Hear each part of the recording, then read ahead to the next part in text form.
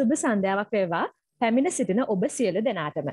දහසක් වූ හීන පැතුම් පොදි බැඳගෙන තම අනාගතය ගොඩනගා ගැනීමට දෑස් දල්වා බලා සිටින මෙවර අපොස සාමාන්‍ය පෙළ විභාගයට පෙනී සිටින අද දින වැඩමුළුවට පැමිණ සිටින සියලුම නංගිලා මල්ලිලාව ඉතාම ආදරයෙන් වැඩමුළුව සඳහා පිළිගන්නවා.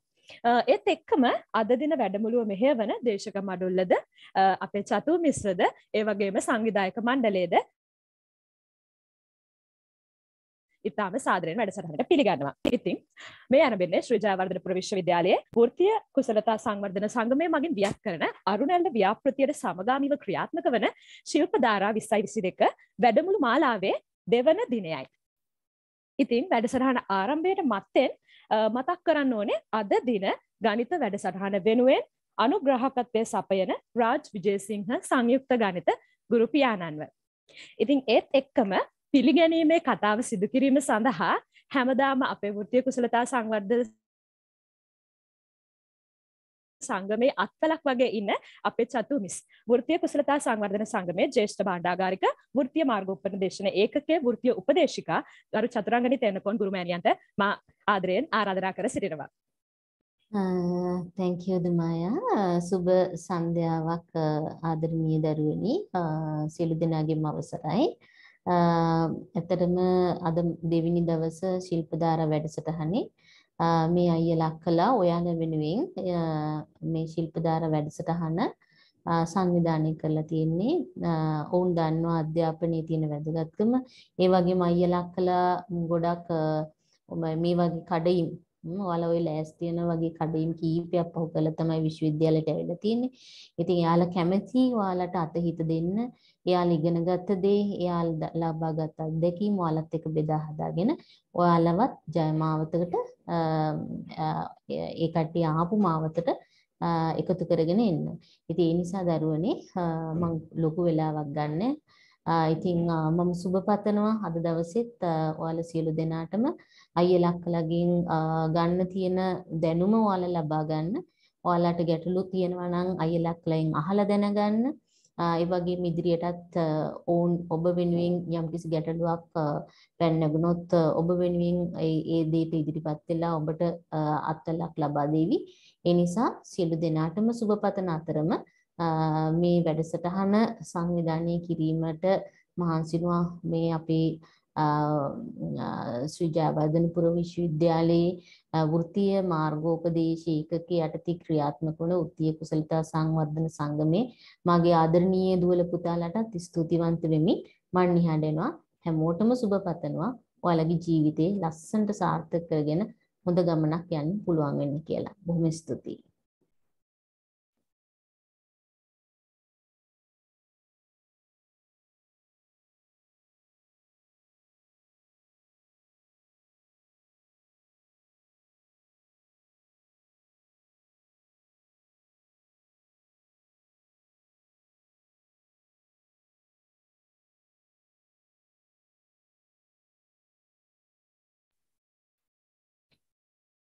හරිද? ඉතින් චතුමිස් ඔබට බොහොම ස්තුතියි. ඉතින් ඊළඟට අත ළඟටම ඇවිල්ලා තියෙන සාමාන්‍ය පෙළ විභාගය නිසා අපේ නංගිලා මල්ලිලා ඉන්නේ ගොඩක් ලොකු පීඩාවකින්. ඉතින් ඔන්න වර එක එක්සත් රාජධානයේ හිටපු අගමැති අගමැති කෙනෙක් බෙන්ජමින් චිස්ට්‍රේලි මහතා පවසල තියෙනවා. මෙන්න මෙහෙම. සාර්ථකත්වයේ රහස අරමුණ බිඳවැටීමට නොති අකණ්ඩව තබා ගැනීමයි කියලා. ඉතින් විෂයන් නමයක් සමත්විය යුතුය කියන ඔබගේ අරමුණ අකණ්ඩව මේ ටික කාලෙත් තියාගෙන ඒ අරමුණ සාක්ෂාත් කරගන්නා ආකාරය ඔහුගේ පළපුරුද්ද දැනුම සමග ඔබට දිරිගැන්වීමක් ලබාදීමට අපි මේ අවස්ථාවේ ගෞරවයෙන් යුතුව ආරාධනා කර සිටිනවා. ශ්‍රී ජයවර්ධනපුර විශ්වවිද්‍යාලයේ මනෝවිද්‍යා උපාධි අපේක්ෂක ඒ වගේම මනෝවිද්‍යා පුහුණු උපදේශක හෝප් ෆවන්ඩේෂන් හි නිර්මාතෘ අවිශ්ක සත්සර පියුමල් සොයිරාට. රාට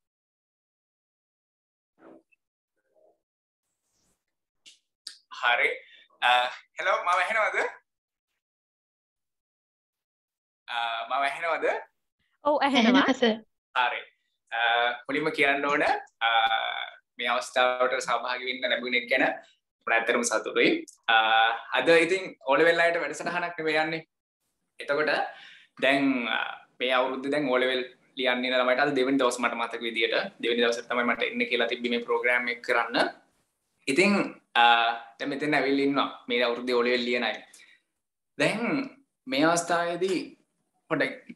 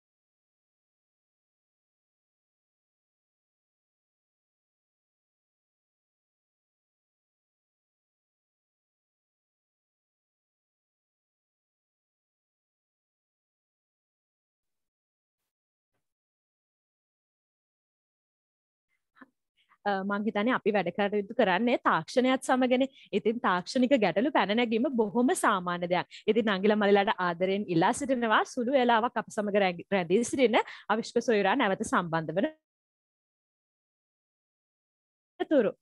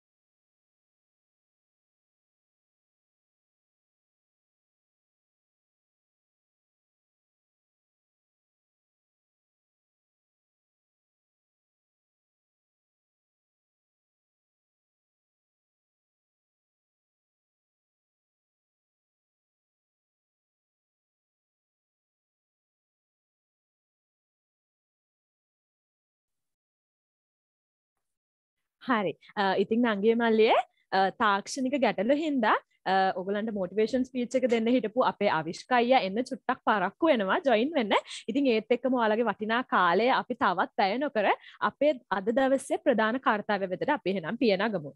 ඉතින් විෂයන් නමයක් අතරින් අමාරුම විෂය කියලා හංවඩු ගැහල දෙන විෂයන් අතර ගණිතයට හිමිවන්නේ මංහිතන ප්‍රමුඛස්ථානය. ඉතින් එහෙම අමාරු කියලා හඟඩු ගහල තියෙන මේ ගණිතය විෂය ශිල්පදාර විස්සයි විසි දෙක දෙවන දින මගින් පෙරහුරු ප්‍රශ්න පත්තරයක් සාකච්ඡා කිරීමට අද අපත් සමග එකතු වෙලා ඉනවා ප්‍රවීණ දේශකතුමේ. ඉතින් අපි මුලින් එතුමාව හඳුනා ගමනිමු. ඉතින් මේ ගණිතය අමාරු විෂය අමාරුකම ඔබට එතරම් දැනෙන්නට නොදී පහසුවෙන් සරලව ඒ වගේම තේරුම් ගත හැකි වන පරිදි ඔබ වෙත මේ ප්‍රශ්නපත්තරය කියාදීමට අද දවසේ අපත් සමඟ එකතු වී සිටිනවා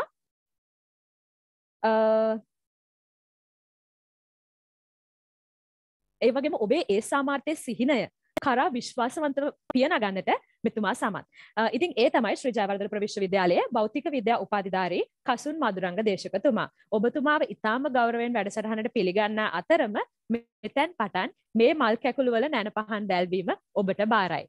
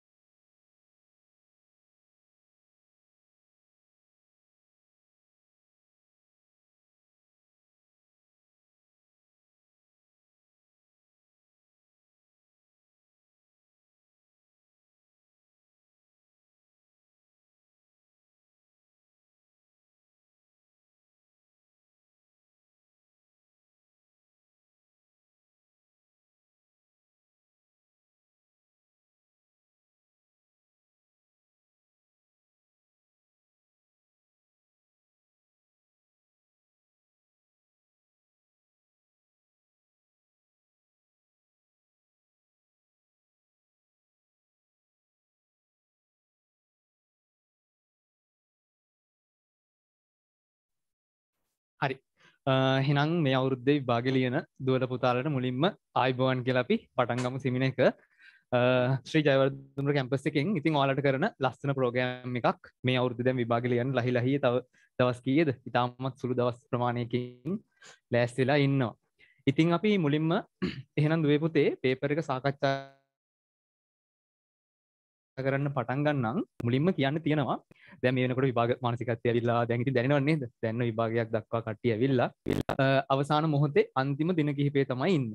ඉතින් ඇතරම අද තෝරගත්ත. මුලින්ම මම ගෙටි ප්‍රශ්න විසිපහ තමයි ඔයාලට සාකච්ඡා කරන්නේ. ඔයාලට චුට්ටක් වේගේ වැඩියවුණොත් දුවේ පුතේ චැට් එකට මැසේජ් එකක් දාන්න. එතකොට මම පැහැදිලි කරන්න මොකද විෂය කරුණු ගණනාවක් තියෙනවා මේ මොහොතේ ඔයාලට පැහැදිලි කරන්න. ඒ වගේම ඉතාමත් පසුගේ විභාග ප්‍රශ්න පත්‍ර ඒවගේම මාකින් ස්කීම අධ්‍යනය කරලා ඔයාලට මේ වර්ෂයේ ලැබේවියයි බලාපොරොත්තු හැකි අනුමාන ප්‍රශ්න පත්‍රයක් අරගෙන තමයි අපි අද ආවේ. ඉතින් ඔයාලට මොන හරි කනෙක්ෂන් ප්‍රශ්නයක් හරි ඒ මොන හරි ප්‍රශ්නයක් ආවොත් chat එකට message එකක් දාන්න. මම හිතනවා හැමෝටම මාව ඇහෙනවා කියලා. එහෙනම් අපි මුලින්ම ප්‍රශ්නෙට යමු වෙන්නම් මම ඔයාලට තියෙනවා සුළු කරන්න කියලා දීලා ගානක් මේ වගේ ප්‍රකාශනයක්. මේ වගේ ප්‍රකාශනයක් සුළු කරන්න දැකපු ගමන් දුවේ පුතේ ඔයාලා හිතන්න ඕනේ මෙතන හරය ගැන. දැන් මේ ගානේදී අපිට ගන්න පුළුවන්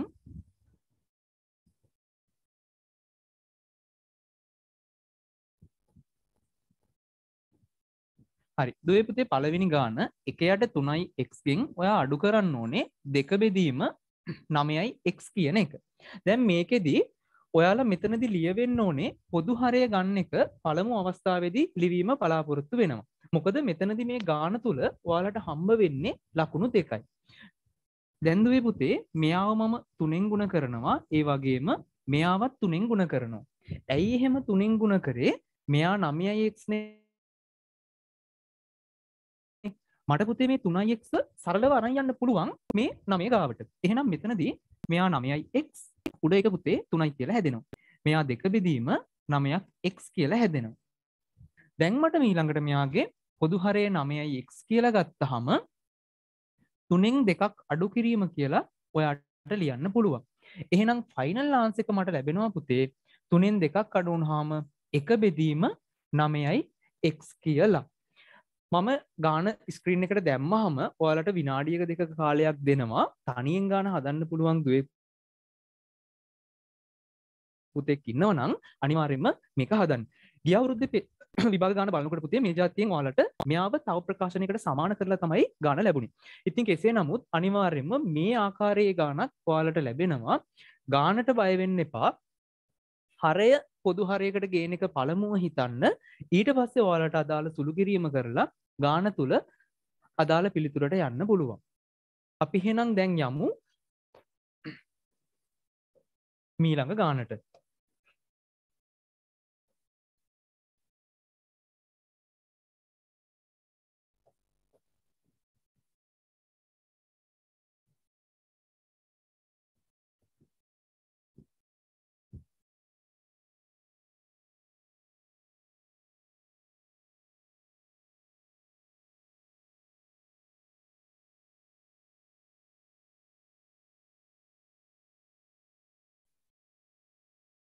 දුවපති එහෙනම් ඔන්න දැන් දෙවිනි ගානවාලට තියෙනවා ලඝු ගණක සිද්ධාන්තයෙන් ගාන.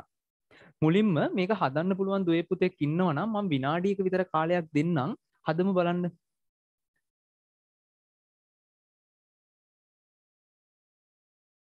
කොහොමද? ඔයාට ගාන තියෙනවා.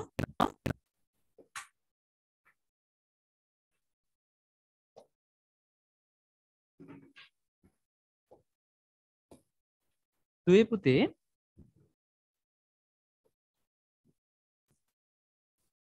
ලොග් හතරේ පාදයට එක් සමානයි තුනයි කියලා ඔයාට ගාන තියෙනවා. ලොග් හතරේ පාදයට එක් සමානයි තුනයි කියලා ඔයාට ගාන තියෙනවා. ලක්ගනක සිද්ධාන්තයෙන් දර්ශක හා ලක්ගනක සිද්ධාන්තයෙන් අනිවාර්යෙන් ඔබට ගානක් ලැබෙනවා. ඉතින් මේකෙදි වාට සරල ක්‍රමයක් කියලා දෙන්නම් දහයි වර්ගය සමානයි සීයයි කියනක ඔයයි මමයි අපි හැමෝම දන්න දහයි වර්ගය සමානයි සීයයි මේ වගේ ප්‍රකාශනයකට ලඝු ගණක දාන්න මම මෙතනදි කියලා දෙන්නම් මේ වගේ ප්‍රකාශනයක ලක්ගණක දාන්න පුතේ ලොක් දහය පාදයට මේ පාදය චේන්ජ් වෙන්නේ නැහැ දැන් ඊළඟට පුතේ මෙන්න මෙතනගේ අපිට එනවා ලඝු ගණකයේදී මෙතනටත් අදාළ අගය මෙන්න මේ මෙතනටත් ලැබෙනවා. ලොග් 10 පාදයට 100 සමානයි 2යි කියලා ලැබෙනවා. මෙන්න මේක ඔයා ප්‍රැක්ටිස් කරගත්තොත් ඔයාට මේ යටතේ එන ඕන ගණක් හදන්න පුළුව එහෙනම් කියලා දෙන්නම් මේක කොහොමද? හතරේ තුන්වෙනි බලය. මොකද මෙයාව කිසිසේත්ම දර්ශක සහ ලක්ගනකවලදි වෙනස් වෙන්නේ නැහැ. හතර කියනක මෙතැන්ට ගත්ත. හතරේ තුන්වෙනි බලය සමානයි එක් කියල අපිට ගන්න පුළුවන්. හතරේ තුන්වෙනි බලනම් ඉතින් ගුණ කරන්නම වෙනවා. ඔයාගේ පේපර් එකේ සයිඩ් එක ඉඩ තියෙනවනේ. එතනම මේක ගුණ කරන්න. පේපර එකට බයවෙන්න නම් එපා. එහෙනම් හතර ගුණ කිරීම හතර ගුණ කිරීම හතර. සමානයි X. ඒ කියන්නේ හතරවරක් හතර දාසයයි. දාසිවරක් හතර කීද හැට හතරයි කියලා ඔයාට පිළිතුර ලැබෙනවා. තේරුණාද කට්ටිය? අන්න හරි. අන්නහෙම චැට්ටකට උත්තර දාන්න අරගෙන. කියන්න නම් විස්තර ගොඩක් තියෙනවා. තැන් විභාගට අන්තිම මොහොතේ අම්මේසර් අරක බෑ මේක බෑ. සමාරට දැම් පුළුවන් දුවල පුතාලත් බය වෙලා ඉන්න. පලවෙනික තමයි පුතේ ගනම් පේපරකට තියෙන බය නැති කරගන්න ඕනි. ඔයාලා හැමෝම විභාගකටන පේස් කරන්න යන්නේ. දැන් අවුරුදු කොළහක් ඉගෙනගෙන දැන්වල විභාගට තමයි යන්න යන්න. ඉතිං අංක එක තමන්ගේ බය නැති කරගන්න ඕන. තමන් මෙතෙක් ඉගෙන ගත්ත දෙයක් තියෙනවනේ. ඔයා මේ වෙනකොට එකොළ හවසර දහයවසර මේ සමස්ත සිලබස් එක තුළවා ඉගෙන ගත්ත දෙයක් තියෙන ඔන්න ඉද ඉගෙන ගත්තදේ අනිවාර්යෙන්ම ඔයා පේපර එකක් තුළ ලියන්න ඕන්. අන්න ඒකට මෙන්න මේ දින කිහිපය වෙන් කරලා පුළුවන් තරම් ප්‍රක්ටිස් වෙන්ඩ දැන් අපි හිතන්නකො ප්‍රක්ටිස් එකක් නැතුව කෙනෙක් ක්‍රිකට් ගහන්න යනවා. ක්‍රිකට් ආස දෝලපුතාල අනිවාරෙන් මැතිනේ. දැන් එහෙම ගියොත් අනිවාරෙන් යාට ලකුණු ගහන්න වෙන්න නෑ එයා උට්ටනවා ඉතින් අනිවාරෙන්වා මේ දිනටිකේ හොඳර ප්‍රක්ටිස් කරන්න. තමන් ඉගෙන ගත්ත දේ නැවත නැවත හදන්න. අනිවාර්යෙන්ම පසුගිය විභාග ප්‍රශ්න පත්ත තමයි පලවෙනිම රහස. හරි නේද? හරි. අපි නම් ඊළඟ ගානට යන්. මේක වලට මොනවහරි අප ඇදිරිතාවයක් තියෙනවනම් තොට චැට්කට මැසේජ එකක් දාන්න. හරි. ඔන්නාව ප්‍රතිශත. හරිද? ඔන්න ප්‍රතිශත. ප්‍රතිශත ගාන විනාඩියක් විතර දෙන්න. චුට්ටක් නිකන් තනින් හදල උත්තරේ දාන්න චැට්ටකට දැන් ඉන්න කෙලින්ම අන්තිම මොහොතේ. හොඳටම ස්පීට් වැඩ කරන කට්ටියෙන් ඉන්නේ. ඉතින් ඒ නිසා හරි. විනාඩියක් දෙන්නම්. අදම් බලන්න ගාන.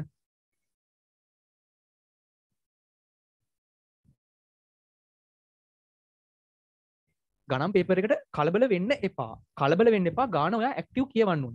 ගාන ඔයා කියවලා ඒ ගන ඔයා හදන් විනාඩියක් ගයාට කමන්න හැබැයි ගාන හදන්න ඕනපුතේ මං මැදදි කියන්නම් ටයිම් බැලන්ස එක කොහොමද ගන්න ඕනේ? ඒදවල් ඔක්කොම කියන්නම් වාලට අපි ටිකක් වැඩිපුර කරුණු සාකච්ඡා කරන්න ඕන නිසා මම ටිකක් වේගෙන් යනවා. වේග වැඩිනම් චැට්ටකට දාන්න. සේතකොට පොඩ්ඩස් ලෝ කරන්න. හරි. දුලපුතාලා ගොඩක් හදනවා ගාන. මේක කියනවා එක්තරා මාසයක කමලාගේ දුරකතනය සඳහා ස්ථාවර හා ඇමතුම් ගාස්තු රුපියල් හත්සියක් වේලු. සරලව දකින්න පුතේ ඔයාලගේ ගෙදර ටෙලිෆෝන් එකක් තියෙනවනේ. ඉතින් ටෙලිෆෝන් එකේ බිල් එක රුපියල් 700ක් කියලා. මම හිතන්නේ දැන් ටෙලිෆෝන් වලට වඩා ඉන්ටර්නෙට් බිල ලොකුවට එනවා ඇති නේද? හැමෝම ඉතින් ඉන්ටර්නෙට් පාවිච්චි කරනවානේ. ගේම් ගැන එහෙම දුවල පුතාලා දන්නේවත් නැහැ. ඒ නිසා කමන්නේ නැහැ. ස්ථාවර ඇමතුම් ගාස්තු රුපියල් 700ක් වේ. සීයට දහයක එකතු කලාගේ මත බදු. මේම තිබ්බ කියලා බයවෙන්න එපා. බදු වර්ගයක් කියන්නේ බදු වර්ගයක් කෙනෙක් ඔයා දන්නවනේ. රජයට එකතු කරගන්න දේවල් දැන් ලංකායි බදු කපල තිබිලා ඔන්න දැන් ආය නැවත ලොකු බදු ගොඩක් ගහනු එහෙනම් මෙන්න මේ සීයට දහයක එකතු කළ අගේ මත බදු මුදල කියලා කතාවක් තියෙනවා. දැන්පුත්තේ මෙන්න මේ හත්සීයට සීයට දහයක. මොනෝහරි බද්දක්නේ ගහන්නේ. මෙයාව කෙලින්ම ගුණ කරන්න තියෙන්නේ. රුපියල් හත්සීය ගුණ කිරීම සීයට දහයයි. මෙන්න මේ ප්‍රකාශනයට ඔයාට එක ලකුණක් අනිවාර්යෙන්ම හම්බ වෙනවා. ඊට පස්සේ අපිට මේ බින්දු දෙකට මේ බින්දු දෙක කැපු හැකි. සොරි සියට දහය මෙතර සට වැරදෙනවා සියට දහය ඊට පස්සපුතේ හත දහය ගුණ කරපු හම රුපියල් හැත්තෑවයි කියලා ලැබෙනවා. මේ ලැබෙන්නේ මොකක්ද අපිට ලැබෙන්නේ බදු මුදල. ඔයාගෙන් අහන්නේ බදු මුදල නෙවෙයි. දැන් කලබල වෙන දුවපුතා වේගෙන් මේක හදනවා. හදල රුපියල් හැත්තෑවයි කියලා ලියලා ඔයා ගාන හැදුවන කියලා හතල ඊළඟ එකට යනවා. මේව තමයි ඔයාලා කරන වැරදි. ඒ නිසා මේව ගැන අනිවාර්යයෙන්ම සැලකිලිමත් වෙන්න ඕනේ. එහෙනම් මේක නෙමේ අපේ උත්තරේ. මේකට තව රුපියල් 700ක් එකතු කරන්න ඕන. එහෙනම් රුපියල් හත්සිය හැත්තෑවක් තමයි අවසාන පිළිතුර වෙන්න. එතකොට මෙතන දවා සැලකිරිමත් වෙන්න ඕන පුතේ. මෙන්න මේ රුපියල් එකක. ඇතර මේ ගානතුල ඔයාට මෙතනට ලකුණු එකක් සහ මෙතනට ලකුණු එකක් විතරයි ලැබෙන්නේ. ඒ නිසා ඔයා ගාන ලියනකොට පළමු පාර ඔයාගෙන් තර්කය බලාපොරොත්තු වෙනවා. එතකොට දෙවිනි පාර ගියපුවාම මෙයාගෙන් ඔයා අදාළ උත්තරය තමයි බලාපොරොත්තු වෙන්නේ. ඒ වගේම කෙටි ප්‍රශ්න පත්‍රය MCQ 25 තුල ගණන් හදනකොට අනිවාර්යයෙන්ම මෙන්න මේ පියවර දෙක හෝ තුන. වැඩි පියවරවල් ලිව්වට කමන්න නැහැ. හැබැයි මෙන්න මේ අදාළ මාකින් එකට අවශ්‍ය දේවල් දෙක ලියන්න හිතාගන්න. අර ගොඩාක් දුරට ලියන්න යන්නත් එපා. එහෙම කියලා අඩු කරන්න යන්නත් එපා. හරි නේද? හරි. එහෙනම් අපි යන් ඊළඟ ගානට.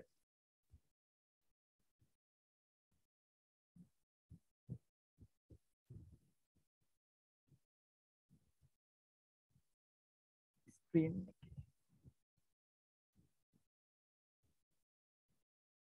මේක මූව්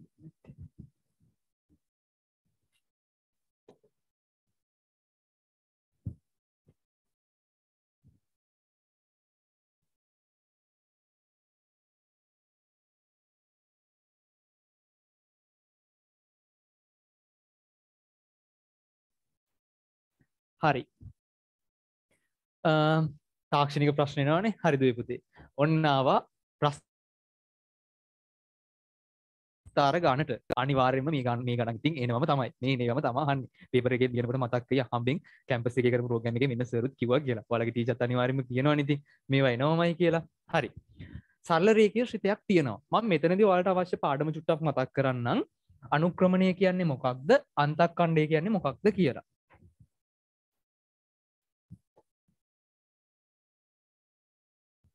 දැන්දුවේ පුතේ මුලින්ම එක්ක්සිස් එක සහ වයික්සිස් එක. එක්ක්ෂය සහ වයක්ෂය කෙනෙ ඔයා දන්නවා. මේකෙදී සරල රේකිය ශ්‍රිතයක් කියලා කියන්නේ මෙන්න මේ විදිර තියෙන සරල රේකාව ඔන්න ඔය වගේ ශ්‍රිතයක සමීකරණය අපි දන්නවා වයි සමානයි එක් දන සී කියලා. වයි සමානයි එක් දන සී කියලා. එතනදී ඔයා දන්නවා පයි සමානයි එක් දන සී කියන එකේ එම් කියන්න පුතේ අනුක්‍රමණය. අනුක්‍රමණය අනුක්‍රමණය කියන්නේ එම් ඊට පස්සේ පුතේ සී කියලා කියන්නේ ඔයා දන්නවා අන්තක් කණ්ඩයට මුලින්ම ඔය දෙක ඔයාට මතක තියෙන්න ඕනේ. සරල රේඛීය ශ්‍රිතයක් කියන්නේ මේ වගේ සරල රේඛාවකට එයාගේ ඉක්වේෂන් එක තමයි y සමානයි mx ධන c. ඊළඟට m කියලා කියන්නේ අනුක්‍රමණය. C කියන්නේ අන්තක් කණ්ඩය පුළුවන් දුවල පුතාල වුණත් කමන්න නැහැ. ගාන හදපු අය කනෙක්ෂන් ප්‍රශ්නයක් තියෙනවාද? චුට්ටක් චෙක් කරන්න. හරි. එතකොට පුළුවන් දුවෙක් පුතෙක් වුණත් කමන්න අනිවාර්යෙන් මහගෙන ඉන්ඩ අදාළ විෂය කරුණු ටික මෙතනදි මම මතක් කරනවා. මොකද කොච්චර පුළුවන් දක්ෂ දූල පුතාර වුණත් තැන් මේ අවසාන මොහොතේ වල ගොඩක් බය වෙන බය වෙලා විභාගනිකන් මේ ඔලිවල් නියන්නේ තමන්ගේ ජීවිතේකම කඩයිම මෙහෙමයි කියලා නිකන් ඔයාලා එහෙම වෙලා ඉන්න. ඒ තත්ත්වෙට පත් වෙන්න එපා. අපි ඒ නිසා මේ වෙලේ දැනුමත් ගන්න ඕනනේ. ඒ නිසා මේක ඔයාලට මතක් වෙන්න හොඳ අවස්ථාවක්. ඒ නිසා මේකේ ප්‍රයෝජනය ගන්න. අනුක්‍රමණය අන්තක්කණ්ඩය ගත්ත අපි මේක දන්නවා ගාන වෙනස් වුනාසට නේද අයිගිය චුට්ටක් හරි අපි මේක ඉන්නේ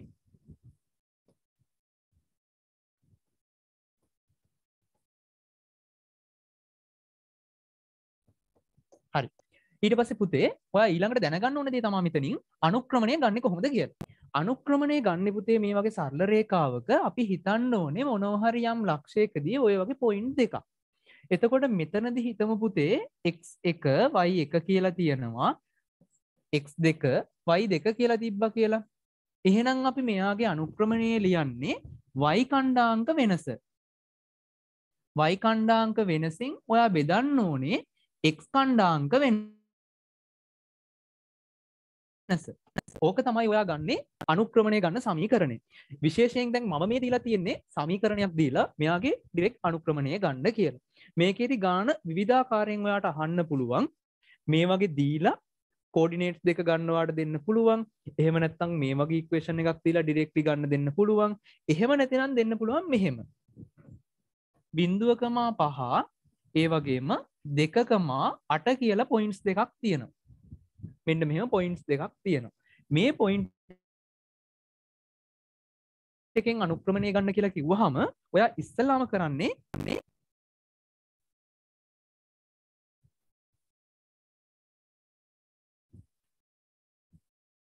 හරි. පොයින්ස් දෙකෙන් ගන්න කිව් හම ඉස්සලාම් ඔයා ලියාගන්න පුතේ මෙන්න මේ පොයින්ස් දෙක. මම දෙකම අට සහ බින්දුවකමා තුන කියලා ගන්නංග පොයින්ස් දෙක. මෙයා එක් මෙයා වයි ඔයාල පුරදු වෙච්ච ක්‍රමයක් තියෙනවනම් කම්මක් නැහැ. දැන් මේ වෙලේ ක්‍රම වෙනස් කරන්න යන්න එපා. අදහස මම ඔයාලට කියලා දෙන්නේ මේ විදිහට කණ්ඩාංක දෙකපි ලියාගන්න එතකොට මෙයාගේ අනුක්‍රමණය කියන්නේ වයි කණ්ඩාංක වෙනස බෙදනවා එක් කණ්ඩාංක වෙනස වයි කණ්ඩාංක කියන්නේ පුතේ අට අඩු කිරීම තුන. අට අඩු කිරීම තුන. බෙදනවා දෙක අඩු කිරීම බින්දුවයි එතකොට අදාර අගේ සුළු කරපු හම් ඔයාට මෙතනදී අගේ ලැබෙනවා. ඒ වගේම අන්තක් කණ්ඩේ කියන්නේ පුතේ හොඳටම මතක තියාගන්න වයි සමානයි එම්ක් දන සීකිව්ව හම මෙන්න මෙතන.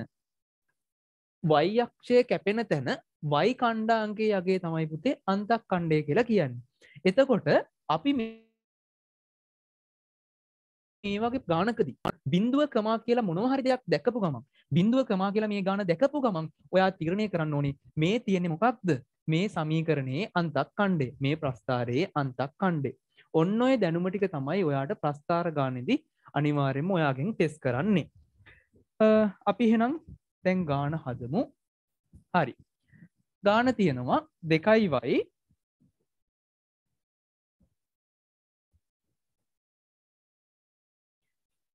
දෙක වයි සමානයි හයක් එක් අඩු කිරීම එක. මුලින්ම මේ සමීකරණය වයි සමාන එක් දනසීනේ එහෙනම් ම මෙයාව දෙකෙන් බෙදනවා. ඇයි දෙකෙන් බෙදුවේ? මෙයාගේ මෙන්න මේ වයි තනි කරන්න ඕන නිසා. වයි සමානයි හය දෙකෙන් බෙදුනහම තුනයි එක් රින භාගයයි. දැම් මෙයාගේ ඔයාට අනුක්‍රමණය සහ අන්තක් කණ්ඩය අනිවාර්යම කියන්න පුළුවන්. හොඳට අහගෙන ඉන්න මේක තුළ වාල අනිවාරයෙන් මහගෙන ඉන්න ඔයාගේ විභාග පෙබරගේ දකිනම දේවල් තමයි කතා කරන්න. එතකොට මෙයා තමපුත්තේ අනුක්‍රමණය වෙන්නේ මෙයා තමයි අන්තක් කණ්ඩේ මෙතනති තවත් වැදගත් දෙයක් සී සමානයි පුත්තේ රින භාගයයි. සී සමානයි රින භාගයයි. ලකුණ ගැනත් සැලකිලිමත් වෙන්න වෙනවා. ඒ වගේ මනුක්‍රමණය ගාන තව කියන්න තියෙන්නේ බින්දුවකමා තුනහරි මොනවහරි පොයින්ට එකක් දකපුවම මේක අන්තක් කණ්ඩේ කියලා මතක තියාගන්න. කෝඩිනේට්ස් දෙක දීලා වාට අනුක්‍රමණය හොයන්න දුන්නොත් ඒකත් ඔයාට හොයන්න පුළුවන් වෙනවා. ඒ වගේම ඔයා බය කරන අවස්ථාව තමයි මේක.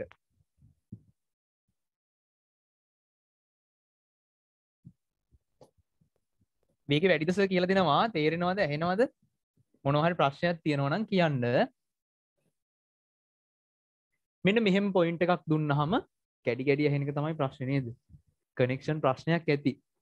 සගෙන මංහිතන පවපුල් මේ එකක් තියෙනවා කනෙක්ෂන් එක. හරි නේද?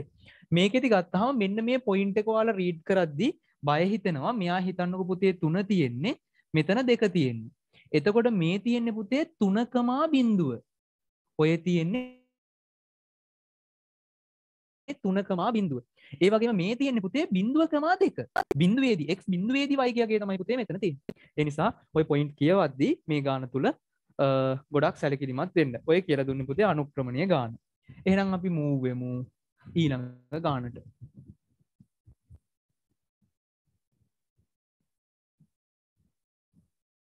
හරි. ඔන්න තියෙනවා වීජය ප්‍රකාශනයේ කුඩාම් පොදු ගුණාකාරය හොයන්න මතකද? ඕක ඉස්සල්ලාම ඉගෙන ගන්නේ නමය මේ නමේ වසරේ. අට වසරෙන් නමේ වසරෙන් තම්. දැන් කමනේද අනි දවස් දවස් තිස්සයි තියෙන්නේ. කොහමරි මතක් කළ දෙන්න. මතක් කළ දෙන්න. හරි නේද? හරි.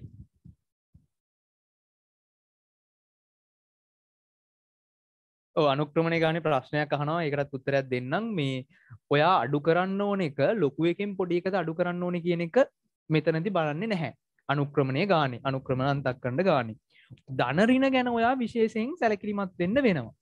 ධනරින ගැන අනිවාර්යෙන් සැලකිලිමත් වෙන්න. අර බින්දුවකමා පහ සහ හතරකමා දෙක කියලා මේ විදිට පොයින්් දෙක් තිබ හම ලොකුවකින් පොඩි අඩු කරන්න කියලා හෙම දෙයක් නැහැ. ඔයා මේක පොයින්ට එක පිළිවට ලියාගෙන එක්කම වයි කියලා දාගෙන වයි කණ්ඩාංග වෙනසන පුතේ කියන මෙයාගෙන් මෙයා. පහ අඩු කිරීම දෙක. ඔයා ලියාගන්න පිළිවෙලට මේක හදන් බින්දු අඩු කිරීම හතර.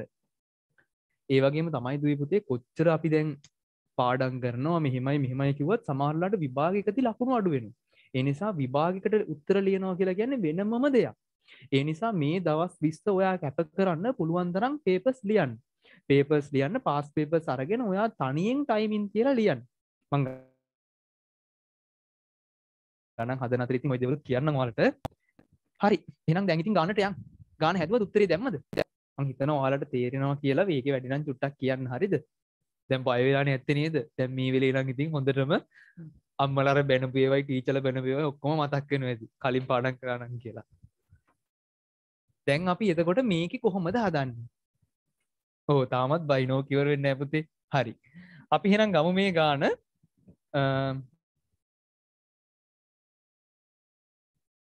මේ ගාන ගත්තහම් පුතේ මෙයාව ලියන්න ප්‍රථමක සාධකවල ගුණිතයක් විදියට හයයි ඒ වර්ගය කියන එක ඉස්සල්ලාම තුන ඉස්සලාම දෙකෙන් මෙයා ගුණ වෙනවා. වෙනවා දෙක ගුණ කිරීම ඊළඟට මොකක්ද තුන? ඔය දෙක ගුණ වෙච්ච ගමන් හය කියන එක හැදෙනවා. ඊට පස්සේ ඊළඟට ඒගේ තියෙන වැඩිම මාත්‍රය කියන්නේ ඒගේ වර්ගයන තියෙන්නේ. එයා අපි කෙලින් මේ විදියට ලියන් දැන් අර මේක මේ විදියට එන්නේ ගුණ කරලා දර්ශකනුව ගන්න. ඒ මොනවත් නැහැ. මේකෙදි තියෙන වැඩිම බලය මෙතනින් ලියන්න. ඊට පස්සේ හය කියන්නේ දෙවරක් තුනනේ පුතේ. ඒක හැදෙන්නේ අපි මෙයාව බෙදාගෙන යන්න ඕනේ හය දෙකෙන් බෙදපු හාමතු තුනයි ඊළඟට තුන කියන කාවනි ඊට පස්සේ ආයෙ තුන තුනින් බෙදුනහම එකයි කියලා හැදෙනවා. ඒ කියන්නේ දෙක සහ තුන තමයි හයේ අපි ප්‍රථමක සාධක කියලා කතා කරන්නේ. ඒවා එකක්වත් අවශ්‍ය නැහැ. සරලව ඔයාලට ගාන තුල එන්නේ මේ දෙක ඊළඟට තුන උපරිම ඊළඟට පහක් එයි. පහ එන්නේ නැහැ ගොඩක් දුරට. මේ වගේ ගානක් තමයි එන්නේ. ඊළඟට හතරයි ඒ වර්ගය B කියන එක ගත්තාම ඒ වර්ගය B වර්ගය කියලා තියෙනවා. හතර කියන්නේ දෙකේ වර්ගය. හතර කියන එක ඔයා අනිවාර්යෙන්ම දන්න ඕනේ දෙකේ වර්ගය කියලා. ඊට පස්සේ ලිව්වා ඊළඟට ඒ වර්ගය සහ B වර්ගය. දැන් මෙයාගේ කුඩාපොතු ගුණාකාරය මුලින්ම දෙකේ ඉන්න වැඩිම බලය. දෙකේ පුතේ ඉන්නේ දෙකේ වර්ගයනේ. මම යාව ලිව්වා. දෙකේ වර්ගය. මේ ගණන් නම් ඉතින් වරද්දන්න බෑ. තප්පර 30න් උත්තර ලියන ප්‍රශ්න තප්පර 30යි. ඊළඟට 3 ගත්තා. ඊට පස්සේ පුතේ ඒ වර්ගයේ තියෙනවා ඊළඟට අපිට B වර්ගයේ තියෙනවා. ඒගේ වැඩිම බලය ඊළඟට B ගේ වැඩිම බලය. ඔන්න ඕක තමයි අපිට ෆයිනල් ආන්ස් එක. ඔයාලට මේව තුරු කරලා ලියන්න පුළුවන්. දෙවරක් දෙක හතරයි කියලා කියන්නේ හතර වරක් තුන 12යි ඒ වර්ගය B කියලා අපිට උත්තරේ ලියන්න පුළුවන්. හරි නේද? මං හිතනවා ගාන තේරුණා කියලා. හරි. අන්නාව ජාමිතියට. භාවිතාවන ලස්සනම මාතෘකාව ගනිතේදි නේද? ඕ B වර්ගයෙන් ඕන. B ගේ වර්ගයෙන් ඕන. හරි. ජාමිතිය ගානක් තියෙනවා. හදම් බලන්න කට්ටිය. අනිවාර්යයෙන්ම පුළුවන් ඈ. ජාමිතිය තමයි ඇත්තන මුදේ ගනිතයේදී හම්බ වෙන ලේසිම පාඩම. එහෙම කිව්වොත් සර්ට කැමතිද? අයියෝ බලීද දන්නේ සර්ට. හරි. අපි දැන් මේ ජ්‍යාමිතිය ගානේ ගත්තාම ඔයා ඉගෙන ගන්න පළවෙනි තියරම් එක තමයි ජ්‍යාමිතියේදී මුලින්ම දන්නවා ඔයාලට මතක් කරොත් මම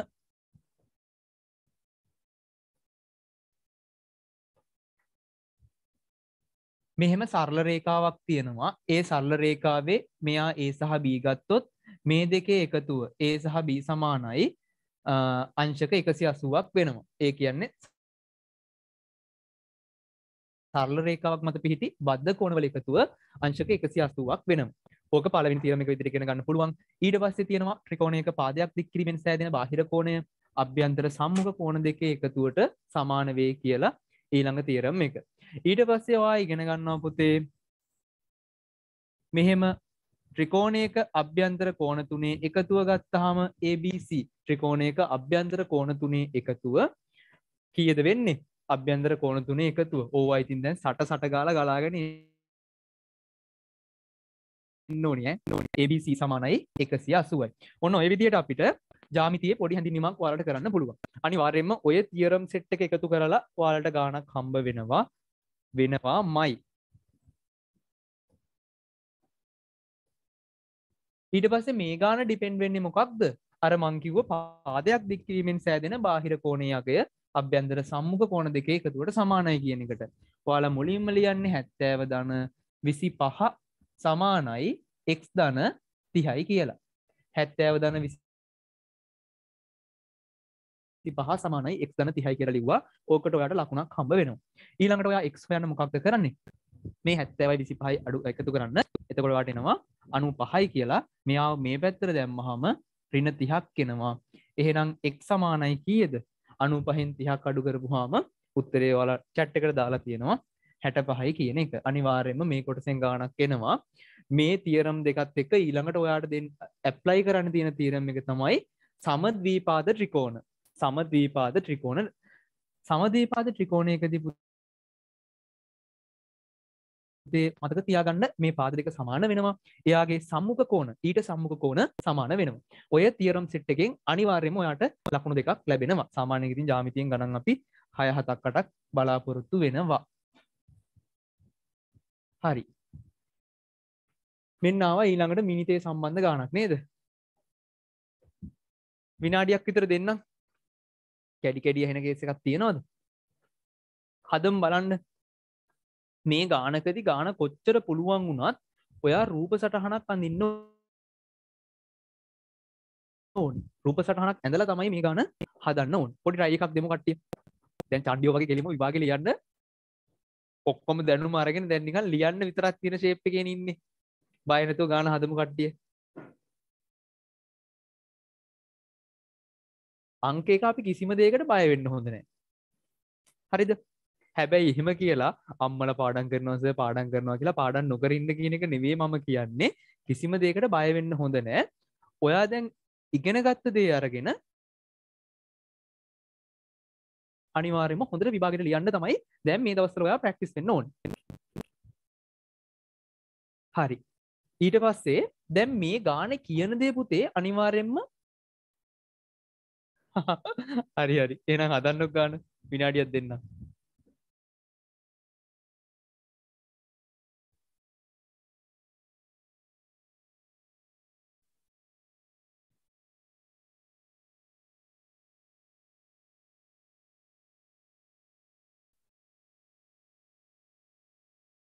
අවසාන විද්‍යාර වේගෙන් කියනවට වඩා දැන් ටිකක් කියන්න තියෙනවා ටිකක් අරන් අපි ක්වික් එකේ යන්. නිදිමතේම එනවා නම් ඔන්න දැන් නැති කරගන්න අර 3 4 කියන්නේ චුට්ටක් නිදිමතෙන සීන් එකක් තියෙනවනේ.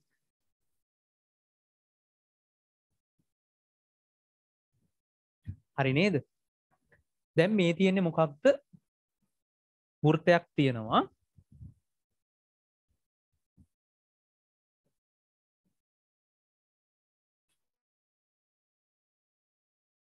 අරය ආරු වෘතයකින් වෘතයක් තියෙනවා අරය ආර්වෙච්ච එකයට හතර වූ කේන්ද්‍රික කණ්ඩාංක චාප කොටසෙහි දිග. මේ මේ වගේ වෘතයකින් පුතේ හතරෙන් එකක කේන්ද්‍රික කණ්ඩයක් කියලා කියන්නේ මෙයා අනුවක් වෙනවා කියලානේ. අංශක අනුවක් වෙනවා කියලානේ. ඔයාලට ගානේ මතක තියෙන්න ඕනේ මෙයා අංශක අනුවයි මෙයා අංශක තුන්සිය හැටයි මේටි අංශක අනුවයි මෙතනිදම් මෙතැන්ට අංශක එකසි අසුවයි. ඊට පස්සේ දෙසිය හැත්තෑවක් සහ තුන්සිය හැටක් වෙනවා.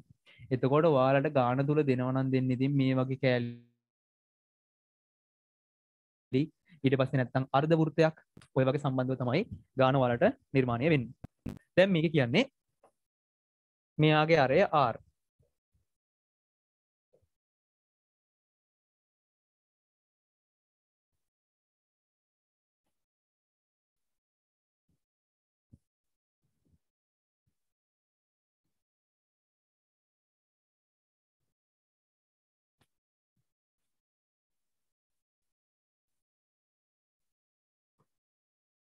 හතරෙන් එකක චාපදිග හතලිස් හතරයිලු. ඔයා චාපදිග සමීකරණය දන්නවා මෙයා 2පයිR පරිදියේ ඉක්වේෂන් එක අපිට 2පයිR කියලා ලියන්න පුළුවන්. මෙයා පුතේ ඔයා ගුණ කරන්න ඕනේ එක යට හතරෙන්. ඇත්තට මොයා සමීකරණය දන්නවා තීට බෙදීම තුන්සිය හැටෙන් තමයි අපි ගුණ කරන්න මෙයා කොච්චර පංගුවක්ද කියලා ගානක දුන්නාම මේ තමයි පරිමිතිය ඉක්වේෂන් එක ඒ වෙලාවට ඔයා ඉන්න ප්‍රශයකත් එක්ක ඔයාට වර්ගඵලය මොකක්ද කියලවත් මතක වෙන්නේ නැති තත්ත්වයක් එන්න පුළුවන්. ඒ නිසා කලබල වෙන්න එපා ෆයිර් වර්ගය අපි වර්ගඵල ඉක්වේෂන් එක කියලා කතා කරන්නේ මෙයාගෙනුත් පංගුවක් කියලා කිව්වොත් ඒ පංගුවෙන් ඔයාට ගුණ කරන්න තියෙන්නේ. සරලව ගාන දකින්න නිකන් ඔන්න ඔය විදියට. 360න් ඇන්ගල් එක කීයද කියලා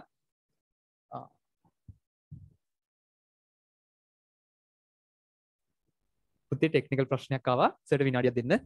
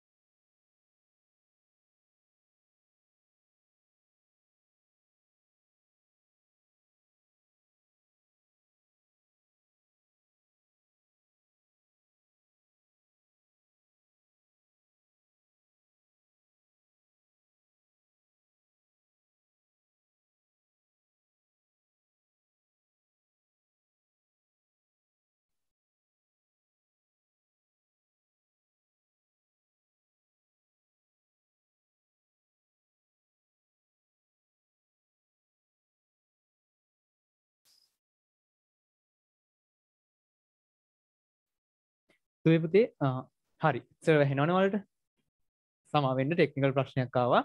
හරි. ගානේ උත්තරේ වාට දැම්මා. මම කී කී හිටියේ ගානේ? අපි මෙයාව එකයට හතරෙන් ගුණ කරන්න ඕනේ. දෙක ගුණ කිරීම විසි දෙක බෙදීම හතයි. අරය ආර් කියලා කියනවා. මෙයාගේ අගය හතලිස් හතරට සමානයි කියලා. දැංපුතේ මේ ගාන කිසිම විටක ඔයා ගුණ කරන්න එපා. අනිවාර්යම මේක දෙන්නේ සුළු වෙන්න. දශමාකයන් දීලා ඔයා මේක තුළ ගොඩක් අසරණ කරන තත්තර ගන්න නැහැ. ඒ නිසා ඔයාලා කලබලට සමාට මේක ගුණ කරනවා. එහෙම කරන්න එපා. මේ ගාන සරලව සුළුවෙන්න තමයි මේකෙදි දෙන්න.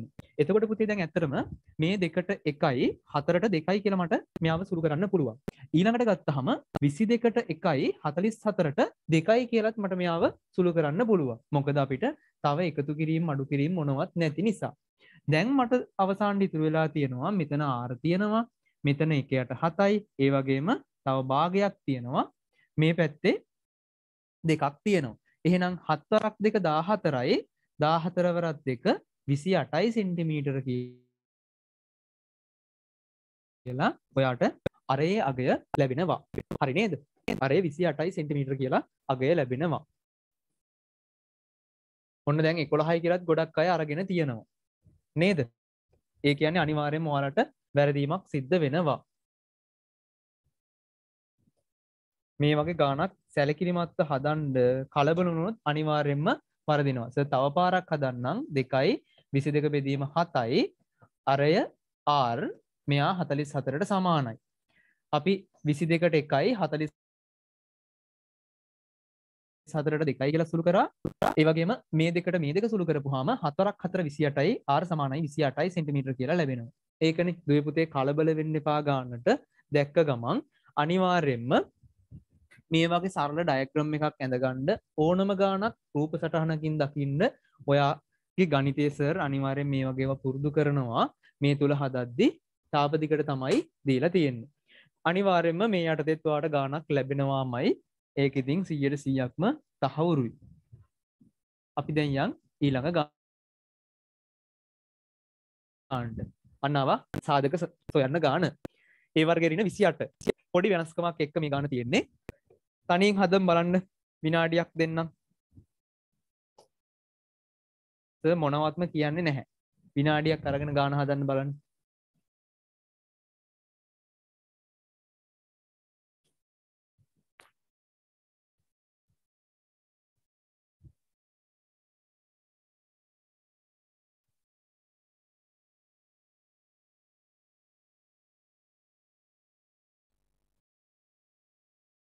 හරි.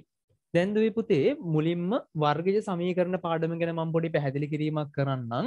වර්ගජ සමීකරණයක් කිව්වහම x වර්ගය ධන 2x ධන 3 සමානයි බිඳුව කියලා හිතමුකෝ. මේ වගේ සමීකරණයකට අපි කියනවා වර්ගජ සමීකරණයක් කියලා. මේ සමීකරණය විසඳීම ආකාර තුනක් යටතේ ඔයා ඉගෙන ගන්නවා. පළවෙනි එක තමයි පුතේ ඔයා ඉගෙන ගන්නේ සාධක භාවිතය. ඒ කියන්නේ මේ ගාන ඇවිල්ලා තියෙන්නේ ඔය වගේ පරිජ සමීකරණයක් සාධක භාවිතයෙන් විසඳන්ඩ මෙයාගේ සාධක හොයන් ඊළඟට ඔයා ඉගෙන ගන්නවා වර්ග පූර්ණ ක්‍රමය. ඒ වගේම ඊළඟට ඔයා සූත්‍රය ඉගෙන ගන්නවා. සූත්‍රයන සමහරුද පාඩ නැතු ඇති. ම ලියන්න මතක් වෙන්න එක් සමානයි. රිනබී දනහෝරින බීවර්ගරින හතරක් AC බෙදීම දෙකක්කේ ඇත්තරම පුතේ වර්ගපූර්ණ ක්‍රමය සහ සූත්‍රභාවිතය කෙනෙක ඔයාට ඕන වෙන්නේ රචනා පේපර එකේ ගාන තුළ හදද්දි රචනා පේපරගේ ගානට ඔයාට වර්ගඵලය හරි වර්ගඵලය ආශ්‍රිතයෙන් අනිවාර්යෙන්ම ගානක් ලැබෙනවා. එතනද ඔයා වර්ගපූර්ණ ක්‍රමය හෝ සූත්‍ර භාවිතය කියන ක්‍රම දෙකෙන් එකක් මේ මොහොතේ පුළුවන්ගෙන යන්න. මේ වෙලේ මම කියන්නේ නැහැ. මේ දෙකම ප්‍රැක්ටිස් වෙලා ඔයාට ගැලපෙන එක තෝරගන්න කියලා. මේ වෙනකොට ඔයා දැන් තෝරගත්ත ක්‍රමයක් තියෙනවනේ. ඒ ක්‍රමයෙන් මේ ඉදිරි දින කිහිපය තුළ මේක හදලා ඔයා අරගෙන යන්න. සූත්‍රයේ පාඩම් නොකරපු කෙනෙක් ඉන්නවනම් දැන් අමුතුවෙන් පාඩම් කරන්න යන්න එපා. ඔයා වර්ග පූර්ණ ක්‍රමයම නැවත බලාගෙන යන්න. එහෙනම් අපි එන්නම් කෙටි පේපර් එකට. කෙටි පේපර් එකේ යෝග තියෙන්නේ මෙන්න මේ සාධක භාවිතයෙන් ඔයාට අනිවාර්යයෙන්ම ගාණක් හෝ දෙකක් ලැබෙනවාමයි. දැන් අපි ගියපුහම මෙයාට මේකෙති පුතේ හතයි ඒ වර්ගය රින විසි අට සාධක සොයන්නේ තියෙන්නේ. මේ හත මෙතන තියෙන තාකල් අපිට මේ වැඩේ කරන්න බැහැ මුලින්ම බලන්න ඕනේ මේ හත කියන එක හිතන්නකො මෙතන නමය වගේ තිබ්බා කියලා එහෙම එකක් තිබ්බනම් අපිට මේක හිතන්න පුළුවන් ඒ කියන්නේ පුතේ දෙකේ වර්ගය සමානයි හතරයි තුනේ වර්ගය සමානයි නමයයි මෙන්න මේ වගේ වර්ග සංඛ්‍යාවක් වෙන එකක් තිබ්බොත් අපිට හිතන්න පුළුවන් මේක අනිවාර්යෙන් වරහන් දාලා වෙන් කරගන්න. දැන් මේකෙදි තියෙන්නේ අනිවාර්යයෙන්ම මේ 7 එළියට ගන්න ඔයා. එතකොට 28 7ෙන් බෙදුනහම මෙතන හැදෙනවා 4යි කියලා. ඒ කියන්නේ පුතේ මේ 7 ගත්තාම මෙයාව ලියන්න පුළුවන් වර්ග දෙක වර්ග දෙකක අන්තරයේ සාධක. මේ 4 ලියන්න පුළුවන් දෙකේ වර්ගය කියලා. ඒ කියන්නේ මෙයාව අපිට ලියන්න පුළුවන් ඒ ඍණ දෙක සහ ඒ ධන දෙක කියලා. නැවතත් ඔන්න මම මතක් කරන්නම් මේ වගේ ගානකදී ඔයාට වැදගත් වෙන දේවල්.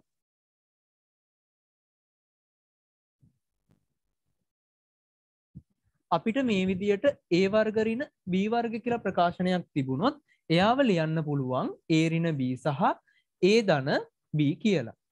ඒ වගේම පුතේ අපිට මෙහෙම තිබ්බොත් ඒ ධන B ගේ වර්ගය කියලා. මේ වගේ ප්‍රකාශනයක් අපි වර්ග කරන්නේ කොහොමද? ඔයා මතක තියාගන්න.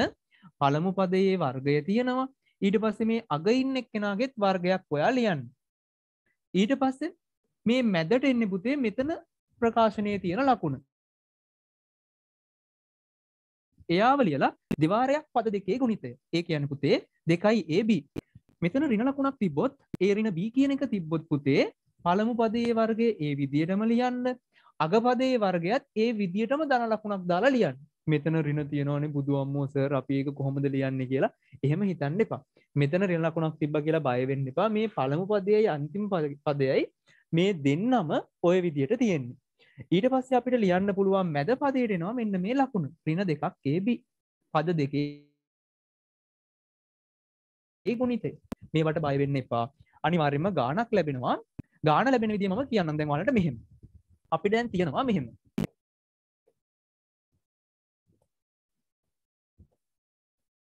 සාධක සිවීම යටතේ ගාණක් ගත්තහම් පුතේ x වර්ගයේ ධන 5x ධන 6 සමානයි බිඳුවයි. මෙන්න මේ සමීකරණයේ මේ ගාන තුල ඔයාලට එන්න පුළුවන් තියෙන හැම විදියක්ම මම මෙතනදී ඔයාලට කියලා දෙනවා x වර්ගයේ ධන 5x ධන 6 සමානයි බිඳුව කියලා අපිට වර්ගජ සමීකරණයක් තියෙනවා මෙයාගේ ඔයාට සාධක හොයන්න කිව්වහම ඔයා දන්නවා මේ පද දෙක ගුණ කරලා මුලින්ම 6x වර්ගය කියලා පැත්තකින් ලියා ගන්නවා. ඊට පස්සේ 6 හැදෙන්න තියෙන විදිවල් ටික ඔයා ලියන්න ඕනේ. එක් වාරයක් 6 6යි කියලා දන්නවා. ඊළඟට දෙවාරයක් 3 6යි කියලා ඔයා දන්නවා. මෙතනදී x ලියාගත්තත් කමක් නැහැ. නැතත් කමක් නැහැ. ඊළඟට පුතේ මේ මැද පදයේ එකතුව මේ මැද පදේ හැදෙන්න ඕනේ මෙන්න මේ සාධක ජෝඩුවක එකතුවෙන්. ඊළඟට අගපදේ හැදෙන්න ඕනේ මේ සාධක ජෝඩුවේ ගුණිතෙන්. එතනින් තීරණය කළ තමයි ඔයා ධන ඍණ මේ ගාන තුල දාන්නේ. දැන් මේකෙදි ඇත්තටම මෙතන ධන තියෙන්නේ මෙතනත් ධන තියෙන්නේ. එහෙනම් මට ගන්න වෙන්නේ මෙන්න මේ දෙක. මොකද 3යි 2යි 5යි කියලා ඔයා දන්නවා. දැන් මම මෙයාව අයින් කරලා මේ ගානට දානවා අලුතෙන් ගත්ත සාධක දෙක. 2x ධන 3x ධන 6 සමානයි බිඳුවයි. මන් දැන් මේ වම් පැත්තේ දෙන්නව එකතු කරලා පොදු x වර්ගයෙන් x කියන එක එළියට ගත්තාම මෙතන x සහ මෙතන ධන දෙක හැදෙනවා. මේ දෙන්නගෙන් තුනක් එළියට ගත්තාම x ධන දෙක හැදෙනවා. මෙතනදි තව දෙයක් කියන්නම්. කපටිකමක් දැන් ඉතින් ආය අන්තිම මොහොතේ ඉන්නේ. මේවා කියලා දෙන්නත් එපේ මෙතන හැදෙන එකම මෙතන හැදෙනවා. ඒ වගේම මෙතන ලකුණ තමයි ඔයා මෙතනට දාන්නේ. මෙහි රින තිබ්බා කියලා ඔයා ඒ රින ලකුණ දාන්න යන්න එපා. මේ ලකුණ මෙතනට දාන්න මෙතන හැදෙන එකම මෙතන හැදෙනවා. ඊට පස්සේ පුතේ හැදුන් නැතත් එහෙම ලියන තත්ත්වයට හරි එන්න ගොඩක්ම බැරි කෙනෙක් නම්. පුළුවන් තරම් වැඩ කරපු දුවෙක් පුතෙක් අනිවාර්යෙන් මේ විදිහට හදන්න. දැන් මම x ධන දෙක මේ විදිහට ගත්තා. මෙතන ගන්නවා අපි x ධන 3 සමානයි බිඳුවයි කියලා. මේ මේ ගාන තුල ඔයාට එන්න පුළුවන් මේ වගේ එකක් දීලා එයාගේ සාධක හොයන්න කියලා එන්න කියන්න එන්න පුළුවන්. එහෙම ඇවිත් තියෙනවා. ඊළඟට දුවේ පුතේ ඔයාට ගාන දෙනවා මෙන්න මෙතනින්. මේ අවස්ථාවෙන් දීලා ඔයාට කියනවා මේකේ විසඳුම් හොයන්න කියලා. ඒක තවත් විදිහකට මම කියලා දෙන්නම්. දැන් අපි ගත්තහම ඉතාමත් වැදගත් පාට් එකක් කියන්නේ ඔයාලට ওই වර්ගජ සමීකරණ පැටලෙන කේස් එක තියෙනවා. x ධන දෙක සමානයි x ධන 3 සමානයි බිඳුවයි. මෙන්න මේ විදිහට ගුණිතයක් බිඳුවකට සමාන වෙලා. මේ අවස්ථාවේදී ඔයාට කියනවා මෙයාගේ විසඳුම් ලියන්න කියලා. එහෙනම් ඔයා මොකක්ද කරන්නේ මේ වගේ අවස්ථාවක පුතේ ගුණිතයක් බිඳුවට සමාන වුණාම අපිට යව එක එක වෙන වෙනම බිඳුවට සමාන කරන්න පුළුවන්. x ධන 3 සමානයි බිඳුවයි කියලා. දැන් ඔයාලා ඉගෙනගෙන තියෙන්නේ අම්මේ අර වගේ එකක් සාධක වෙන් කරන්න විතරයිනේ සර් මෙහෙමයි කියලා. එහෙම ඔයාලා ඉගෙනගෙන තියෙනවා. හැබැයි බය වෙන්න එපා. මේ දීලා තියෙන්නේ සාමාන්‍ය වර්ගජ සමීකරණය. එයාගේ සාධක දීලා ඔයාට කියනවා මෙයාගේ විසඳුම් හොයන්න කියලා. එහෙනම් ඔයාට මේ එක එකක් බිඳුවට සමාන කරන්න පුළුවන්. ඊට පස්සේ ඔයා අදාළ x තියාගෙන ලියන්න. මේ ඍණ ධන දෙක එහා පැත්තට ගියපුවාම x සමානයි ඍණ දෙකයි. මෙයා එහා පැත්තට ගියපුවාම x සමානයි ඍණ තුනයි. මේක තමයි මෙයාගේ විසඳුම් කියලා අපිට ලැබෙන්නේ. සමහර විට සාධක සොයන්න කියලා ගාණක් දීලා මේ වගේ ගාණක් දෙන්නත් පුළුවන්. කෙසේ නමුත් වර්ග සමීකරණ වලින් අනිවාර්යයෙන්ම ඔය කතා කරපු ගාණක් එනවාමයි. එහෙනම් අපි යන් ඊළඟ ගානට. හරි. මෙන්න ආව ලස්සන පාඩමක් නේද? දැන් ඉතින් ජාමිතිය පට්ට ගහලා ඇති කට්ටිය නේද? ජාමිතිය ලේසිම වෙලානේ තියෙන්නේ දැන්. අනිවාර්යයෙන්ම ගණන් හතක් අටක් එනවා මේකෙන් ගාණක් එනවාම අයියා. වෘත්ත චතුරස්‍ර පාඩමෙන්ද දීලා තියෙන්නේ නෑ. නේද මේ ගාන වෘත්ත චතුරස්‍ර පාඩමෙන් නෙවෙයි දීලා තියෙන්නේ. ඔයා දන්නවා වෘත්ත එක මේක 10 වසරේ අවසාන පාඩම් දෙකෙන්. අනිවාර්යයෙන් මේ පාඩම් දෙකෙන් මේ අවුරුද්දේ බලාපොරොත්තු වෙනවා ගණන් දෙකක් එයි කියලා. නැත්තම් පාඩම් දෙකම එකතු කරලා සමහර විට ඒකාන්තර වෘත්ත ඛණ්ඩයේ කෝණ ප්‍රමේයයි අපි බලාපොරොත්තු වෙන සාමාන්‍ය පුත එක ගානක් එයි කියලානේ. ඒ වුණාට මේ අවුරුද්දේ ගොඩක් දුරට ගණන් දෙකම එයි කියලා බලාපොරොත්තු වෙනවා. පේපර් එකත් වෘත්තයේ පැත්තට බර වෙන කතාවක් තමයි තියෙන්නේ. දැන් මෙයාව ගත්තහම මේකෙදි ඔයා හොයන්න ඕනේ මොකක්ද? ඒගයාගේ තමයි හොයන්න කියන්නේ. දැක්කන්න හරි. ඒගේ හොයන්න කියලා දීලා තියෙනවා. මේ ගාන දැක්ක ගමන් මේ ගාන තුලම data සටහන් කරන්න. ආය අලුතෙන් ගාන වල දින්න දෙයක් නැහැනේ. කෙටි පේපර් එකේ ඔයාලට ඉඩේ දීලා තියෙන්නේ. පැන්සලින් වගේ සටහන් කරනවා නම් ඒත් කමන්නේ. නැත්නම් ඔයාගේ පෑනින්ම ඔයා සටහන් කරන්න. මේකෙදි ඔයාට ගාන හිතන්න පුළුවන්. මේකෙදි මෙන්න මේ ලයින් එකත් එක්ක හිතුවොත් AB විස්කම්බය කියලා දෙනවා. ඕක තමයි ලස්සනම කතාව. මතකයිද AB විස්කම්බය කිව්ව ගමන් ඔයාට මතක් වෙන්න ඕනි තියරම් එක 100% විභාගයට අහනම AB විස්කම්බය කියලා කිව්ව ගමන් පුතේ මේ මේ ඇංගල් එක අංශක 90ක් වෙනවා. AB විස්කම්බය කියලා දුන්න ගමන් මෙයා අංශක 90ක් වෙනවා. ඕක අනිවාර්යයෙන්ම ඔයාගෙන් විභාගේ ගානේ පටලනවාමයි. එතකොට මේක අංශක 90ක් වෙනවා. ඕක ඔයාට අංකයකට මතක් වෙන්න ඕනේ. මේකේ දැන් AB විස්කම්බය කිව්ව ගමන් මෙයා අංශක 90යි පුතේ. හරිද? ඊළඟට ඔයා දන්නවා මෙහෙම එකම පොයින්ට් එකෙන් පටන් ගන්න මෙන්න මේ ජායට මේ ජාය අනිත් චාප්පයත් එක්ක හදන කෝණ දෙකක් තියෙනවනේ. ඔන්න ඔය කෝණ දෙක අගෙන් සමානයි කියලා. බලන්න කොච්චර ලස්සන ගානක්ද කියලා. මෙයත් පුතේ එතකොට අපිට 70ක් වෙනවා. ඔන්න ඔය තියරම් දෙක ඔයාගෙන් තියෙන මම නැවතත් කියන්නම් ඉතාමත් විශේෂ තියරම් දෙකක් 100% විභාගයට අහනවා. මේවා අනිවාර්යෙන් මෙනවා පුතේ ඈ ඒක ආයිති බය වෙන්න දෙයක් නැහැ. ත්‍රිකෝණයක් තියෙනවා මෙයාගේ විස්කම්බයත් එක්ක මේ විදියට හදන කෝණය අංශක 90යි. ඒක අංක එකට ඔයාට මතක තියෙන්න. තියාගන්න. ඊට පස්සේ ඔයා දන්නවා මේ ජායත් එක්ක මෙන්න මේ පොයින්ට් දෙකේදී හදන මේ විදියට හදන ඇංගල් හැම එකකම අගය සමානයි. එයා මේක ඔයාට යා කරලා දෙන්න පුළුවන් යා නොකර දෙන්න පුළුවන්. ඒක පේපර් එක හදන කෙනා තමයි දන්නේ. ඒ නිසා ඔයා ඒකට බය වෙන්න එපා. ඔයා මතක තියාගන්න මෙයා 70 වුණ ගමන් මෙයා 70යි කියන එක ඔයා මතක තියාගන්න ඕනේ. එතකොට මෙයා අංශක 90යි කියලා දන්නවනම් ඒ වලගේ කෙලින්ම ඔයාට ලියන්න පුළුවන්. මෙයා 90ක් වෙද්දි පුතේ ඉතිරි ඇංගල් දෙක අනිවාර්යෙන් 90ක් වෙන්න එපයි. එහෙනම් ඔයාට ලියන්න පුළුවන් 90 අඩු කිරීම 70 සමානයි ඒ ඒකේ උත්තරය අංශක 20යි කියලා ඔයාට ලියන්න පුළුවන්. කට්ටිය දාලා තියෙනවා නේද උත්තර? හදාගන්න පුළුවන් කට්ටිය අනිවාර්යයෙන්ම අනිවාර්යයෙන්ම chat එකට දාන්න answer එක. හරිද මේ තියරම් දෙක අනිවාර්යෙන් 10 වසරේ තියරම් වලට වෘත්තය සම්බන්ධ තියරම් වලට මේ අවුරුද්දේ වැඩි ඉඩ කඩක් වෙන් වෙලා තියෙනවා පුතේ. ඒ නිසා අනිවාර්යයෙන්ම 10 වසරේ අවසාන පාඩම් දෙක නැවත පාඩම් කරන්න. ඒකේ ගණන් හදන්න. මේකෙදි වාට එහෙනම් අවශ්‍ය දේවල් ටික මම කියලා දුන්නා නේද? හරි. එහෙනම් අපි යන් ඊළඟ ගානට. හරි. විනාඩියක කාලයක් දෙන්නම් කට්ටිය හදම් බලන්න මේ ගාන.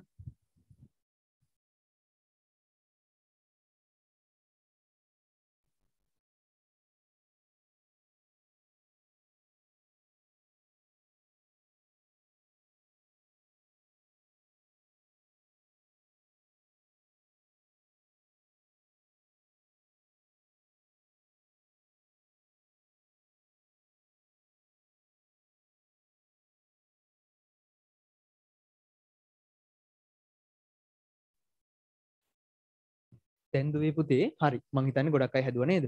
දැන් ඔයාලා මේ පාඩම ඉගෙන ගත්තා හෝ නොගත්තා මේවා මොකුත්ම හිතන්න එපා.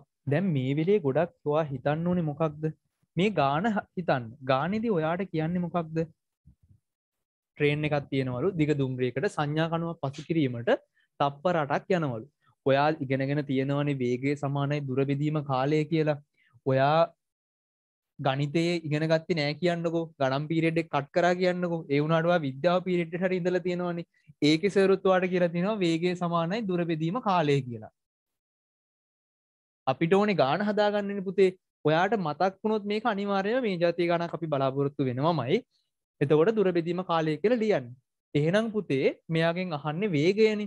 මෙයාගේ දුර කියන්න පුතේ මෙයා එක කනුවක් මෙහෙම ට්‍රේන් එක එක කනුවක් පහු කරගෙන යනවලු තප්පර අටක් යනවලු. ඒ කියන්නේ මෙන්න මේ මේ වගේ දුරක් එකසිය හැටක මීටර දුරක් එයාට යන්න තප්පර අටක් යනව කියලා කියන්නේ. එහෙනම් මෙයා එකසිය හැටයි එයාටයි. මෙයාගේ දුර එම් මෙයා තප්පරවලින් යන්නේ. එහෙනම් අටට එකයි දාසයට දෙකයි විස්සයි එම්ස් රින එකයි. වේගය ඔයාගෙන් අහන්නේ. එක් ඔයා වේගය තප්පරයට මීටර විස්සයි කියලා සිංහලෙන් ලිවත් කමන්න නැත්තං එම්ස් රින එකයි කියලා ඒකකයෙන් ලියන් විද්‍යාවෙනුතුවාට මේ පාඩම පව වෙලා තියෙන්නේ. නිසා අනිවාරයෙන් මං හිතනවා අර මේ ගානත් හදා ගනී කියලා. එහෙනම් අපියන් ඊළඟ ගානට. ගුණෝත්තර ශ්‍රේණි. ශ්‍රේණි පාඩම. ගඩොල් කැටගානේ මදරනේ තින්නේ දැම් මේ වෙද්දි. පාස් පේපරල තියෙනවා. ඔය ගඩොල් කැට බැමි බඳිනේවා ඕව තමයි තියෙන්නේ. නේද? වටරවුන් දුවනේවා ගුණොත්තර ශ්‍රේණී සමාන්තර ශ්‍රේණී. ශ්‍රේණිගාන අනිවාරයෙන් හදනවනේ. දුරපුතල අනිවාරයෙන් හදන ලස්සන ගානක් කියන ශ්‍රේණිගානට රචනා පේපර එකේ. හරි. ගුණොත්‍ර ශ්‍රේණිවලින් තියෙන්නේ පුතේ ගුණොත්‍ර ශ්‍රේණිවලින් පළවෙනි ඉක්වේෂන් එක තමයි ඔයා මතක තියාගන්න. Tn සමානයි ar n ඍණ එක. ඕක ඔයා මතක තියාගන්න. ගුණොත්තර ශ්‍රේණිවල ඔබට ලැබෙන පළමු සමීකරණය. එතකොට මේකෙදි පුතේ tn හරි මොනවා හරි ඉක්වේෂන් එකකින් වට මෙයාව ලියන්න පුළුවන්. පොදු අනුපාතය හොයන්න කියලා කියනවලු මෙයාගේ දෙවන තුන්වන පද පිළිවෙලින්. ඒ කියන්නේ පුතේ t දෙක දෙවිනි පදය කියලා ගත්තොත් දෙවිනි පදය වෙනවා හය කියලා. එහෙනම් මෙයාගෙන් මට එක ඉක්වේෂන් එකක් ගන්න පුළුවන් හය කියන එක සමානයි ඒ කියලා කියන්නේ පළමු පදය එයා අපි දන්නේ නැහැ ආර් කියන එකත් අපි දන්නේ නැහැ එන් රින එකයි ඒ කියන්න පුතේ දෙක අඩු කිරීම එකයි. මෙයා හය සමානයි. ඒර් මෙයා පළවෙනි සමීකරණය. ඊළඟට දෙවිනි එකට අපිට කියනවා මෙයාගේ තුන්වෙනි පදේ පිළිවෙලින් දහටයි ටී තුන සමානයි දහටයිලු ඒ කියන්නේ ඒ ආර් තුන අඩු කිරීම එක. මෙයා තමයි ටී තුන. ඒක සමානයි දහටයි මෙයා දෙවිනි සමීකරණය. ගුණෝත්‍ර ශ්‍රේණියක් ආවොත් අනිවාර්යම පුතේ ඔයාට තියෙන්නේ මේක අනුපාත දෙක. බෙදන්න. ගුණෝත්‍ර ශ්‍රේණියක් ආවුත්. සමාන්ත්‍ර ශ්‍රේණියක් අවුත් තමා වාට තියෙන එකතු කරන්න මොකක් හරි කැල්කුලේෂන් එකක් දාන්න. ඒ නිසා මම මෙයාගේ අපි බෙදමු දෙකෙන් එක. දෙකෙන් එක බෙදමු. දහට බෙදීම හය සමානයි. ඒර් වර්ගය බෙදීම ඒර් කපාගෙන යන්න තියෙන පුතේ ආර්ට මේ කැපුනම් හයට එකයි. දහට හයවරක් තුනයි. ආර් සමානයි තුනයි. මෙතනින්ට යන්නම්. ඉඩ නැති නිසා. ආර් සමානයි තුනයි කියලා පිළිතුර ලැබෙනවා. එහෙනම් පළමු පදේ ඔයාට මේ කැමති එක්කට ආදේශ කරලා හොයන්න පුළුවන්. අය සමානයි ඒ වාරයක් තුනයි ඒක උත්තරය අපිට දෙකයි කියලා ලැබෙනවා. කට්ටියන්ට මතක් වුණාද තේරුණාද ටිකක් සංකීර්ණ ගානක් විදිට ම මේක දැම්මේ. ඔයාලට මේ විෂය කරුණු ටික මතක් වෙන්න. හැබැයි මෙච්චර සංකීර්ණ ඔයාට ගාන ලැබෙන්නේ නැහැ. ඔයාට සරලව තමයි මේ ගාන ලැබෙන් හැබැයි ගුණුත්‍ර ශ්‍රේණිත් අනිවාර්යම බලාගෙන යන්න. හරි මේක තව පාරක් කියල දෙන්න වලට සමීකරන ටික පොඩ්ඩක් කරනු පාත බෙදන්න තිබ නිසා. ගුණෝත්තර ශ්‍රේණියක පුතේ අපි ඊක්වේෂන් ටික කතා කරන්නේ. පළවෙනි ඊක්වේෂන් එක TN සමානයි. AR එන්රින එක. AR එන්රින එක. මේකෙදි පුතේ කියනවා T දෙක. T දෙක සමානයි. AR එන්ගේ එන්ගේගේ දෙකයි. දෙකෙන් එකක් අඩුවන හම AR වර්ගය T දෙක කියන අපිට කියනවා කියද? හයයි කියලා. ඊළඟට T තුන ගත්ත හම T තුන සමානයි. AR තුනෙන් එකක් අඩු කරනවා. එතකොට AR වර්ගය කියලා අපිට ලැබෙනු ටීතුව කියන එක දහටයි කියලා තියෙනවා. මෙයාව පළවෙනි ඉක්වේෂන් එක විදියටත් මෙයාව දෙවිනි ඉක්වේෂන් එක විදියටත් මම දානවා. දෙකෙන් එකක් අඩුහාම එකයි. හරිනි. ඔන්න දැම්ම. දැන් අපි ලියමු දහාට බෙදීම හයයි. අනිවාර්යෙන් ගුණොත්තර ශ්‍රේණියක ආපු ගමන් මේක බෙදන්න අනුපාතයක් තමයි ගොඩක් දුරට එන්නේ. රචනා පේපර එක එහෙම අනිවාර්යෙන්ම මේ වගේ පාට එකක් බලාපොරොත්තු වෙන්න පුළුවන්. ගොඩක් දුරට ගිය අවුරුද්දේ නම් රචනා පේපර් එකේ පුතේ සමාන්තර ශ්‍රේණි වලින් තමා ගාන සම්පූර්ණම නිර්මාණය වුණේ. මේ අවුරුද්දෙත් සමාන්තර ශ්‍රේණි වලින් අ, ගොඩක් දුරට නිර්මාණය වෙයි. හරි. ඊට පස්සේ මෙයාව AR වර්ගය බෙදනවා අපි AR ගෙන් මෙයාට මෙයා මේ කාර් එකට උඩාර් කැපුණාම R සමානයි. 3යි කියලා ලැබෙනවා. නෝමල් හොයන්නත් පුළුවන්. ඔව් නෝමල් හොයන්නත් මේක පුළුවන්. හරි නේද? මං ඔයාලට තියරි ටික මතක් කරන්න තමයි මේ විදිහට කියලා දුන්නේ. එහෙනම් අපි යන් ඊළඟ ගානට. හරි. දැන් මේකෙදි ගන්න මං හිතනවා විනාඩියක විතර වෙලාවක් දුන්නොත් හොඳයි කියලා නේද? පරිමාව හොයන ගානක් තියෙන කට්ටිය try කරලා උත්තරේ දාමු chat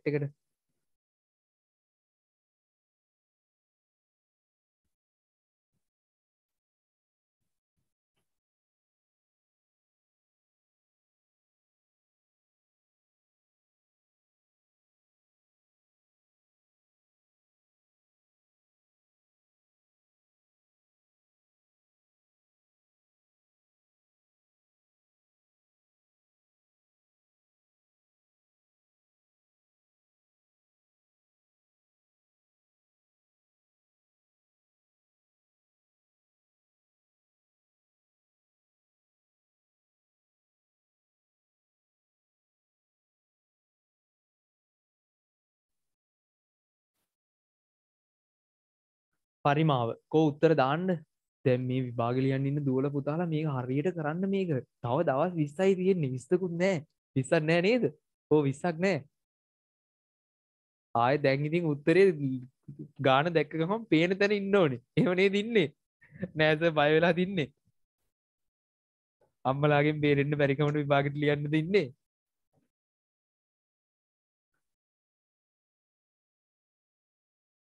හරි.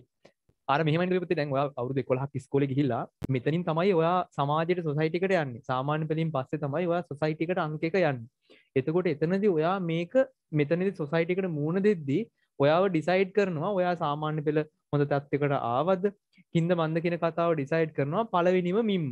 ඒක තමයි ඔයාලට මේ අපි හැමෝම ප්‍රෙෂර් කරන්නේ පාඩම් කරන්න පාඩම් කරන්න පාඩම් කරන්න කියලා. ඔයාලා ඉන්න වයසත් එක්ක ප්‍රශ්න ගොඩාරියක් රටට ආවා. ඉතින් කරන්ට් කපනවා. ඊට පස්සේ කොරෝනා ඔය හැම දෙයකින්ම කොහොම හරි මේ මැයිවලවත් විභාගේ තිබ්බොත් තමයි ලොකුම ජයග්‍රහණය. ඒ නිසා ඉතින් ඒ ගැන බලාපොරොත්තු වෙන්න මේකට මුහුණ දෙන්න. මොන ප්‍රශ්නාවක් ඔයාලා සොසයිටි එකට අනාගතේ මුහුණ දෙන්න එපා ඒ නිසා අදාළ දැනුම ගන්න ඕනේ. මේ දවස් 20 හොඳට වැඩ කරලා ඔයාලගේ අම්මලා තාත්තලා වෙනුවෙන් උපරිමය කරන්න. තමන් වෙනුවෙන් තමයි මේ ගන්න ප්‍රතිඵලය. හරි. දුවේ පුතේ මේ වගේ පරිමාව ගානක් දැකපු ගමන් ඔයාලට මතක තියෙන්න ඕනේ. මම රචනා පේපර් එකටත් අවශ්‍ය වෙන කොටස මේ විදිහට මතක් කරන්නම්. දැන් ඕනම අවස්ථාවක පරිමාවක් ගන්න ඔයා මතක තියාගන්න පුතේ හරස්කඩ වර්ගඵලය තමයි අපි ගුණ කරන්නේ උසින්. රචනා පේපර් එකට ගියපුවාම රචනා පේපර් එකේ උඩම ඔයාට දෙනවා අදාළ සමීකරණ ටික පරිමාව ගානට රචනා පේපර් එකේ පරිමාව ගානට අදාළ සමීකරණ ටික ඔයාට උඩම දෙනවා. ඔයා අනිවාර්යෙන් මේකත් මතක තියාගන්න මොකද ඒ වෙලාවට ඔයා කලබලෙන් සමහරට සමීකරණ කොහෙද දෙන්නේ කියලා ඒකත් අමතක වෙන අවස්ථාවක් නැතුවම නෙවෙයි.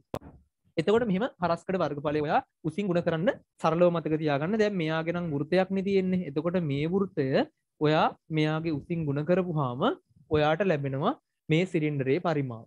ඊට පස්සේ අයිස්ක්‍රීම් මෙහෙම කට්ටිය කාලා තියෙනවා නේද? කෝන් එකක් ගත්තාම අයිස් කෝන් එකක්. හරිද? නිකන් දැන් මවා ගන්න ඔන්න ඒ කාලේ අයිස්ක්‍රීම් එකක් හොරෙන් හරි කාලා තියෙනවනේ. මේ වගේ අයිස් කෝන් එකක් ආපුවාම මෙයාගේ පරිමාව අපි ගන්නෙ මෙයාගේ වෘතයක් තියෙන පුතේ එයාගේ වෘතය මෙයාගේ එච්චුසින් ගුණ කරා කියලා අපිට කොන්න එක ලැබෙන්නේ නැහැ පරිමාව. මෙයා එතකොට එකයට තුනයි ෆයිර් වර්ගය එච් කියන ඉක්වේෂන් එක ලැබෙනවා. ඊට පස්සේ සාමාන්‍යයෙන් ගෙදර අපේ ගෙදර නම් වතුර ටැංකිය සාමාන්‍යයෙන් තියෙන පුතේ සිලින්ඩරාකාරවනේ. හැබැයි මේ විදිහට නිකන් ටැංකියක් තියෙනවා. මේ ටැංකියේ පරිමාව ගන්න ඕන නම් අපි එයාගෙත් ගන්නේ දිග පරල උස ගුණ කරලා ඒ කියන්නේ හරස්කඩ වර්ගඵලය ගුණ කරනවා එයාගේ උසින් ඔන්න ඔය විදියට ඊට පස්සේ ගත්තහම දැන් මම එන්නම් මේ මේ ගානට සරලව පරිමාව සම්බන්ධව දේවල් ටිකක් මම ඔයාලට මතක් කරේ. මේ ගානිතය ඔයා අනිවාර්යෙන් බලන්න ඕන මෙයාගේ මෙන්න මේ පැත්ත මම හිතනවා. මේ පැත්තේ තියෙන්නේ ත්‍රිකෝණාකාර මුහුණතක්. එයාගේ හරස්කඩ වර්ගඵලය උසින් ගුණ කරා නම් අපිට අදාළ පිළිතුර ලැබෙනවා. එතකොට මේ ත්‍රිකෝණාකාර මුහුණතේ එකයට 6 ගුණ කිරීම sorry එකයට ත්‍රිකෝණාකාර මුහුණතක වර්ගඵලය කියන එක ඔයාට මතකයි. ත්‍රිකෝණාකාර මුහුණතක වර්ගඵලය මොකක්ද? භාගයක් ආධාරක පාදය ගුණ කිරීම ලම්බ උස. පහනේ තියෙන්නේ පහ. ඒ වගේම ත්‍රිකෝණාකාර මුහුණතේ පරිමාව මම ගත්තට පස්සේ එයාව මම ගුණ කරනවා මෙයාගේ ලම්බ උසින්. එහෙනම් ඒක මම මෙතනදී 7 කෙනෙක් ඇප්ලයි කරනවා. 2ට 1යි 6ට 3යි 5 තරක් 3 15යි 15 තරක් 7. මම හිතන්නේ 105යි. මෙතනදී ඔයා දාන්නේ ඒකකය මොකක්ද? ඔයාට ලකුණු හම්බෙන්නේ පුතේ මේකට ලකුණු එකක් හම්බ වෙනවා. මේකට ලකුණු එකක් තමයි හම්බ වෙන්නේ. හැබැයි මේකෙදිත් පුතේ මෙයා 105 ඔයා ගත්ත පළියට ලකුණු හම්බ වෙන්නේ නැහැ. ඔයා අනිවාර්යෙන්ම ඒකකේ දාන්න ඕනේ ඝන මීටර කියලා. මොකද මේක සෙන්ටිමීටර වලින් දීලා තියෙන්නේ. ඔයා අනිවාර්යෙන්ම දාන්න ඕනේ ඝන සෙන්ටිමීටර කියලා අදාළ පිළිතුර. ඔය වගේ දේවල් වලින් තමයි ඔයාලට ලකුණු එක එක කැපෙන්නේ. ඒ නිසා කලබල වෙන්නේ නැතුව ගාන ලස්සනට හදමු. දැන් අපි යන් ඊළඟ ගානට. අන්න තියෙනවා ලස්සන ගාන. කිව් එක කිව් දෙක කිව් තුන සෙට මතක් කරන්න පුළුවන් මේ ගානේ. තනියෙන් හදමු බලන්න.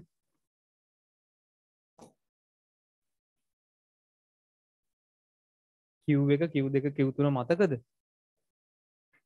මෙහෙම ආරෝහණ පිළිවෙලට දත්ත සෙට් එකක් දීලා තියෙනවා. මේ දත්ත සෙට් එකේ ඔයාගෙන් අහනවා මොකක්ද පළමු චතුර්ථකය සහ මධ්‍යස්ථය හොයන්න කියලා. පළමු චතුර්ථකය සහ මධ්‍යස්ථය හොයන්න කියලා. පුතේ මේක හොඳට මතක තියාගන්න දත්ත ගාන 30ට වඩා අඩු නම් දත්ත ගාන 30ට වඩා අඩු නම් රචනා පේපර් එකට ගොඩක් වැදගත් වෙනවා. දත්ත ගාන 30ට වඩා අඩුයි නම් ඔයා මෙතනදී Q එක හොයන්නේ Q එක හොයන්නේ එකයට හතරයි n ධන එක. මේකෙන් තමයි Q එක හොයන්නේ මෙතන අපි එකක් එකතු කරන්නේ දත්ත ගාන 30ට වඩා අඩුයි නම්. දැන් මේකේ බලන්න පුතේ දත්ත 23යි තියෙන්නේ. ඒ කියන්නේ දත්ත 30ට වඩා අඩුයි කියලා තියෙන්නේ. මේකෙදි ඔත්තේ ඉරට්ටේ කතාව නෙවෙයි බලන්නේ දත්ත ගාන 30ට වඩා අඩුයි නම්. එතකොට මේක කීයද පුතේ දත්ත 23යි තියෙන්නේ. එහෙනම් Q1 කියන එක මට ගන්න පුළුවන් එකයට 4යි 23 ධන එකෙන්. ඊට පස්සේ එකයට 4යි 23යි එකයි කියලා කියන්නේ පුතේ 24යි 24 හතරෙන් බෙදනවා කියලා කියන්නේ 6 වරක් 4 24යි. එහෙනම් 6 වෙනි ස්ථානයේ පිහිටි දත්තය තමයි Q එක වෙන්නේ. මොකද්ද 6 වෙනි ස්ථානයේ 1යි 2යි 3යි 4යි 5යි 6යි. 8 තමයි Q එක වෙන්නේ. එතකොට 8 තමයි Q එක වෙන්නේ. ඊට පස්සේ පුතේ මධ්‍යස්ථය ගත්තාම මේකේ දත්ත 24ක් තියෙනවා. 23 තුනක් තියෙනවා දත්ත. එතකොට මධ්‍යස්ථය කියලා කියන්නේ මොකක්ද? මධ්‍යස්ථය කියලා කියන්නේ Q2 Q2 කියලා කියන්නෙත් මේකෙදි එකයට හතරයි n ධන එක. මෙතනදී හතරෙන් දෙක. එතකොට දෙක බෙදීම හතර n ධන එකයි කියලා කියන්නේ 23 එකයි 24යි පුතේ. හතරට එකයි 24ට හතරෙන් බෙදිච්චාම 6යි 6 වරක් දෙක 12යි 12 වෙනි ස්ථානයේ පිහිටියගේ තමයි පුතේ Q2 වෙන්නේ. බලන්න 12 වෙනි ස්ථානය කියන්නේ මෙතන දත්ත දත්ත විසිතුනක මුල් දත්ත දොළහා දීලා තියෙන්නේ. ඒ කියන්න අපිට දොළොස්වෙනි ස්ථානය කියන්න මෙන්න මේක තමයි දොළොස්වනි ස්ථාන ඒ කියන්නේ පහළව තමයි වෙන්නේ. කලබල වෙන්න එපා ගොඩක් දුවලා පුතාලා දැනුත් උත්තරේ දානවා. වැරදි උත්තර. ඒ නිසා කලබල වෙන්න එපා ගාන තුල ඔයාට පටලන්න දෙන්නේ. මේ පසුගිය අවුරුද්දක ඇවිල්ලා තියෙන ගානක්මයි දුන්නේ. හිතන්න දුවේ පුතේ ඔයා කලබල වෙලා දැනුත් මේ ගාන වරදිනවා නම් මේ මැස් පේපර් එකට ඔයා කලබල වෙන්න එපා. දැන් ඉගෙන ගත්ත දේවල් ලෝකේ මේ ටිකේ ඒවා ප්‍රැක්ටිස් කරන්න. එකම දේ ප්‍රැක්ටිස් කරලා ඔයා විභාගයට යන්න. එතකොට ඔයාට ගන්න තියෙන උපරිම ප්‍රතිඵලය ගන්න පුළුවන්. මේ වෙලේ ඔයා කලබල වෙලා අනේ අම්මේ මට බැර දුනානේ මෙහෙමයි කියලා ඒ තත්ත්වෙට පත් වෙන්න එපා. එහෙම වුණොත් ගොඩාක් ප්‍රතිඵලය අඩුවීමක් වෙනවා. ඒ නිසා මේ වෙලේ ඔයා ඇක්ටිව් වෙන්න අංක එක ඇක්ටිව් වෙන්න ඇක්ටිව් වෙලා තමන්ගේ උපරිම ජවය දාන්න. මේ වෙලේනේ ඔයා ඉන්න අන්තිම මොහොත. අපි ඒ නිසා මේ වෙලේ තමයි උපරිමේ මහන්සිලා කරන්න ඕනේ. එහෙම ශක්තිය ධෛර්යය ගන්න.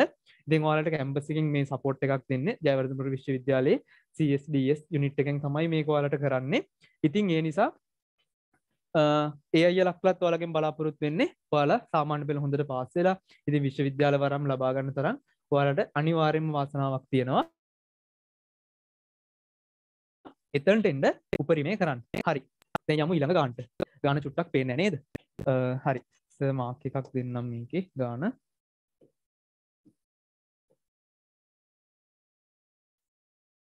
පේනවා නේද? ට්‍රයන්ගල් එකක් තියෙනවා පුතේ මිඩ් පොයින්් තියරම් එක. මධ්‍ය ලක්ෂ ක්‍රමය තමයි ඔයාට මෙතනදී ඔයාගෙන් පරීක්ෂා කරන්නේ. මේ අයංගල් එක හැත්තෑවයි කියලා ඔයාට දීලා තියෙනවා. ඔයාගෙන් හොයන්න කියන ඔයාට ම්, EFC EFC ඇංගල එක කියන්නේ ඔයා හොයන්න ඕනේ මෙන්න මේ ඇංගල් එක. ඔන්න ඔය ඇංගල එක යගේ තමයි ඔයා හොයන්න ඕනේ. හොයම් බලන්න කට්ටිය පොඩි වෙලාවක් දෙන්න. Send the previous questions. හරි. උත්තර දාන්න බලන්න කට්ටිය.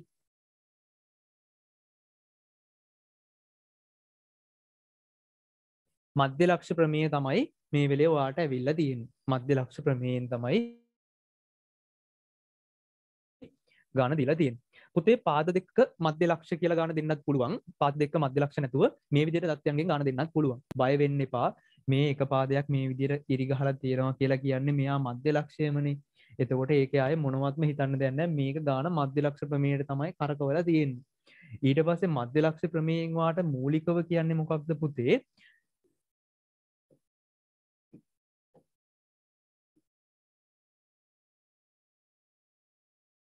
මෙහෙම මධ්‍ය ලක්ෂ ප්‍රමේයක් පාද දෙකක මධ්‍ය ලක්ෂයන් යා කරන රේඛාව ඉතිරි පාදයට සමාන්තර වෙනවා ඒ වගේම ඉන් හරි අඩක් වේ කියලා තමයි ඔයාගෙන් ප්‍රමේය කියන්නේ.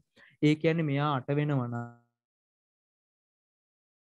නම් මෙයා හතරක් වෙනවා. ඕකනේ මධ්‍ය ලක්ෂ ප්‍රමේයෙන් කියන්නේ පුතේ. එතකොට මධ්‍ය ලක්ෂ ප්‍රමේය විලෝමයෙන් මොකද්ද කියන්නේ ඔයාට? මධ්‍ය ලක්ෂ ප්‍රමේය විලෝමයෙන් ඔයාට කියන්නේ තවත් කතාවක්.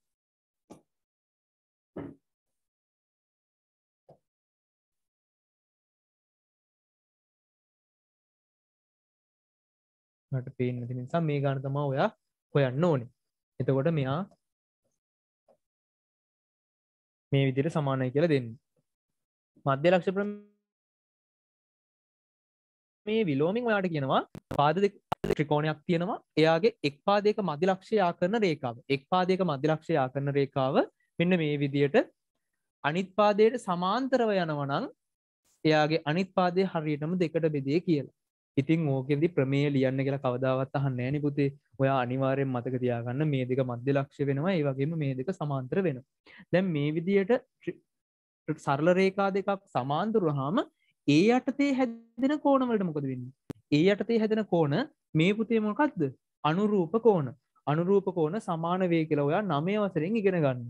ඒකත් මතක් කරන්නම් මේ වෙලේදී මේ විදියට සරල රේඛා දෙකක් මේ විදිහට තීරයක් රේඛාවකින් කැපුණාම හැදෙන අනුරූප කෝණ ඒ වගේම ඉසෙඩ් හැඩයේ කෝණ ඒකාන්තර කෝණ අගයෙන් සමාන වෙනවා. මිත්‍ර කෝණ දෙකක එකතුව මොකද වෙන්නේ? කොටු C මිත්‍ර කෝණ දෙකක එකතුව. එයා 180ක් වෙනවා. මං පහුගිය දෙවරුත් එක්ක ඔන්න මතක් කරා. ගානේදී අපිට මෙයා 70යි කියන්නේ පුතේ මෙයා 70යි කියලා එනවා.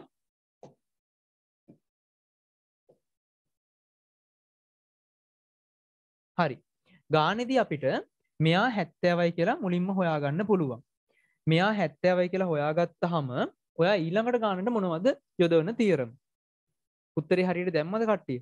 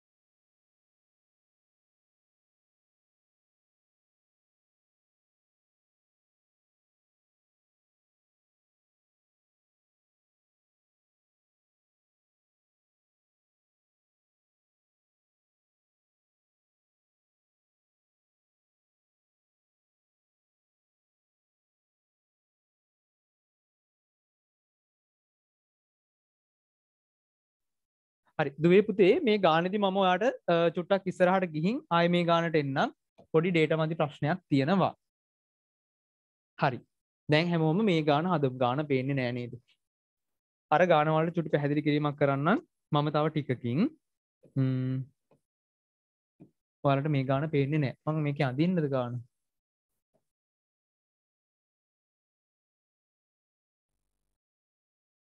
මෙයා සීයයි මේ දෙක හරි. හරි. දැන් මේ ගානේ ඔයාලට හොයන්න තියෙන පුතේ ECD කෝණයේ විශාලත්වය. ECD කෝණයේ විශාලත්වය. මෙන්න මේකයාගේ තමයි මේ කෝණයගේ තමයි ඔයාට හොයන්න තියෙන්නේ. ට්‍රයි එකක් දෙමු බලන්න.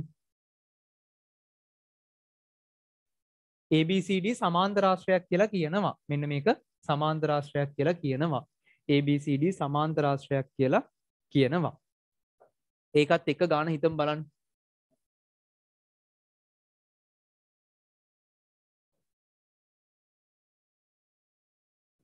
වෘත චතුරශ්‍ර කෑලක් පුතේ පටලලා තියෙන්නේ. මුලින්ම වෘත චතුරස්්‍ර ගැන මට මතක් කරන්න ගාන හැදුවද කට්ටිය? හරි. එක්කෙනෙක් පුතේ එක පාරක් විතරක් උත්තරේ දාන්න. හරි.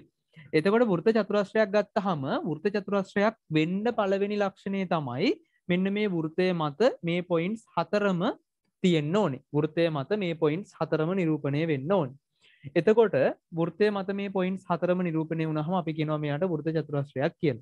වෘත චතුරස්්‍රයක සම්මුඛ කෝණ මොකක්ද වෙන්නේ? මේ සම්මුඛ කෝණ පරිපූරක වෙනවා. ඒ කියන්නේ ඒ සහ බීගත්තොත් ඒ දන බී සමානයි අංශක එකසි අසුවක් වෙනවා. ඕක තමයි වෘත චතුරස්්‍රයක පලවෙනි තියරම් එක. ඊට පස්සේ මම මේ වෘත චතුරස්්‍රයේ මෙයාව තව ටිකක් දික් කරන සට හිතින නිකම් මෙයාව ටිකක් දික් කර. ඔහොම තම පේපර එක හදන සටත් හිතෙන් නෝක මෙයාව දික්කරපුහම මෙන්න මේයාගෙන් පුතේ මෙතන්ටෙනවා ඕක තමයි ඊළඟ කතාව. දැන් ඔන්න ඔය කොටස පටල තමයි ඔයාට මේ ගාන දීලා තියෙන දැම් මෙයාගේගේ ඔන්නවාට සීයයි කියලා දෙනවා. එක සුදු පාටින් පේන්නේ නේද පුතේ? හරි. මෙයා සීයයි කියලා අපිට අගේ දීලා තියෙනවා. මෙයා සීයයි කියලා දුන්නහම ඔයා දන්නවා මේ සම්පූර්ණ කොටස කියද වෙන්නේ. ඔය සම්පූර්ණ කොටස මෙයා වෘත චතුරස්්‍රයක් කියලා ඔයා දන්නවා. එතකොට මේ සම්පූර්ණ කොටස අනිවාර්යෙන්ම කියද වෙන්නේ? එයා සීයයි සීයක් වෙනවා කියලා ඔයා දන්නවා.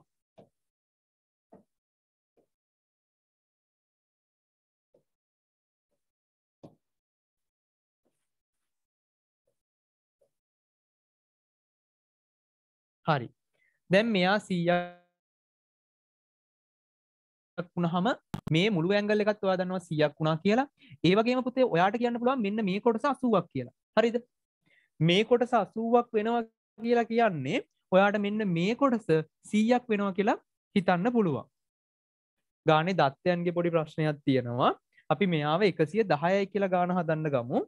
ඩේටා වල පොඩි ප්‍රශ්නයක් තියෙනවා. ඔව්. මෙයා 80යි කියන්නේ අරයා වෙන්න ඕනේ.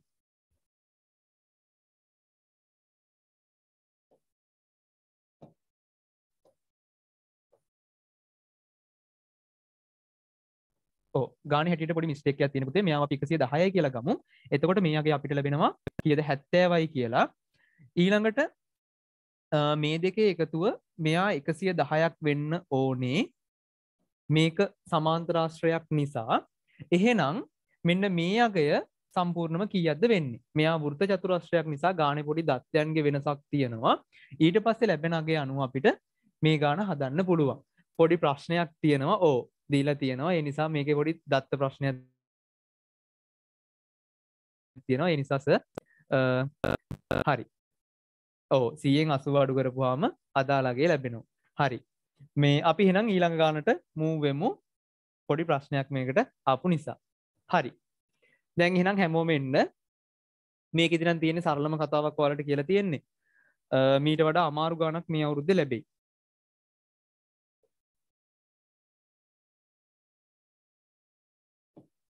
මේක දිනම් ගාන ගොඩක්ම ලොකුවට ඔයාලට යොමු වෙලා නැහැ.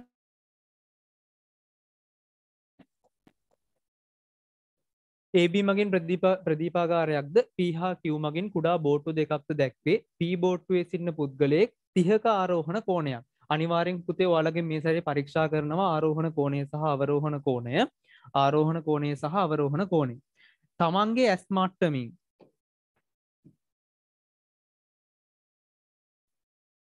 තමන්ගේ ඇස් මට්ටමින් මෙතන කවුද ඇන්දේ? අපේ සෙමිනකට අප දුවෙක් හරි පුතෙක් හරි ඇන්දි කියලා අපි හිතාගමු. තමන්ගේ ඇස් මට්ටමින් ගත්තහම මෙතනින්දං ඉහලට තමයි අපි හිතන්න පුතේ ආරෝහණ කෝණය කියලා. හරිද? ඊට පස්සේ අවරෝ ආරෝහණ කෝණය කියන්නේ තමන්ගේ ඇස් මට්ටමින් හැම වෙලෙම හිතන්න මෙතන ඉඳන් ආරෝහණ කෝණය කියන්නේ මෙතන ඉඳන් මෙහෙම උඩට පේන එක. ඊට පස්සේ අවරෝහණ කෝණය කියලා කියන්නේ මෙතනින් පහළට අපිට පේන එක. එහෙනම් දැන් මෙතන P කියලා ප්‍රදීපාගාරයක් තියනවලු. එයාගේ P නම් බෝට්ටුවේ සිට අංශක 30ක ආරෝහණ කෝණයකින් ප්‍රදීපාගාරයේ මුදුනවන B නිරීක්ෂණය කරයි. එහෙනම් B නිරීක්ෂණය කරද්දී අපිට B පෙනෙන්නේ කොහොමද කියලා තමයි අහන්නේ. මේක අංශක 30 මාක් කරන්න ඔයාලට තියෙන්නේ. මම මෙතනින් මේක මාක් කරන්නම්. මේ විදියට අංශක 30 මාක් කිරීම පමණයි මේ ගානේදී බලාපොරොත්තු වෙන්නේ. ඉන්ටර්වල් එකක් ඕනේද? 3:45 වෙලා නේද?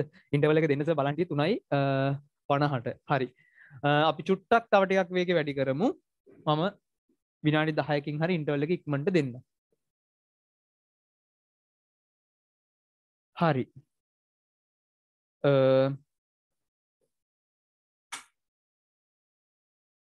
ඉන්න පුතේ මේකෙත් හරි. අපි ඊළඟට මේක චුට්ටක් තියලා මං මැට්‍රික්ස් ගානට යන්න. හරි. මෙට්‍රික්ස් ගාන ගත්තාම මෙට්‍රික්ස් ගාන කටයන ගාන පේනවා නේද? හරි. තව ගණන් තුනක් සාකච්ඡා කරලා අපි. 20ට ගියාට පස්සේ අනිවාර්යයෙන්ම වලට ඉන්ටර්වල් එකක් දෙන්න. ඔව්.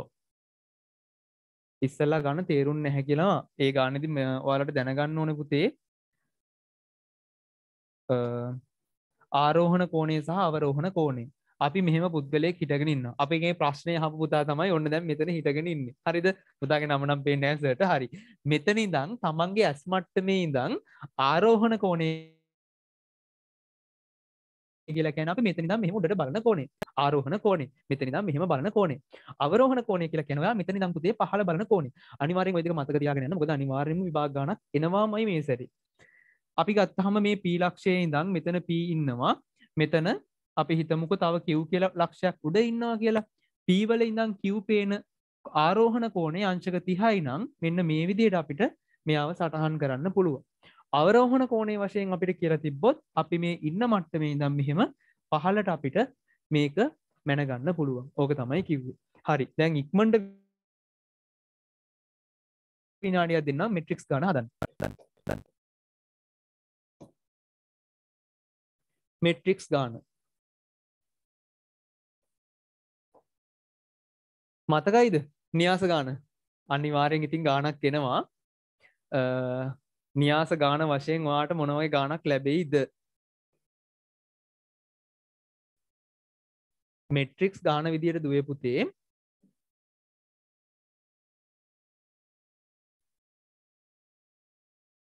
ඕ පරිමාණයට අඳන්න ප්‍රශ්න ගොඩක් කෙනවා ඕ හරි. ජාමිති ගනන්දක පොඩි ඩේට ප්‍රශ්නයක්කාව එකයි ගන ගනදක ස්කිප් කර. මට කියල දෙන්න අනිවාරම සෙමිනක අපි ඉන්ටවලගේ පස මගේ කරන්න කියල දෙන්න රචනා පේපරක් ගැන කියල දෙන්නත් ඕනි දුවේ පුතේ. ඉතාමත් කෙටි කාලයක් තුළ අපි මේක පිනිිෂ් කරන්න පැයි නේද? හරි. එහෙනම් මෙට්‍රික්ස් ගාන කියලා දෙන්නම්. පලවෙනි එක තමයි නියාස ගානෙදී මෙන්න මේ විදිර එලිය තියෙන අගයන් වලින් අපිට මේ ඕනම වැලි එකක් ගුණ කරන්න පුළුවන්. එතකොට මේක මුලින්ම දෙවාරක් තුන හයයි. දෙවාරයක් එක් දෙකක් එක් ඊට පස්සේ දෙවාරයක් රින පහරින දහයයි. හතරවලත් දෙක අටයි. දන දෙවාරයක් එක දෙකයි රින එකයි අරය හතර සහ වයි. සමානයි. අටයි පහයි රින හය සහ හතර කියලා තියෙනවා. හරිද?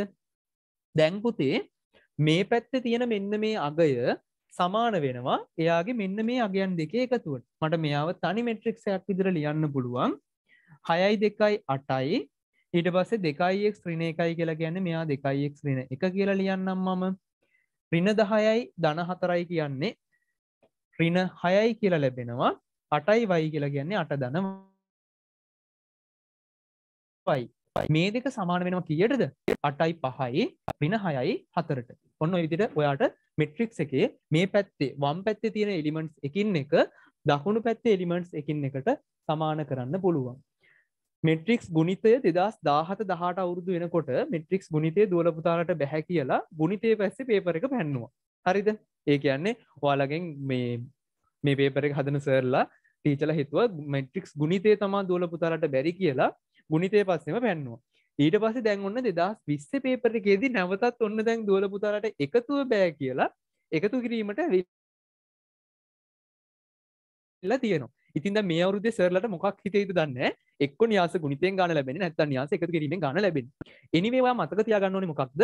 මේ විදිහට න්‍යාසයක් ගුණ කරන්න තිබ්බොත් මේ අදාළ සංඛ්‍යාවෙන් අපිට ගුණ කරන්න පුළුවන්.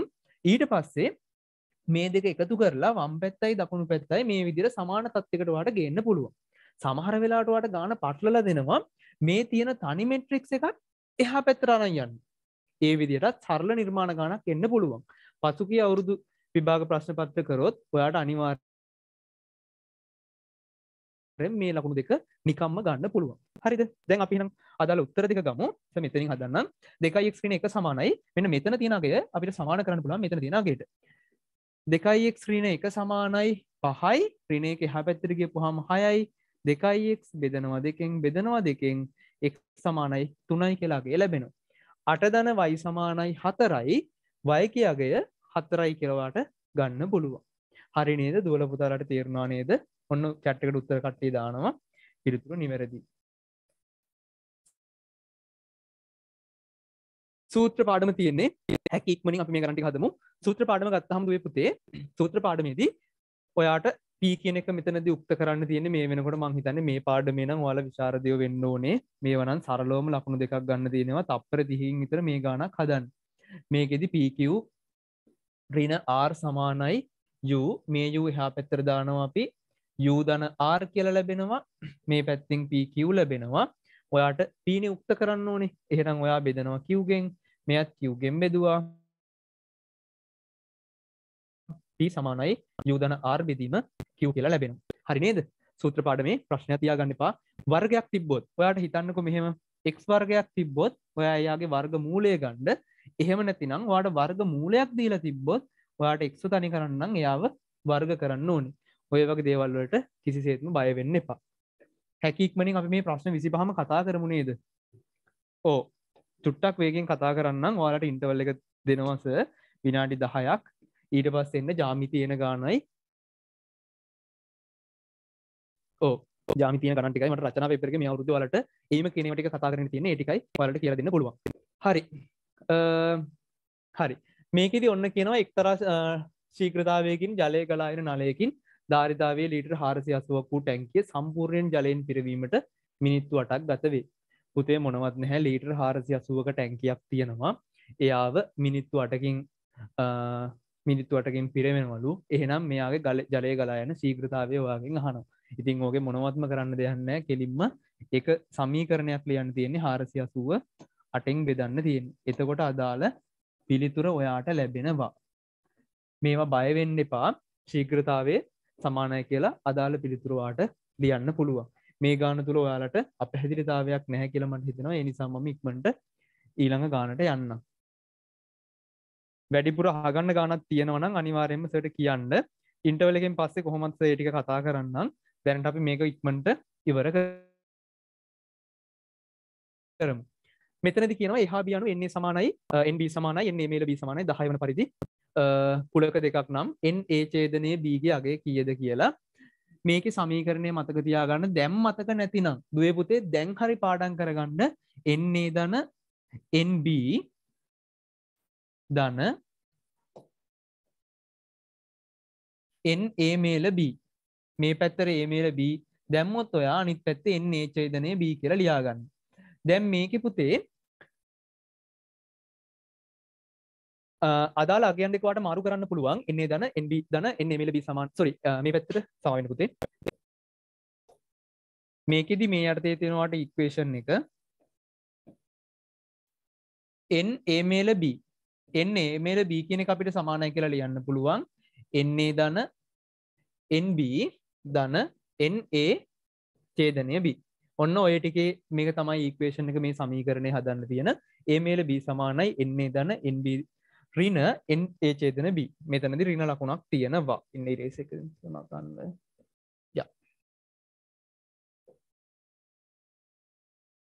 අපි ගත්තහම ඕ හරි නේද? මෙතන රින ලකුණ තියෙනවා. එතකොට මේ සමීකරණය රින ලකුණ මෙතන තියෙන නිසා අපිට මේ සමීකරණය දෙපස්සටම ලියන්න පුළුවන්. ඔයාට ඒ ඡේදනය වියුක්ත කරලා ලියන්නත් පුළුවන්. n එමෙල වියුක්ත කරලා ලියන්නත් පුළුවන්. මේකේ අදාළ දන්න දත්ත ටික අපිට ආදේශ කරලා ගාන හදන්න පුළුවන්. A කියලා n කියලා කියන්නේ අපිට 5යි කියලා දෙනවා. Nb කියලා කියන්නේ 7යි කියලා දෙනවා. A මේල b 10යි කියලා දෙද්දි මෙයාගේ අගේ තමයි වාගෙන් අහන්නේ. එන්නේ ඡේදනය b. එතකොට අපි ඒ ඡේදනය b මේ පැත්තට අරන් උක්ත කරමු. N ඒ ඡේදනය b. එයා සමානයි 7යි 5යි 12යි 12න් 10ක් අඩු කරපුවාම ඔයාට පිළිතුර දෙකයි කියලා ලැබෙනවා. සමීකරණයේ අනිවාර්යයෙන්ම මෙතන ඍණ ලකුණක් තියෙනවා. ඒක ගැන සැලකිලිමත් වෙන්න. මේල වියුක්ත කරන්නත් පුළුවන්, ඡේදනය වියුක්ත කරන්නත් පුළුවන්. දෙපැත්තට මේ දෙන මාරු කරන්න පුළුවන්. NA සහ NB එකම පැත්තක ඉන්නවා කියලා හිතා ගන්නත් පුළුවන්. ඔය විදිහට ගාන මතක තියාගන්න අගයන් ආදේශ කරලා මේ જાතිය ගානක් හදන්න තියෙනවා. ඒ වගේම විශේෂයෙන් කියන්න ඕනේ අන්‍යෝන්‍ය වශයෙන් බහිෂ්කාර සිද්ධියක් නම් අන්‍යෝන්‍ය වශයෙන් බහිෂ්කාරයි කියලා කියන්න පුතේ ඡේදනයක් නෑ කියන එක. මෙන්න මේ ඡේදනය අපි හිතනවා බිඳුවට යනවා කියලා. අන්‍යෝන්‍ය වශයෙන් බහිෂ්කාරයි කියලා කියන්නේ ඒ කුලක දෙක ඡේදනයක් නැහැ කියලා. මෙන්න මේ විදියට ඒ දෙන්න වෙන් වෙලා ඉන්නේ. තරහ වුණ ඔයයි ඔයාගේ යාළුවයි කියලා හිතා ගන්නකො. මේ විදියට ඒ දෙන්න ඈත් වෙලා ඉන්නේ. එතකොට ඡේදනයක් නැහැ. මෙයා A මෙයා B. මේ දෙන්නගේ ඡේදනයක් නැහැ. ඒකයි මේ වගේ අවස්ථාවකදී එතකොට අපිට එන්නේ දන NB සමානයි A මේල B කියලා ඩිරෙක්ට් අපිට ආන්සර්ස් ගන්න පුළුවන්. හරි නේද? කුලක පාඩම යටතේ පැහැදිලි කිරීම. හරි. ඊට පස නිර්මාණ පාඩම. කන්ස්ට්‍රක්ෂන් පාඩමේදී ඔයාගෙන් අහනවා. කන්ස්ට්‍රක්ෂන් පාඩමේදී ඔයාගෙන් අනිවාර්යෙන්ම පුතේ බලාපොරොත්තු වෙනව දෙකයි තියෙන්නේ. පළවෙනි එක තමයි මම මේ දෙක කියන්නම්. උක්ත කරගන්න පුළුවන්ද? කියනවා ඒහාබී ලක්ෂ දෙකට මේ ගානට අනුව කිව්වොත් ඒහාබී ලක්ෂ දෙකට සමදුරින් චලනය වන ලක්ෂයක පතේනේ ද ලක්ෂ සොයා ගැනීමට අවශ්‍ය නිර්මාණවල දර සටහනක් අඳින්න. පුතේ ඒ ලක්ෂයයි බී ලක්ෂය ඉන්නවා. එයාට සමදුරින් චලනය වන ලක්ෂයක පතය කිව්ව හම මේ ඒ සහ බී ඉන්නවා. මෙයාගේ ලම්බ සමච්චේදගේ තමයි ඔයා අඳින්න ඕනේ. ලක්ෂයන් දෙකක් තියෙනවනම් එයාට සමදුරින් චලනය වන පතය කිව්ව ගමන් ඔයා මතක මතක් කරගන්න ලම්බ සමච්චේදකේ විභාගට යන්න කලනුත් ඔය දෙක බලාගෙන යන්න. අනිවාර්යෙන්ම ඔයාගෙන් අහන්නේ ඔය දෙක. ලම්බ සමච්චේදකය කියලා කියන්නේ දැන් මේ ඒ ලක්ෂයයි මේ බී ලක්ෂයයි. මෙයාව අඳින්නේ කොහොමද නිර්මාණය? මෙතන තියලා කවකට්ටෙන් ඔයා මෙතනිනුයි මෙතනනුයි කපනවා. බීවල තියලා ඒ දුර වෙනස් නොකර මේ විදිය කපපුවහම ඔයාට ලම්බ සමච්චේදකය අඳින්න පුළුවන්. ලම්බව සමච්චේද වෙනවා. ඒ වචනෙන්ම තියෙනවා. ලම්බව සමච්චේද වෙනවා. මෙයා ලම්බකයි ඒ වගේම මෙයා සමච්චේද වෙනවා. ලම්බව සමච්චේද වෙනවා ලම්බ සමච්චේදක. එහෙනම් මේ ගාන හැටියට අපි ඕක ඇන්දහම මේ ගාන හැටියටත් අපිට ඔකොයි විදිහට මදින්න පුළුවන් මේ විදිහට දෙපැත්ත කැපුණා මේකේ කලර්ස් හින්දා පැහැදිලි මදිවේ වලට පේනවා මදිවේ ඔන්න ඔය විදිහට රේඛාව ඇඳෙනවා. එතනදි තමයි ඔයා අඳින්නේ මෙන්න මේ D ලක්ෂය මෙයා D ලක්ෂය කියලා අපිට ලැබෙනවා. ලම්බ සමච්චේදක ඊළඟට ඔයාගෙන් නිර්මාණ පාඩම තුළ අහනදේ තමයි කෝන සමච්චේදකය ඒ කෝන සමච්චේදගේ අහන විදියක් තියෙනවා. එයා ඔයාව තවටික බය කරන්න හින්ද පොඩි වැඩ කැල්ලත් දාලාහන්න මෙහෙම ඒ AB හා ඒසී රේකා දෙකට සමදුරින් චලනය වන ලක්ෂයන්ගේ පත්තය දැංගින් කාලවරෙන් නේද? හොම කිව මග ති අපිටම අපි දන්න කොන සමච්චේද කියෙන පුතේ AB කියලා සරල රේකාවක් තියෙනවා. AC කියලා සරල රේකාවක් තියෙනවා. මේ දෙකට සමදුරින් චලනය වන ලක්ෂයක පතය කිව්වහම මෙයාගේ කෝන සමච්චේදකය කවකට්ට මෙතනින් තිලා මෙහෙම කැපුවා දිග වැඩි කරලා මේ විදියටයි මේ විදිර කපපුහාම එයාගේ කෝන සමච්චේදකය එනවා. අනිවාර්යෙන්ම කෙටි පේපර් එකේ මේකට ලැබෙන ගානට ඔයා කවකටුව තියලා අඳින්නේ. අනිවාර්යෙන් මතක තියාගන්න. කවකටුව තියලමයි අඳින්නේ. ගාන තුළ දෙන රූප සටහන තුළම කෙටි පේපර එකේ උත්තරය ලියන් ඒ වගේම ඔයා කෙටි පේපර එක තුළ උත්තර ලියනකොට අදාළ දීලා තින ඉඩම ලියන්ඩ පේපර එක මංහිතන අටයි අටට වාට පටන්ගත්තොත් කෙටි පේපරගේ ප්‍රශ්න විසි පහට ඔයා මූලිකව වෙන් කරන්න පුතේ විනාඩි හතලිස් පහක්. ඔයාට මේ පේපර එකනම් පෑ දෙකයින් හම්බෙන්නේ. එතකොට මූලික ඔයා විනාඩි හතලිස් පහක් වෙන් කරන්න. ඊට පස්සේ ඔයාට රචනා ගනම් පහක් ඒක තියෙනවා. ඒ රචනා ගානටත් ඔයා විනාඩියක විනාඩි දහයක් එක ගානකට වෙන් කරන්න. ඔයාට විනාඩි දොළහක් වෙන් කරන්න පුළුවන්. හැබැයි උප කිරීම ගානකට විනාඩි 10ක් වෙන් කරන්න. එතකොට 10 වරක් 5 50යි අතන විනාඩි 45යි. තව ඔයාට අමතර විනාඩි 25ක් ඉතුරු වෙනවා. බැරි දේ හදන්න. දැන් මේ MCQ 25න් ඕනම දුවෙක්ට පුතෙක්ට වැඩ නොකරපු දුවෙක් පුතෙක් ඉන්නවා නම් එයාට මේකේ 10ක් 15ක් අනිවාර්යයෙන්ම හදන්න පුළුවන්. ඊට පස්සේ ටිකක් වැඩ කරලා ඔයා B මට්ටමේ ඉන්න දුවෙක් පුතෙක්ට මේකෙන් 15න් එහා හදන්න පුළුවන්. ඊට පස්සේ අපි දන්නවා ඒකක් ගන්න දුවල පුතාලා මේකේ අනිවාර්යෙන් 22ක් MCQ අනිවාර්යෙන්ම ඔයාට හදන්න පුළුවන්. ඔයාට බැරි ගානක් ආපුවාම ඔයා දන්න තරක ටික ලියලා ඔයාට ගානේ උත්තරේ එන්නේ නැත්තම් විනාඩි 3ක් 4ක් ඒ ගානට වේස්ට් වුණොත් අනිවාර්යෙන් මේ ගාන තියලා ඔයා ඊළඟ ගානට යන්න. අපි අතනින් ටයිම් එක ඉතුරු කරගත්තොත් අපිට අවසානට නැවත ගණන් තුනක් විතර try කරන්න එන්න පුළුවන්. හරිනේ. මං ඉන්ටර්වල් එකෙන් පස්සේ ඔයාලට ඒ දේවල් ටික ඔක්කොම පැහැදිලි කරන්නම් 22යි තව ප්‍රශ්න තුනයි. මිනිස් දින ගාන මේක හදන්නේ කොහොමද දුවේ පුතේ? මිනිස් දින ගාන හදන්නේ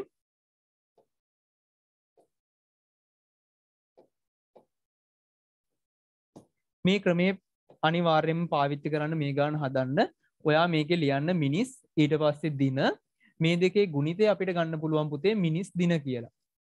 එතකොට අදාළ ඩේට ටික මේ ගානේ ලියාගෙන යන්න තියෙන්නේ මිනිස්සු දහ දෙනෙක්ට වැඩක් නිම කිරීමට දින හයක් ගත වෙනවා. මේක මිනිස් දින දහවරක් හය හැටයි. මේක ගුණිතේ ලියනවා. ඊට පස්සේ එමෙන් දෙගුණයක වැඩක් නිම කරන්න කිව්ව ගමන් පුතේ මේ මිනිස් දින ගාන මේ මිනිස් දින කියන එක දෙගුණයක වැඩක් නිසා 60යි 60යි මෙයා 120ක් වෙනවා. ගාන තුල ගාන කියවද්දි මේ විදිහට මේක ලියා ගන්න ෆස්ට් ටයිම් ඔයාට මේකේ ආන්සර් එක ගන්න පුළුවන්. මිනිසුන් 8යි මිනිසුන් 8යි දින ගණන ඔයා දන්නේ නැහැ. මෙයාට x දානවා. 8 වරක් x සමානයි 120යි ඔයා මෙයාව 8ෙන් බෙදුවා. මෙයාව 8ෙන් බෙදුවා. ආ මිනිසුන් 8 දිනෙකට ගතවන දින ගණන. එතකොට එක් කියගේ කියදාවේ පහලයි කියලා එනවා නේද? මං හිතන්නේ ඔයාලගේ උත්තරේ හරි කියලා මම හිතලා ඉස්සරහට යනවා. හරි. අවසාන වශයෙන් ඔන්න තවත් වීජීය ප්‍රකාශන සුළු කිරීමක් තියෙනවා. මේක නම් ඇත්තටම දුවේ පුතේ සරල ගානක් ඔයාලගේ පේපර් එකේ නම් අන්තිමට මේ වගේ ගානක් එන්නේ නැහැ. ඒ අනුමාන පේපර් එකක් හදපු නිසා මේ වගේ ප්‍රකාශනයක් දුන්නේ ඔයාට සුළු කරන්න. 3යි A ගුණ කිරීම 10යි B. ගුණ කිරීම දැම්ම ගමන් මේකේ උඩයි යටයි මාරු වෙනවා. පහයි B බෙදීම 9යි කියලා ලැබෙනවා. මේ Bට මේ B කැපෙනවා. 3ට 1යි 9ට 3 වරක් 3යි 5ට 1යි 10ට 5ව 2යි දෙවාරයක් 3 6යි පුතේ. මෙතන A. ඒ බෙදීම 6යි කියලා පිළිතුර ලැබෙනවා. බීත් කැපෙනවා නේද? B වර්ගයක් නෑනේ පුතේ. මේ Bට මේ B කැපෙනවා. ඔන්න B ආපු දුවල පුතාලගේ උත්තරේ නැවත හදාගන්න. අවසාන ප්‍රශ්නය එහෙනම් අපිට ආව MCQ 25 මොකක්ද? මෙයාව පාට කරලා දාන්න තියෙන පාට කරාද? ABC මෙයාව පාට කරන්න ඒ ඡේදනයේ B ඡේදනයේ C නේ. ඔය විදිහට ගත්තාම A ඡේදන B ඡේදනයේ C කිව්වහම මෙන්න මේ මැද ටික තමයි ඡේදනයේ පාට වෙන්නේ. අනිවාර්යෙන් මේලේ කියලා කිව්වොත් පුතේ මේ ඔක්කොම අයිති වෙනවා. මේ ටිකේම පහුගිය අවුරුදු වල දීලා තිබ්බේ කුලක දෙකක්. ඒ නිසා ගොඩක් දුරට මම බලාපොරොත්තු වෙනවා මේ රූප සටහන වගේ එයි කියලා. එහෙම නැතත් ඔයාලා අනුපූරකය මතක තියාගන්න විශේෂයෙන් මොනවා හරි කුලකයක් හැර. අන්න ඒක තමයි අපි කියන්නේ මෙයා ඒ නම් අපිට ඒ ඩෑස් කියන කුලක අයිඩෙන්ටිෆයි කරන්න කිව්වොත් ඔයාලට පාට කරන්න කිව්වොත් ඒ හැර කියන එක ඔන්න ඔය විදිහට මතක තියාගන්න. කුලක සම්බන්ධයෙන් ඉතින් ওই දේවල් ටික තමයි කියන්න තියෙන්නේ. හරි දුවේ පුතේ එහෙනම් මං ඔයාලට දැන් 4යි 2යි වෙලාව. ඔයාලා හරියටම 4යි 12ට එන්න ඔයාලට ඉතුරු රචනා පේපර් එක සහ රචනා පේපර් එකේදී දෙවෙනි පේපර් එකටත් අදාළ විස්තර ටික මට කියන්න තියෙන්නේ. ඔන්න ඔය වෙලාවේදී. ඉතින් හැමෝම අනිවාර්යයෙන්ම විනාඩි 10කින් පොඩි වොෂ් එකක් දාගලා තේ එකක් බොනවා නම් තේ එකක් බීලා අපි ඊළඟ විනාඩි 4යි 10 වෙද්දි හම්බෙමු 4යි 12 වෙද්දි හැමෝම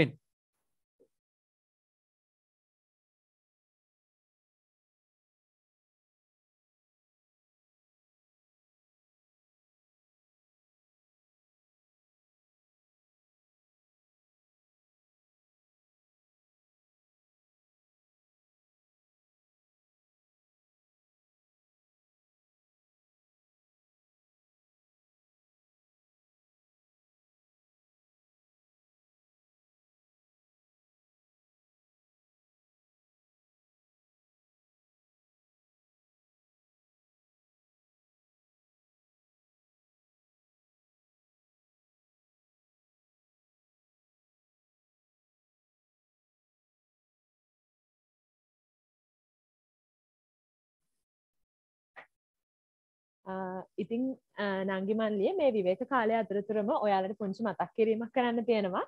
ඒක තමයි අද ගනිතය වැඩසටහන සඳහා ප්‍රධාන අනුග්‍රහය සපයන්නේ ප්‍රවීණ දේශක සංයුක්ත ගනිතගුරු රාජ් විජයසිංහ මහතා. ඉතින් සුසිප්පින් ගම් පහ සියෝච්චම් නුගේ ගොඩ ආයතනවල මෙතුමා ආමතර පන්ති පවත්වනවා. ඒ වගේම www.maxscriber.com වෙබ් අඩවියට පිවිසීමෙන් මේ ක්ලාසස් ගැන ඔයාලට වැඩිදුර විස්තර දැනගන්න පුළුවන්. ඉතින් ඔයාලා ඕලවල් විභාගයට හෙටානිද මුහුණ දීලා ඊට පස්සේ ඒලෙවල් වලට ගනිතය විශ්වධාරාවෙන් මුහුණදීමට බලාපොරොත්තුවයෙන් ඉන්නවනම් ඔබ තෝරා ගත යුතුම සංයුක්ත ගනිත ගුරුවරයා රාජ් විජේසිංහ සර් කියලා විශ්වාසයෙන් කියන්න පුළුවන්. ඉතින් නංගි මලේ ඒත් එක්කම ඔයාලට මේ වගේ ලස්සන වැඩසටහනක් මෙහෙවන්න අපිට මේ ස්ටුඩියෝ එක ලබා දුන සර් සංක ජයනාද සර්ව අපි ඉතාමත් ආදරයෙන් ගෞරවයෙන් මේ අවස්ථාවේ මතක් කර සිටිනවා. එහෙනම් ඔයාලගේ ඉන්ටර්වල් එක ගන්න අපි නැවතත් වැඩසටහන සමග තව විනාඩි 10කින් හමු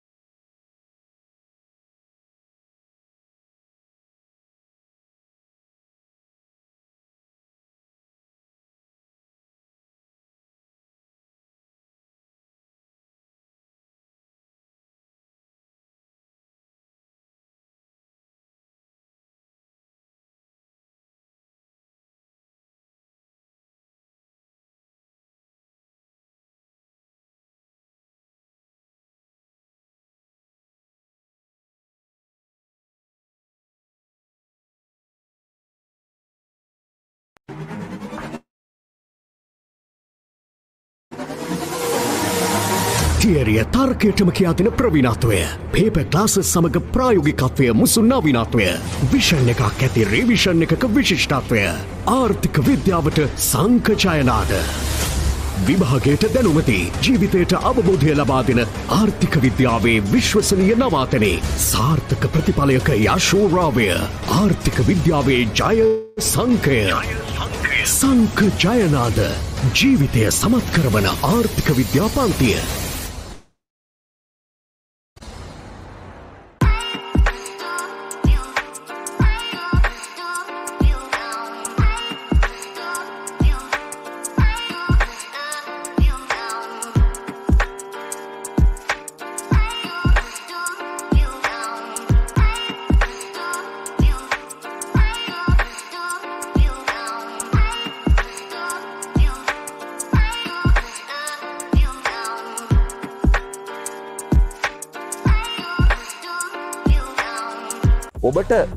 දුවන්න බැයිනං ඔබගේ ඉලක්කෙ වෙත ඇවිදින්න.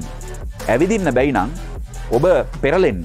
පෙරලෙන්න බැයිනං බඩගාගෙන හරියන්න. වඩාත් වැදගත් වෙන්නේ ඔබ ඉලක්කය වෙත ගමන් කිරීම විනා ආපසු ගුවන් කිරීම නෙවෙයි කියලා. ළමයින් ෆෙල් කරන්න විභාග ප්‍රශ්නපත්‍ර හදන්නේ එනිසා අපි අමුතු ආතතියකට පත්විය යුතු නෑ අපි දන්නවා මේ අපිට යම්කිසි සිදුවීමක් යම්කිසි පුද්ගලෙක් යම්කිසි දෙයක් අපේ පාලනයේ නොපවතින අවස්ථාවකදී මනතන් අපි අපේක්ෂා කරන දේ සිද්ධ නොවෙන අවස්ථාවකදී අපිට පොඩි ස්ට්‍රෙස් එකක් එනවා. අපි අර අමාරු ප්‍රශ්නයට කොට්ටුව ඉන්න ගියාපුවාම සිද්ධ වෙන දේ තමයි මට මේ ප්‍රශ් ඉතිරි මට ලියන්න පුළුවන් දෙවලට උත්තරලියගන්න බැරිවෙන්න පුළුව විභාගට බොහම ආසන්න වෙලා තියෙන වෙලාවේ දරුවන්ට තියෙන ලොකුම ගැටලුවලින් එකක් තමයි මේ තියෙන විභාග ආතතිය. ඉරනම් වෙනස් කරන මනරම් චරිත සංකචයනාද ඇරයුමින්. භාතිය අර්ථනායක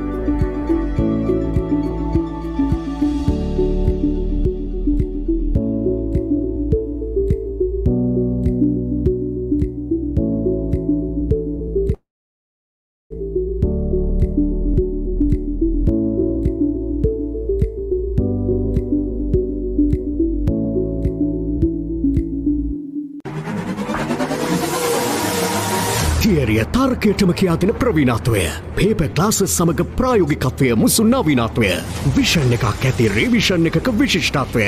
ආර්ථික විද්‍යාවට සංකචයනාද. විභාගයට දැනුමති ජීවිතයට අවබෝධය ලබා දෙන ආර්ථික විද්‍යාවේ විශ්වසනීය නවාතනේ. සාර්ථක ප්‍රතිඵලයක යශෝරාවය. ආර්ථික විද්‍යාවේ ජය සංකය. සංක ජයනාද ජීවිතය සමත් කරවන ආර්ථික විද්‍යා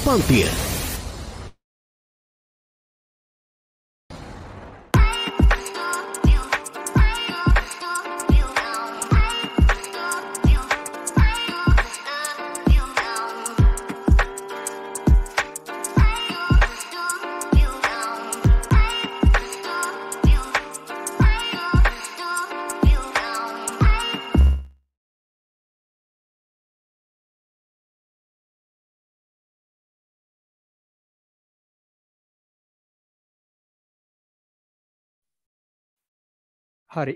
දුවපුතේ ඇහෙනනද මවලට හරි. මව හෙනවා කියල හිතනවා. වූ කනෙක්ෂන් ප්‍රශ්නයක් තියෙනවනම් චැට්කට මෙසිජයක් දාන්න. කෝ කට්ටිය මේ පේබොන්න ගිල්ලද එන්න දැන්දුවපුතේ අපි මේ ගාන හදමු. මොකද වෙලාව මේ හැකික්මනි මට වැඩි විශෂ කරන ගෙන්න්න නිසා පිටික් වේගම කරන්න ම භාග ගාන සියට සියක් මෙනවනේ. රචනා පේපර එක වලට පලවෙනි ප්‍රශ්නය දෙවිනි කොටසේ. පාට් බිය එකේ පලවෙනි ගාන විදින අනිවාරෙන්ම භාග ගානක් තමයි ලැබෙන්නේ. එහෙනම් පළවෙනි ගාන විදියට ඔයාලා මේක තනියෙන් හදම් බලන්න. භාග ගාන. මේකෙද විශේෂයෙන් වාට වැදගත්වෙන ලොජික එකක් තියෙනවා. මං ඒක කියලා දෙන්නම්. ගාන හදන්ඩ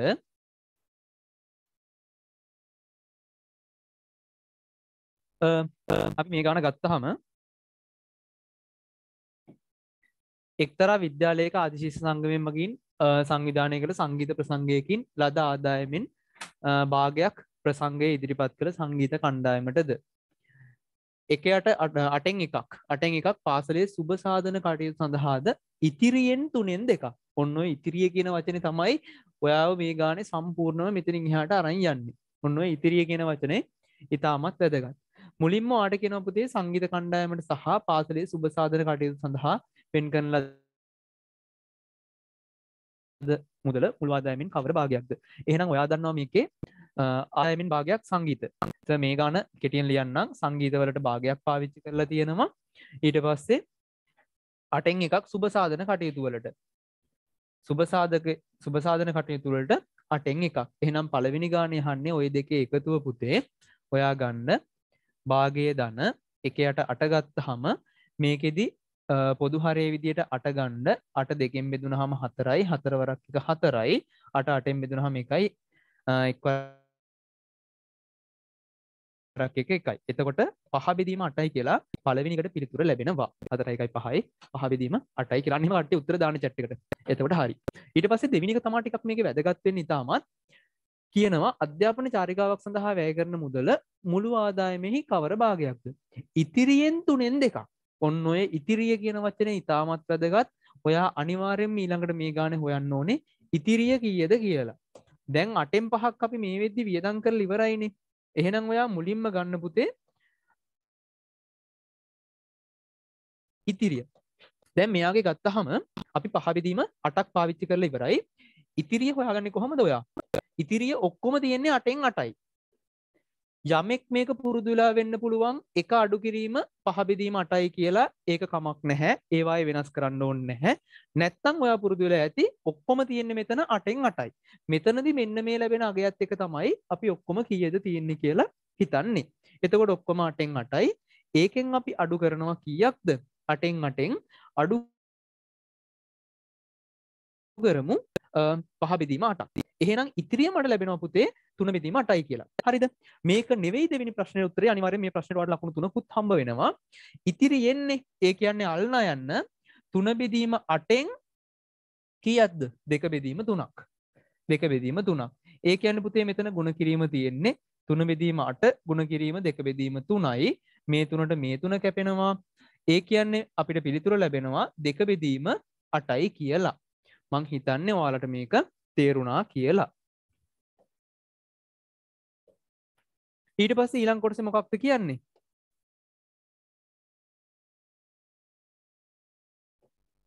ඊළඟ එකේදී අපිට කියනවා ඉහත සියලු වැය කිරීම වලින් පසුව මුළු මද- මුළු මුදලෙන් කවර භාගයක් ඉතිරි වේද කියලා. අපිට මුලින් අපි පහ බෙදීම 8ක් පාවිච්චි කරා ඊට පස්සේ දෙක බෙදීම 8ක් පාවිච්චි කරා දැන් අපි ඔක්කොම මේ දෙක එකතු කරපුවාම හත බෙදීම 8ක් මේ වෙද්දි පාවිච්චි කරලා තියෙනවා. මේකෙන් අහනවා පසුව කවර භාගයක් ඉතිරි වේද නැවතත් ඔක්කොම 8න් 8යි පුතේ ඒකෙන් ඔයා අඩු කරන්න හත බෙදීම 8ක් එතකොට ඔයාට ලැබෙනවා එක බෙදීම 8ක් කියලා. නොක තමයි ඊළඟ කොටසේ පිළිතුර. අධ්‍යාපන චාරිකාවට වෙන් කළ මුදල රුපියල් 32000ක් නම් අධ්‍යාපන චාරිකාවට වෙන් කළ මුදල රුපියල් 32000ක් නම් සංගීත කණ්ඩායමට දුන් මුදල කොපමණද? අධ්‍යාපන චාරිකාවට වෙන් කරන්න පුතේ කීයක්ද? ඕ අධ්‍යාපන චාරිකාවට දෙක බෙදීම 8ක්නේ වෙන් කරලා තියෙන්නේ. එහෙනම් මේ 32000 මුලින්ම අපි හොයමු එක ඒකකයකට. එහෙනම් මේ 32000 කීයෙන්ද බෙදන්නේ? 32000 දෙකෙන් බෙදන්නේ. එතකොට මට ලැබෙන්නේ පුතේ එක බෙදීම 8ක ප්‍රමාණය. එක බෙදීම 8ක පංගුව තමයි අපිට ලැබෙන්නේ. එහෙනම් අපි ඔක්කොම හොයන්න ඕනේ අහන්නේ සංගීත කණ්ඩායමට දුන් මුදල. සංගීත කණ්ඩායමට දීලා තියෙන්නේ ආදායමෙන් භාගයක්නේ දීලා තියෙන්නේ. ඒ කියන්නේ හතර බෙදීම 8ක්. මෙයාව මම හතරෙන් ගුණ කරා නම් මට ලැබෙනවා අදාළ පිළිතුර. එතකොට කීයද උත්තරේ? දුර පුතාලා දාලා තිබ්බා. රුපියල් 64000යි කියලා පිළිතුර ලැබෙනවා. මම දැන් කියන්නම් දුවේ පුතේ ඔයාලට රචනා පේපර් එකේ අනිත් පාර්ට් එකට ප්‍රශ්න වලට මුහුණ දෙන විදිය. ආ මේ අවුරුද්දේදී ගණන් පහයි. පළවෙනි පේපර් එකේ ගණන් පහයි. ඒකෙන් පළවෙනි ගාන ආය වෙනසක් මුකුත් නැහැ. 100% භාග ගාණක් එන්නේ. පළවෙනි ගානට හරි දෙවෙනි ගානට හරි අනිවාර්යෙන්ම භාග ගාණක් එනවමයි. ඒක අනිවාර්යෙන්ම ඔයා පුරුදු වෙලා යන්න. ඊට පස්සේ දෙවෙනි ගානට මිනිතේ යටතේ මිනිතේ යටතේ පරිමිතිය සහ වර්ගඵලය ඇතුරෙන් ගානක් මේකෙදි ගාන සමහර අවුරුදුවල වෙනස්වීමක් කරලා තියෙනවා අවුරුදු දෙකක තුනක විතර මේ ගාන ස්කිප් කරලා මේකට ඩේට රීප්‍රසන්ටේෂන් කියන පුතේ දත්ත නිරූපණය සහ අර්ථකථනය කියන එකකෙන් ගෙනල්ලා තියෙනවා. ඒ වගේම තව අමතර ඇඩ්වීමක් වෙලා තියෙනවා. මෙන්න මේවා. චරිත ප්‍රස්ථාර ගණන්. VT කාල ප්‍රස්ථාර වක්‍ර. ඔන්න ඔය වගේ ගානකින් එක අවුරුද්ධක ඇඩ් වෙලා තියෙනවා. ඒක ඊට පස්සේ අවුරුදුවල වාගෙන් පරීක්ෂා කරලා නැහැ. ඒ නිසා අපිට සමහර විට ඔය අනිවාර්යයෙන්ම හදලා යන්න 2017 තියෙන මෙන්න මේ ජ- ආකාරයේ ගාන වෙනස් වෙනවා නම් වෙනස් වෙන්න තියෙන්නේ. මේ අවුරුද්දේ 100%ම ෂුවර් කරන්න පුළුවන් අපිට මිනිතේ යටතේ වර්ගඵලයේ පරිමිතිය ආශ්‍රිතයෙන් ගානක් තමයි ලැබෙන්නේ කියලා. ඊට පස්සේ අ, තුන්වෙනි ගාන විදියට ප්‍රතිශත ගානක් තියෙන්නේ මේකෙදි. ප්‍රතිශත ගානදී පුතේ ඔයාලගෙන් ගොඩක්ම බලන්නේ මේ අවුරුද්දේ ප්‍රතිශත සහ ඕක ඇවිල්ලා තියෙන්නේ කොටස් වෙළඳ පොළ ආශ්‍රයෙන්. එතකොට කොටස් වෙළඳ පොළ යටතේ අපි කතා කරොත් මේ ගාන මේ අවුරුද්දේ ගොඩක් දුරට බලාපොරොත්තු වෙනවා ෂෙයා මාකට් එකේ. කියන්නේ කොටස් වෙළඳ පොළ පැත්තට ගාන ගොඩක් බර වැඩි. 70ක් 80ක්ම කොටස් වෙළඳ පොළ පැත්තට ගාන තියෙනවා තුන්වෙනි ගාන වශයෙන්.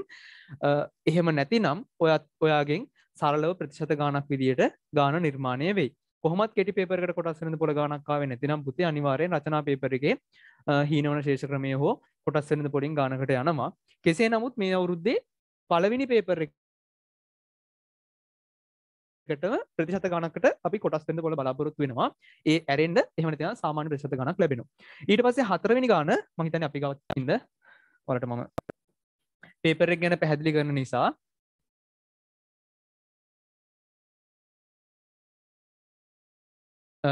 ප්‍රශත ගානක් මෙතන නම් තියන්නේ සරලව සුළු පොලිය සහ වැල් පොලිය ආශ්‍රිතයෙන් ගානක් මම දාලා තියෙන්නේ. අ, මේ අවුරුද්ද ගොඩක්දුරට බලාපොරොත්තු වෙන පුතේ කොටස් වෙළඳ පොළ ආශ්‍රිතයට නිර්මාණය වෙයි කියලා.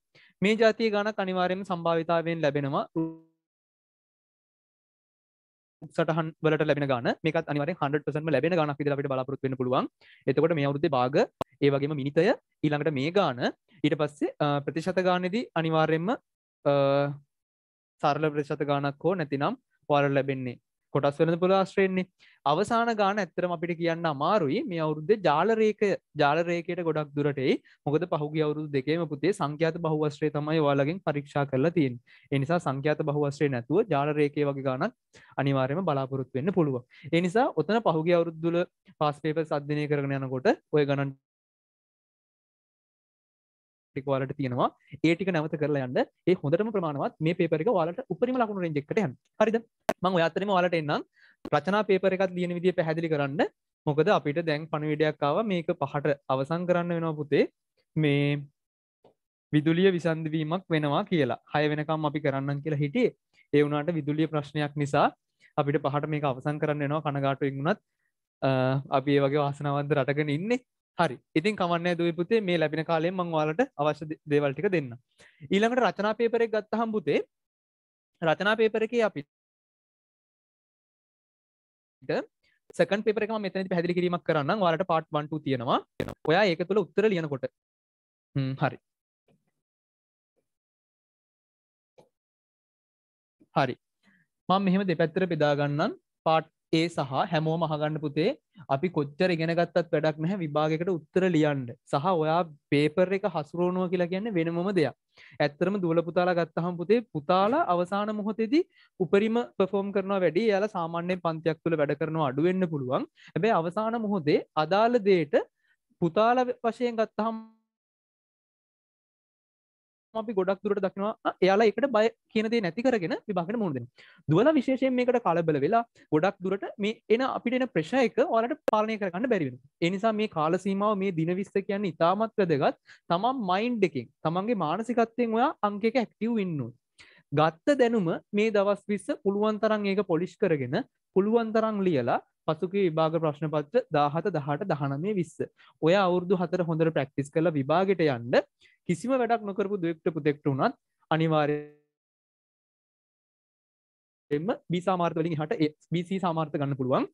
වැඩ කරපු දුවල පුතාලත් අනිවාර්යයෙන්ම මේ අන්තිම අවුරුදු 4 පසුගිය විභාග ප්‍රශ්න පත්‍රත් එක්ක මේ ටික කාලය ගත කරා ඊට පස්සේ මම දැන් මේ රචනා පේපර් ගැන කියන්නේ පුතේ ඔයාලට මුලින්ම ලැබෙන්නේ ප්‍රතිශත ගාණක් සහ ප්‍රස්ථාර ගාණක්. එතකොට මේකෙදි වාට ප්‍රතිශත ඊට පස්සේ ප්‍රස්ථාර. විභාග පේපරක පටන්ගන්න හොඳම ගාන අපිට ප්‍රතිශත හරි ප්‍රස්ථාහරි ඒක තමන් පෆෝම් කරන විදිට තමන්ගේ කැමති දෙයක් තමන් ෂෙඩියුල් කරන ඇති ඒක ඕකේ ප්‍රස්ථාර ගානවගෙනම් ස ගොඩක් දුරට රෙකමන් කරනවා. ඊට පස්සේ තුන්ගනි ගාන්ටවාට සමගාමී සමීකරන හෝ අදාළ මොනව හරි ගණන් ටික ලැබෙනවා. එතනදී ගානක් ගත්තහම උපරිම විනාඩි ඔයාට ලැබෙනවා විනාඩි දොළහක් දහතුනක් වගේ කාලයක් වෙන් කරගෙන ගාන හදන්න බලන්න විනාඩි පහළව කාලයක් ගත්තත් කමක් නැහැ හැබැයි පුළුවන් තරම් විනාඩි 12කින් 13කින් ගාන හදන්න උපරිම උත්සාහයක් දරන්න. උපරිම විනාඩි 15කින් ඔයා ඊළඟ ගානට යන්න ගොඩක් දුරට පුළුවන් වෙන්න. පුළුවන් වෙන්නේ කියන්නේ ඔයාට ගානක් හදාගන්න බැරි තත්ත්වයක් ආවොත් අනිවාර්යයෙන්ම විනාඩි 15ක් ඒ ගාන තුල ඉඳලා ඒ ගානෙන් එහාට යන්න. හැබැයි ලකුණු 3න් 4න් එහාට ගන්න බැරි නම් ඔයා විනාඩි 7කින් 8කින් ඒ ගාන තියලා ඊළඟ ගානට යන්න. හැම වෙලේම ඔයාට පුළුවන් දේ කරන්න. විභාගිකදී අපි උත්තර ලියන්න ඕනේ පුතේ පුළුවන් දෙයට. අපි විභාගිකදී බැරි දේත් එක්ක ඔට්ටු වෙන්න නෙමෙයි යන්නේ. විභාග කියන්නවා පුළුවන් දේ ලියලෙන් නිසා හැමවෙලේම පුළුවන් ගාන හදන්න ඊට පස්සේ රතන පෙපරට කියපුහම බී පාට් එකේ බී පාට් එක වාට ලැබෙනවා මොනවද අනිවාර්යෙන්ම ගුණෝත්තර ශ්‍රේණි නෙවෙයි සමාන්තර ශ්‍රේණි වලින් පළවෙනි ගාන වගේ ලැබේ හයවෙනි ගාන. සමාන්තර ශ්‍රේණි. ඊට පස්සේ නිර්මාණ ගාන. ඊළඟට තව මොනවද? කුලක ගාන ලැබෙනවා පුතේ. සමහර වෙලාවට ගානක් කියවපු ගමන් තේරෙන්නේ නැතිවේ ඒක දෙපාරක් තුන් පාරක් ගාන ඔයා හදනවා කියලා. කටු කොලයක් අරගෙන ඒකට අදාළ දත්තයන් ටික ලියලා ඔයා ගාන උපරිම හදන්න try එකක් දෙන්න. එතකොට ඔයාට මේ ගාන ගොඩක් දුරට තේරුම් ගන්න පුළුවන් වෙනවා. ඊට පස්සේ ඔන්න එනවා ජ්‍යාමිතිය ගණන් දෙක. ජ්‍යාමිතිය ගණන් දෙක ඉතින් ඉතාමත් හරිම ලේසිම ගණන් දෙක හරිම ආසාවෙන් ලියන්න යන ගණන් දෙක නේද? ජ්‍යාමිතිය ගණන් දෙකම අපිට මෙතනදී ලැබෙන්නේ. එතකොට ජ්‍යාමිතියදී ත්‍රිකෝණ සම්බන්ධ තියරම් ටික.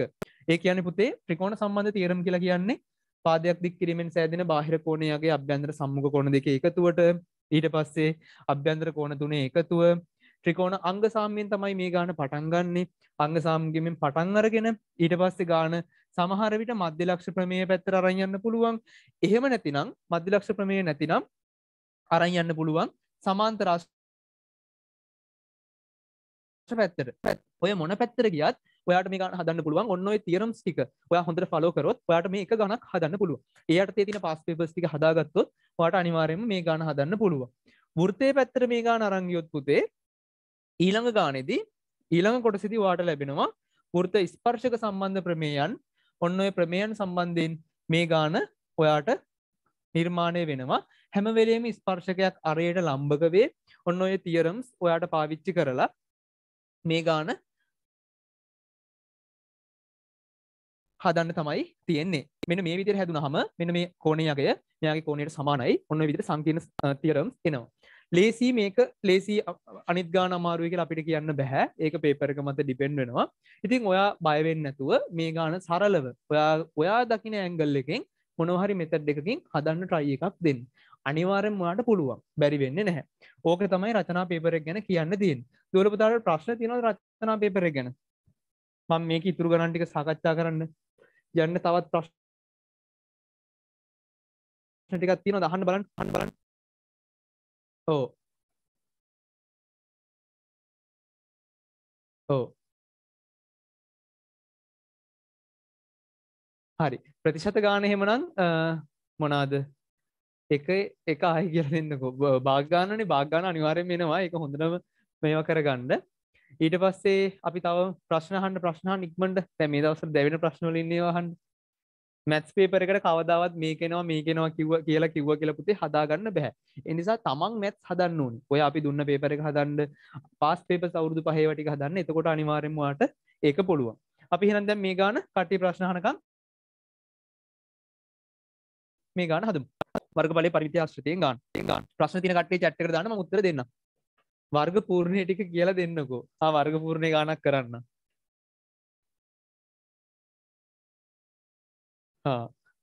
දෙට දවසක්ම මැත්ස් කියල දෙන්න වෙනවා. ඒත් අපිට ඉවර කරන්න බැහැනි සිලබස් එක. හරි.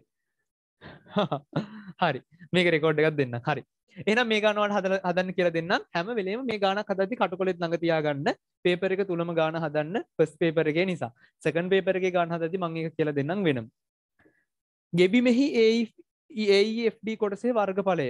ගානවලට රූප සටහන පේෙන්ෙන හැනේද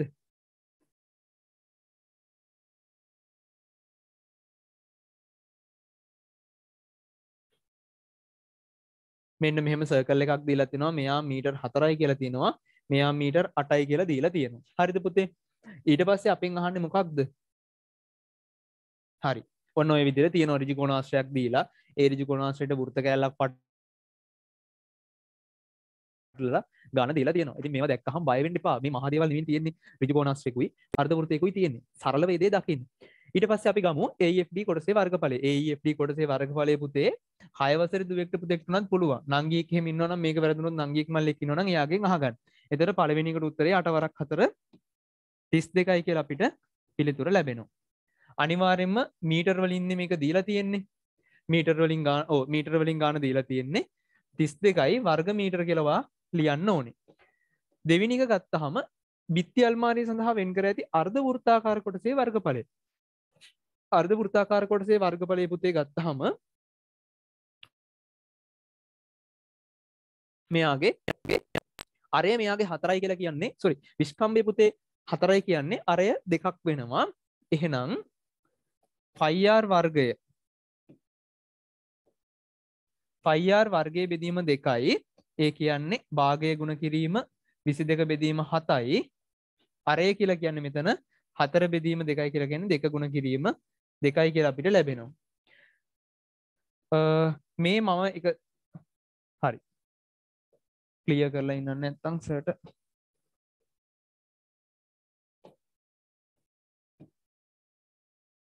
විසි දෙක බෙදීම හත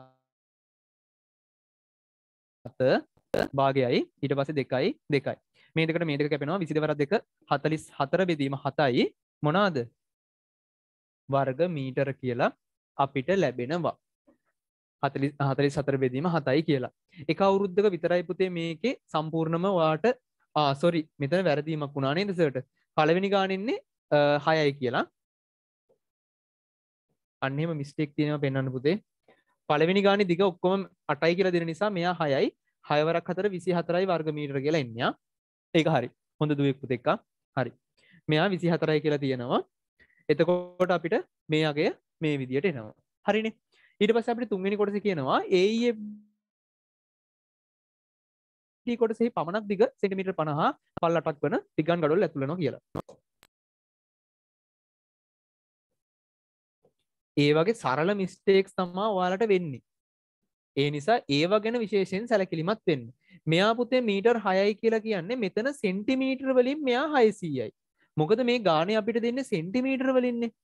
ඔයා සෙන්ටිමීටර් වලින් මේක ලියාගත්තහම තමයි ඔයාට මේ ගාන තවත් ලේසිවෙන් මෙයා හයිසීයක් වෙද්දි මේ පැත්ත කියද අපිට එනවා හාරසීයයි කියලා. දැම් මේ පිගන් ගොඩලක්. ඒ කියන්නේ මේ ටයිල් එකක් අපි තියන්නේ කොහොමද? මෙයාගේ හයිසියයි කියලා කියන්නේ දැන් ඇත්තරම මේ පිගන් ගඩොලක් අපිට තියන්න පුළුවන් සෙන්ටිමීටර් තිහගාන එන්න නම් මේ පැත්තර ඒ කියන්නේ මේ පැත්තර දිග පණහකුත් අනිත් පැත්තර තියකුත් එන්න තමයි අපිට මේක තියන්න වෙන්නේ. ඒ කියන්නේ මේ පැත්තර සෙන්ටිමීටර් පණහෙසෙට් අපිට ලියන්න පුළුවන් හරියටම අටක්. හාරසිය පහෙන් බෙදුනහම මේ පැත්තර පිගන් ගඩොල් අටක් අල්ලන්න පුළුවන්. හයසීය තමාපුතේ තිහෙම් බෙදෙන්නේ හයසීය තිහෙම් බෙදෙන නිසා කියද?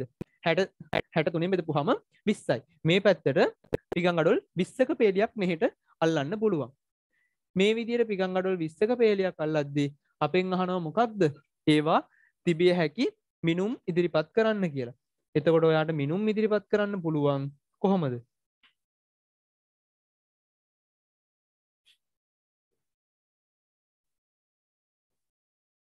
මේ පැත්තර තිහයි සෙන්ටිමීටර සහ මෙහෙට පණහයි සෙන්ටිමීටර කෙලවයාට මෙයාව ලකුණු කරන්න පුළුවන්. ඇලිය හැකි මුළු පිකන් ගඩු සංඛ්‍යාව ඕ මිලි මුළු පිකන් ගඩු සංඛ්‍යාව කියද පුතේ. විසි වරක් අට අටවරත් දෙක දාසය කියලා කියන්නේ පිකන් ගඩොල් එකසිය හැටක් හදන්න පුළුවන්. මේ විදිර මේ සර්ලිව්ව වගේ එකසිය හැටයි ලිව්ව ගමන් ලකුණු එකයි හම්බ වෙන්නේ. පස්සේ නිකන් ඇවිල්ලා ගෙදර කියන්න එපා අපි හොඳටම ගණන් හැදුවා. ඒ වුණාට ඇවිල්ලා තියෙන ලකුණු අඩු වෙන්නේ කියලා. නිකන් මෙහෙම උත්තරේ විතරක් ලිව්වහම දෙවෙනි පේපර් එකේ ලකුණු හම්බ වෙන්නේ නැහැ. මොකද ඉස්සරහ ළමයාගෙන් බල්ලා ලියන්නත් පුළුවන් ඒ නිසා අනිවාර්යෙන්ම මේකෙදි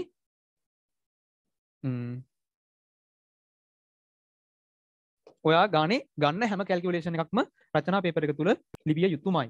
කොහොමද මේක එන්නකොට අට ගුණ කිරීම විස්ස සමානයි. එකසිය හැටයි පිගන් අඩුල් කියලා පිගන් අඩුල් කියලා ලිවෙනතත් ඔය ටිකවත් ලිය වෙන්න ඕන්.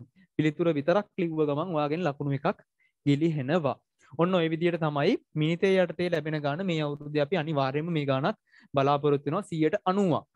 මොකද සමහර අවුරුද්වල මේක අයින් කල තියන මේ ගාන. හැබැයි දෙදස් විස් අවුරුදු පේපරෙත් වගේ මේ ගාන ටෙස් කර. මේ අවුරුද්දෙත් පේප් මාකින් වලති සාකච්ඡා වෙලා තින මේ ගානක් ගැන. ඒ නිසා අපි බලාපොරොත්තු වෙනවා. ඊට පස්සෙම ප්‍රතිශත. ප්‍රතිශත ගාන්ට ඇතර ම මේකට පුතේ ප්‍රතිශත ගානක් ඇප්ලයි කරේ. එවුණට ගොඩක්දුරට මේ සරේ කොටස්වරන්න පොල ආශ්‍රයෙන් ගානකට නිර්මාණය වේ කියලත් කියනවා. කෙසේ නමුත් ඒ ගණන් දෙකටම ලෑස්තිලා යන් මොකද අපිට කවදාවත් කියන්න බැහැ මේක තමයි එන්නේ කියලා. අනුමානයක් විතරයි කරන්න පුළුවන්. එනිසා තමන් දැනගන්න ඕනේ ඕන දේකට රෙඩි වෙලා යන්න. හරිද? අපි කාවවත් විශ්වාස කරලා අනේ අරය මතයි මෙයා මතයි කියලා නැතුව තමන් පුළුවන් තරම් වැඩ කරන්න. තමන් පුළුවන් තරම් වැඩ කරන්න. තනියෙන් ඔයාගේ දැනුම පරීක්ෂා කරන්න විභාගෙදී. ඔයාගේ ටීචර්ලා සර්ලා ඊට පස්සේ අම්මා තාත්තා ඔක්කොම බය කරනවා බනිනවනේ. පාඩම් කරන්න පාඩම් කරන්න පාඩම් කරන්න කියලා. මේ දවස්වල අහන සුන්දර වචනේනේ. ඒ නිසා හරි. අවසාන දවස් විස්සෙන් ඉන්නේ. ඉතින් ඒ නිසා හොඳට වැඩ කරන්න මේ ටිකේ. ප්‍රතිශත ගාන මේකත් කියලා දෙන්න.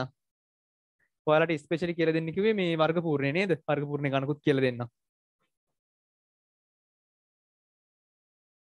දෙක් කොටස හදමු AB සම්පූර්ණ දෙක 8 මීටර 6 මීටර ගන්න. හරි. කොටස් වෙනද පුළ චුට්ටක් පැහැදිලි කරන්නකෝ. ප්‍රශ්න ගොඩාක් අහන ඔක්කොම උත්තර දෙන්න බෑනේ.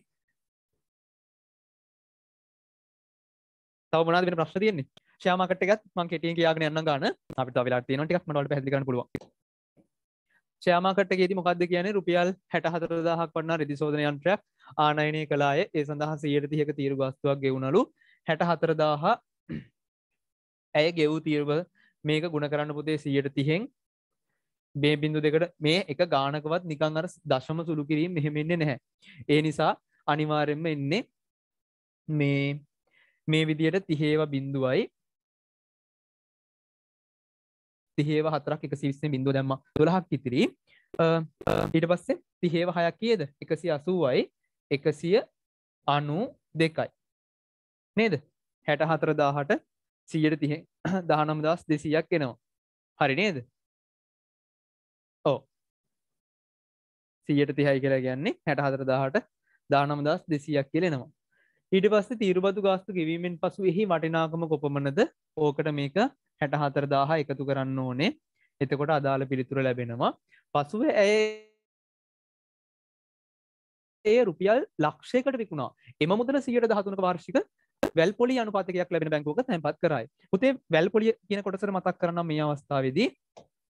මං ගානේ හරියට මුත්තර දෙන්න නැතුව මම ලියන්න ඔයාලට මතක් කරන්න. වැල් පොලිය කියන්නේ සරලවම අපි රුපියල් දහදාහක්.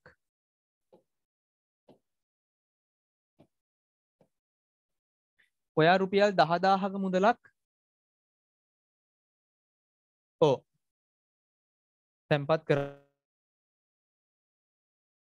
ඕ ලක්ෂයක් මේක තැන්පත් කරන්න. ඕන ලක්ෂක මුදලක්. සොරි දහදාහයි ලක්ෂය ලක්ෂයක මුදලක් වැල්පොලියක් ලැබෙන බැංගුවක අවුරු දෙකක් තැන්පත් කරලු. සියට දහතුනක පොලි ප්‍රශ්තයක්නේ මුලින් ඔයා පළමු වර්ෂය සඳහා මේකෙදි පොලිය හොයන්න ඕනේ.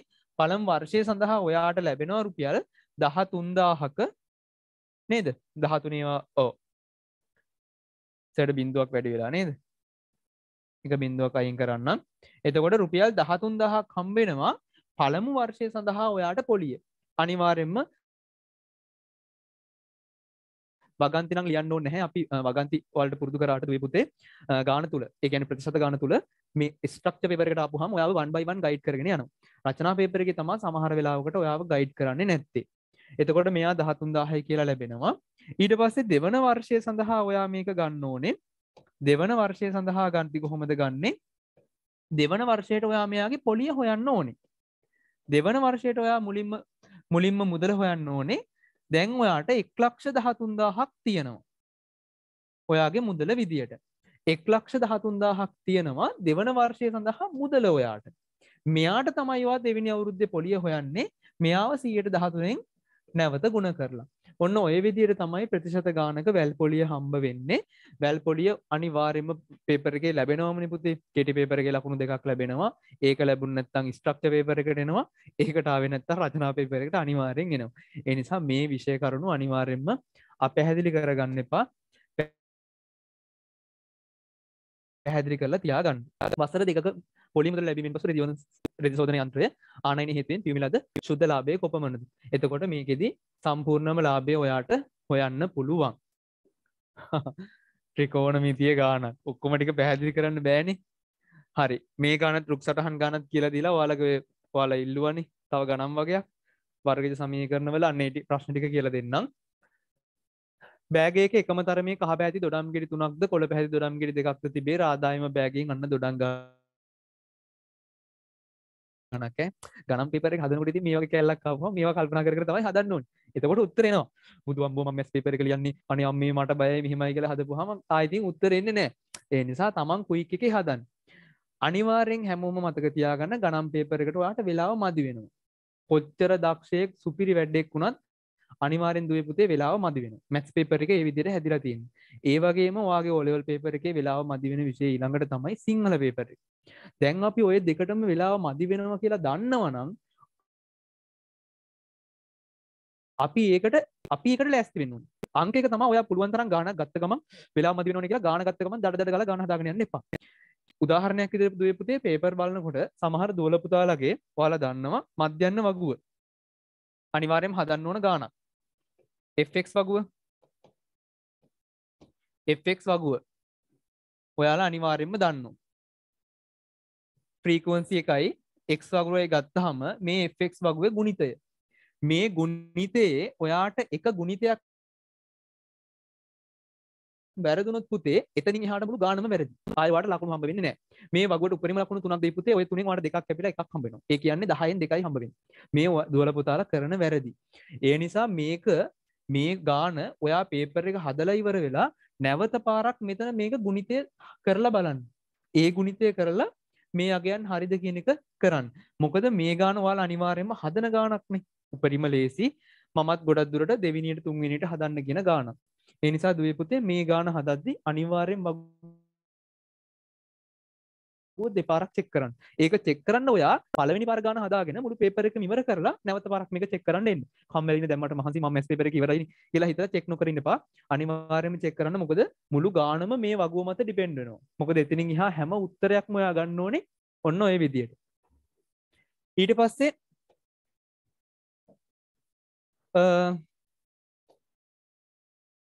හරි.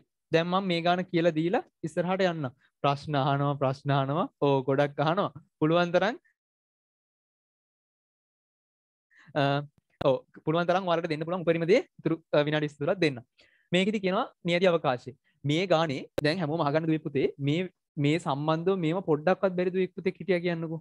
මේ විදියට රුක් සටහනක් දීලා මේක ෆිල් කරන්න ඔයාලට කොච්චර වුණත් තේරෙන්නේ නැහැ කියලා තියෙන හිටියේ දුවෙක් පුතෙක් ඉන්නවා. මම දැන් මේක කියලා දෙනවා මෙතඩ් එක. මේ ගාන මෙතනින් එහාට වාට හදන්න පුළුවන්. පළවෙනියට මේ ගානවා හිතන්න ඕනේ බෑග් එකේ එකම තරමේ කහ පැති දොඩම් ගෙඩි තුනක්ද පොළ පැහැති දොඩම් ගෙඩි දෙකක්ද තියෙනවලු. රාදා එම බෑගයෙන් දොඩම් ගෙඩියක් ඉවතටගෙන එය පසකින් තබා අන්න ගාන වචන. ඒක පැත්තකින් තිබ්බලු. මල්ලක බෝල වගේ ඇත්තියෙනවා එලියට ගන්න බෝලේ ආය ඇතුළට දන්න එයා පැත්තකින් තිබ්බා. පලවෙනි ලොජික් එක මේ ගානේ. ඊළඟට නැත්තන් කියනවා කිරි පැකට් ගොඩත් තිබ්බා. ඒ කිරි පැකට්ටකින් ඔන්න යාලෝ දෙන්න මාරුවෙන් මාරුවට චොකලට් එකයි වෙන්ල එකයි ගත්ත පුතේ අරගෙන එක බිව්වා. ඒ කියන්නේ නැවත එක මල්ලට දාන්න නෑනි එහෙනම් පුතේ මෙයා මාක් වෙන්නේ මෙන්න මේ විදියට. මේ ගාන තේරුණෙම නැතිදුවෙක් පුතෙක් ඉන්නවනම් ඔන්න දැන් මෙතන හට මේ ගාන හදන්න පුළුවන් ඔයාලට මෙච්චරයි මේ ගානේ තර්කය කෙලින්ම ලකුණු තුනක් නිකම්ම. හොඳට අහගන්න. මල්ලෙන් දැන් මේක නැවත මල්ලට දාන්න නෑ කිව්වහම මෙන්න මේ මැද පේලිය මාක් වෙන්නේ නැහැ. ඔන්න ඔය මැද පේලිය පුතේ මාක් වෙන්නේ නැහැ. අනිත් පේලි ටික ඔයා කපාගෙන යන්න තියෙන්නේ. මෙහෙම කට් කරගෙන යන්න තියෙන්නේ. දැන් ඕක කරන්න බැරි කෙනෙක් නෑනේ පුතේ. ඒ නිසා අනිවාර්යෙන්ම පේපර් එකේ කරන්න. ඔය විදියට අනිත් ලයින් ටික අපිට මෙයාගේ කපන්න පුළුවන්. නැවත මල්ලට දාන්න නෑ කිව්වහම මෙයාගේ මෙන්න මේ මැද පේලිය මාක් වෙන්නේ නැහැ. ඕක තමයි මේ ගානේ පළවෙනි තර්කය. බැරි වෙලාවත් ගන්න එක නැවත මල්ලට දානවා. අන්න ඒ විදියට ඔයාට මේ ගාන කිව්වොත්. බීපු කිරි පැකට් එකක් ආයෙ දානවා කියලා නෙමෙයි ඔය කියන්නේ නිකන් හිතන්නකෝ මල්ලක මොනවා හරි දෙයක් අපි බලලා රතුද කහද කියලා එක ලියාගෙන නැවත ඒ මල්ලට දානවා. දැම්මහම දෙවිනි පාර ගන්න එක්කෙනාටත් පළමු ගැනීම දෙවිනි ගැනීම කරද්දි දෙවිනි පාර ගන්න එක්කෙනාටත් ඒ බෝලේ තියෙනවා. එතකොට පුතේ මේ මැද එකත් මොකක්ද වෙන්නේ? පාට වෙනවා.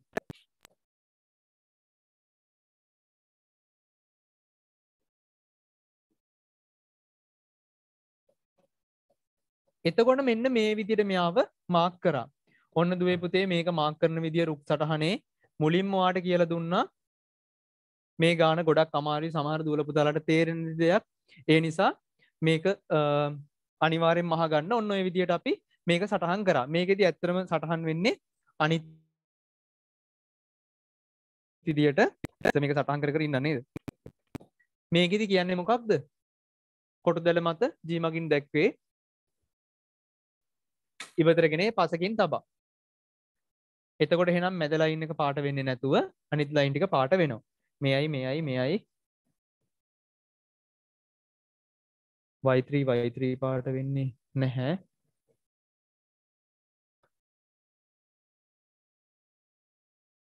හරි. ඔන්න ඔය විදිහට අපි මෙයාව පාට කරා. ඔය විදිහට තමයි මාක් වෙන්නේ. ඊට පස්සේ අපෙන් අහනවා රාදා ඉවතරගත් දොඩම් ගෙඩි දෙකම කොළ පැහැති ඒවා වීම. රාදා ඉවතරගත් දෙකම කොළ පැහැති වීම. රාදා ඉවතරගත් දෙකම කොළ පැහැති වීම. දෙකම කොළ පැහැති වෙන්න පුතේ මොකක්ද තියෙන්නේ මේකේ? දෙකම කොළ පැහැති වෙච්ච ඒවා තියෙනවා මෙතන තියෙනවා. මෙන්න මේක තියෙනවා. ඊට පස්සේ ආයෙ දෙකම කොළ පැහැති වෙච්ච ඒවා මෙතන තියෙනවා. ආයෙ මෙතන G එකයි Y එකයි. Y එක දෙක Y තුනනේ. ඉතර මේ තුනට එන්නේ නැහැ. Y එක දෙක තුන මේ තුනත් එන්නේ නැහැ. හරිනේ. එතකොට ඔන්න ඔය දෙක විතරයි අපිට මේ එන්නේ. කොළ පැහැති ඒවා වීම එතකොට මේක මේ විදිහට මාක් කරන හරියටම හරි. ඔය විදිහට මාක් කරපුවාම අපිට ඔක්කොම මේකෙදි ඉවතර ගැනීම කීයක් තියෙනවද? 1 2 3 4 5 6 7 8යි ඔක්කොම 16යි 16න් 2යි කියලා තමයි පළවෙනි පිළිතුර විදියට ලැබෙන්නේ. වටකොට එහි සම්භාවිතාවය ලියා දක්වන්න. ඔක්කොම පුතේ කීයද තියෙන්නේ කියලා බැලුවා. ඒකෙන් දෙකම දෙකම කොළ පැහැතිවීමනේ ඕ වයි මගින්ද කොළ පැහැතිගෙඩි ජී මගින්ද දැක්වේ. නියති අවකාශය නිරූපණය කරන්න හරි. එතකොට ඔන්න ඕක තමයි අපිට ගණතුල කියන්නේ. තැන් අපියම් ඊළං කොටසට. හරි. ඊට පස්සේ තියෙනවා පුතේ රුක් සටහනක් රුක් සටහන පේෙන් නෑ නේද? පළමු ගැනීම සහ දෙවිනි ගැනීම. මේ ගානෙත් ඔයාලට කියලා දෙන ලස්සන ට්‍රික් එකක් තියෙනවා. එනිසා හොඳට අහගන්න. මේ පැත්තේ පළමු ගැනීම ඊළඟට තියෙනවා පුතේ දෙවන ගැනීම. හාද? රාධා එම බෑගෙන් දොඩම්ගෙඩි දෙකක් ඉවතර ගත්තේ පහත් දැක්වෙන ආකාරයට සිතන්න. ඉන් පළමුුව ගත් ගෙඩිය කොළ පැහැ එකක් නමේ නැවත බෑගෙට තමා තවත් එකක් ගන්න අතර. පළමුුව ගත් ගෙඩිය කහ පැහැති නම් පහ පැහැති කහ පැතිනම් එය පස්සෙක තබා දෙවෙනි ගෙඩිය ගනි. ඔන්න ඔයාට ගන්න පටලල තියෙනවා. හරිද? මේකෙදි කියන්නේ පහෙන් දෙකයි. දොඩන්ගෙඩි පහත් දැක්ක නගරසන පළමුව ඉවතරගත් ගෙඩිය කොළ පැහැ එකක් නම්. එය පළමු ගැනීම දෙවන ගැනීම. අපිට මෙතනද ඕන වෙන පුතේ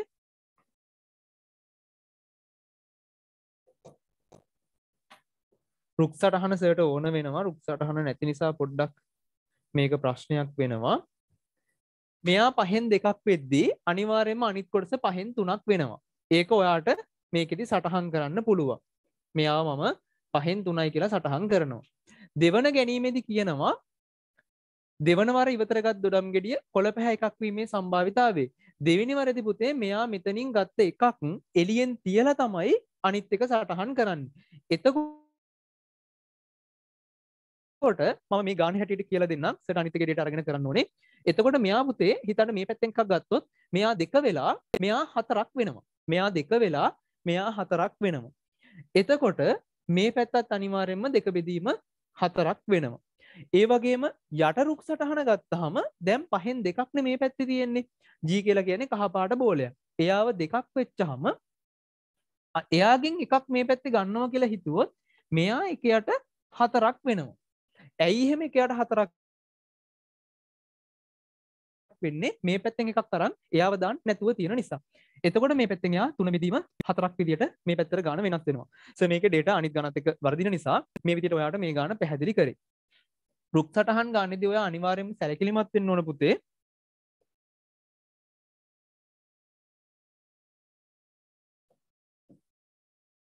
ගැනීමේදී ඉවතට ගන්න නැහැ කියලා ඔයාට දෙයක් කිව්වොත් අනිවාර්යෙන්ම ඒ තියෙන විදිහටම මෙයා පහෙන් දෙක වුණහම අනිත් කෙනත් පහෙන් දෙකයි පහෙන් තුනයි කියලා වාට සටහන් කරන්න පුළුවන් එක්කෙනෙක් එලියෙන් තියලා ඒ කියන්නේ මේ පහෙන් දෙකෙන් එකක් එලියෙන් තියලා අනිත් එකට යනවා කිව්වොත් ඔයා හිතන්න මෙතන හතරයි තියෙන්නේ හතරෙන් එකක් වෙනවා කියලා. ඔන්න ඔය අවස්ථා දෙක ඔයාට හරියටම ගත්තොත් ඔයාට මේ ගානත් ගොඩ දාගන්න පුළුවන්. කෙටියෙන් හදිස්සියට වාට වෙලාව තුල මේ ගාන මේ විදිහට කියලා දුන්නේ. සමාවෙන්න වෙලාව හරස් වුණා ඉතින් ඒ නිසා ඔයාලට අනිත් දේවල් පැහැදිලි කරන්න වෙන්නේ නැති නිසා මම ඉස්සරහට යනවා. හරි එතකොට මේ අවුරුද්ධ ගොඩක් දුරට බලාපොරොත්තු වෙන පුතේ ජාලරේඛයේ ආශ්‍රිතයෙන් ගානක් මේකට දාලා තියෙන සංඛ්‍යාත බහුවස්ත්‍රය. ඉතින් ওই විදිහට ඔයාලට මේ පේපර් එකට මූණ දෙන්න පුළුවන්. ඔයාලා මගෙන් ඉල්ලුවා තව කියලා දෙන්න කියලා වර්ගජ සමීකරණ විසඳීම මම ගානක් කරම් වර්ග පූර්ණ ක්‍රමය හැකි ඉක්මනින් කියලා දෙන්නම් වර්ග පූර්ණ ක්‍රමය අනිවාර්යෙන් බලා ගන්න මම ගන්නවා එක් වර්ගේ දන පහයික් දන හය සමානයි බින්දුව ගෙන සමීකරණය. මෙයාව වර්ග පූර්ණය කරන්න පුතේ මුලින් අපි මෙයාව හා පැත්තර ලියනවා. එක් වර්ගේ දන පහයික් සමානයි රින හයයි කියලා. ඊට පස්සේ මැද පදය දෙකෙන් බෙදලා එයාගේ වර්ගයක් දෙපැත්තරම එකතු කරනවා. ඒ කියන පුතේ මැද පදය දෙකෙන් බෙදවා එයාගේ වර්ගයක් අපි වම් පැත්තරයි දකුණු පැත්තරයි එකතු කරනවා. එක් වර්ගේ දන පහයික් දන පහබෙදීම දෙකේ පූර්ණ වර්ගයක්. ඊට පස්සේ රිනහය දන පහබෙදීම දෙකයි මෙයාගේ පූර්ණ වර්ගයක්. ඔය විදිට එකතු කර. ඊට පස්සේ මෙයාව වර්ග නොකර ඔයාට ලියන්න පුළුවන් මෙන්න මෙහම ප්‍රකාශනයක්. එක් වර්ගේ දන පහයික් දන පහබෙදීම දෙකේ වර්ග මෙන්න මෙහම තියෙනක් පුතේ ලියන්න පුළුවන්. මේ එක් ලිව්වා මෙතන පහබෙදීම දෙක ලිව්වා. මෙන්න මේ මැද දනලකුණ මෙතැන්ට ගෙනාපුහාම එයාව ඩිරෙක් ලියන්න පුළුවන්. පූර්ණ වර්ගයක් විදියට. ඔයා වෙන ක්‍රමයක් ප්‍රක්ටිස් වෙලා තියෙනවනම් ඒක මේ වෙලේ කටිනිව් කරගන්න. මං එයා පූර්ණ වර්ගයක් විදිර ලිව්වා. පහබදීම දෙකේ පූර්ණ වර්ගය කියලා දකුණු පැත්ත ඔයා සාමාන්‍ය විදිර සුළු කරන්න. යාව සුළු කරන්න කොහොමද? රිනහය දන පහබිදීම දෙකයි කියලා ගැන්න විසි පහබිදීම හතරයි කියලා ලැබෙනවා. හතර පොදුහරයක් ඉදිරගත් හම රින විසි හතර දන විසි පහයි මෙතන ලැබෙනවා එක් දන පහබිදීම දෙකේ පූර්ණ වර්ගය. ඊට පස්සේ පුතේ මං ගාන මැකුවා රෙකෝඩින් එකත් ඔයාලට දාන්නම් හැකික්මනින් කියලා දෙන්න. එක් දන පහබෙදීම දෙකේ පූර්ණ වර්ගය කිව්වහම මෙතන එනවා පුතේ එක බෙදීම හතරයි කියලා වර්ගයක් තියෙන එකක උත්තරේ ගන්න අපි වර්ග මූලය ගන්නවා මේ අවස්ථාවේදී පිටින් ධනහෝරින කෙනෙක් ඔයා ගෙනල්ලා දාන්න ඕනේ මෙන්න මෙතනට. අනිවාර්යෙන් මතක තියාගන්න. එතකොට x ධන පහ බෙදීම දෙක සමානයි ධනහෝරින එකයට වර්ගමූල හතරයි කියලා කියන්නේ එකේ වර්ගමූලය එකමයි මෙයා දෙකයි කියලා ලැබෙනවා x සමානයි මෙයාව එහා පැත්තට දානවා ඍණ පහ බෙදීම දෙක ධනහෝරින භාගයයි කියලා. හරිද? ඊට පස්සේ ඔයාට උත්තර ධන උත්තරේ වෙනම සලකන්න පුළුවන්. ධන භාගය හෝ x සමානයි ඍණ පහ බෙදීම දෙක ඍණ භාගය කියලා ඔයාට අදාළ උත්තරේ සුළු කරලා ගන්න පුළුවන්. ඊට පස්සේ ඒක අවසන්ට දෙනවා. වර්ගීය සමීකරණ පාඩම යටතේ තමයි මේ ගාන ලැබෙන්නේ ඔයාට. වර්ගීය සමීකරණ ගාන ගත්ත ගමන් පුතේ ඩයග්‍රෑම් එකක් අඳින්න.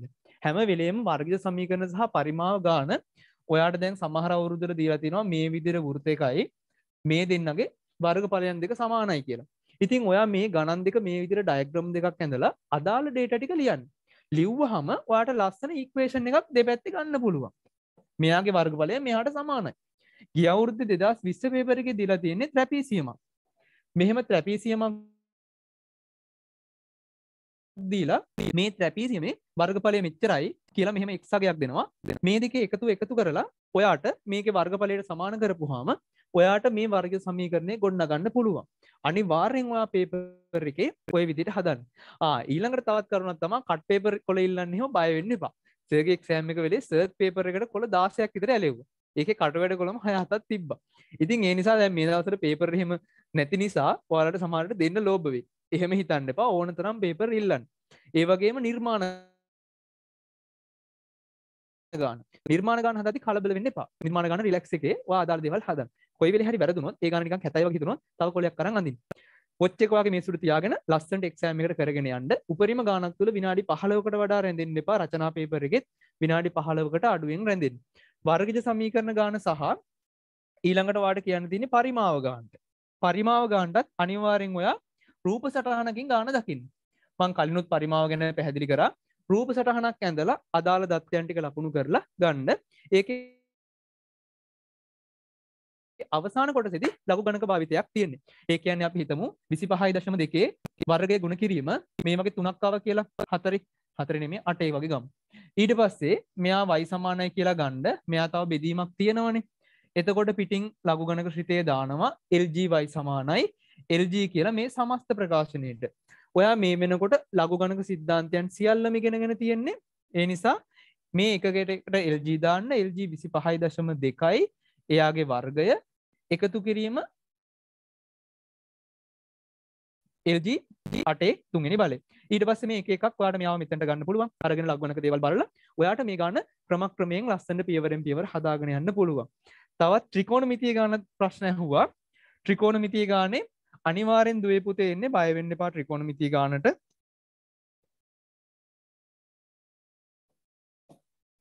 ත්‍රිකෝණමිතියේ ඔයා හැම වෙලේම උතුරෙන් පටන් ගන්න උතුරෙන් පටන් අරන් ඇංගල් එකක් දෙනවා හැම වෙලේම දිගංශය අංශක මේ වගේ ඉලක්කම් තුනකින් ප්‍රකාශය කරන්නේ උතුරේ ඉඳන් ඔයාලට ගන්න තියෙන්නේ සයින් කොස්ටන් අගයන් තුන මතක තියාගන්න. අංශක 90 මේකත් එක්ක අපි හිතුවොත් මේ විදියට මෙයා අංශක 90යි නම් මෙයා අපි තීට කිව්වොත් මේ සම්මුඛ පාදය මේ බද්ධ පාදය මේ කර්ණ පාදය.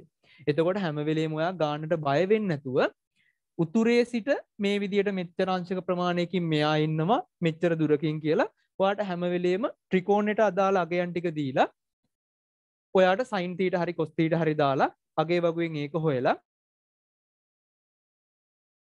ඊට පස්සේ වාට ඒ අදාළ data ටික අරගෙන අනිත් ගණට පරිවර්තනය කරනවා. උපරිම අවස්ථා තුනකට විතරයි අගයන් හොයන්න තියෙන්නේ. ඉතින් ඒ නිසා මේකට බය වෙන්න එපා. තව ප්‍රශ්න තියෙනවද? ඉතාමත් හැකි වේගයෙන් ඔයාලට සෙමින එක කරලා දුන්නා ඇත්තරම ජපුර කැම්පස් එකේ අයියලක් කළ ඔයාලගේ CSDS සිනිට් එකෙන් තමයි මේක සංවිධානය කරේ. සගේ නම කසුන් මදුරංග. දරසත් ජපුර කැම්පස් එකේම ග්‍රජුවට් වෙලා දැනට ඉන්න. ඉතින් දුවපතේ මෙසර විභාගලියන ඔක්කොටම සුභ පතනවා බයනැතුව ඔය කියල දුන්න විෂයකරන වලින් උපරිම ප්‍රයෝජනයක් අරගෙන මේක කරන්න. ඉතින් අනාගතේ කැම්පස් එකට එන්න කියලා හැමෝටම ප්‍රාර්ථනා කරනවා. ඉතින් මෙතනින් දැන් ඔන්න පව කට් වෙනවා තව විනාඩි 4කින් එතකොට එන් වෙයි. ඒ නිසා අපි මේ ප්‍රෝග්‍රෑම් එක මෙතනින් අවසන් කරනවා. මම ආරාධනය කරනවා ප්‍රෝග්‍රෑම් එකේ අපේ සංවිධානය කරපු ඒ නංගිලාට මෙතනින් එහාට මේක කරගෙන යන්න. එහෙනම් හැමෝටම අයිබෝවන් හැමෝටම සුබ පතනවා. විභාගය හොඳට කරන්න.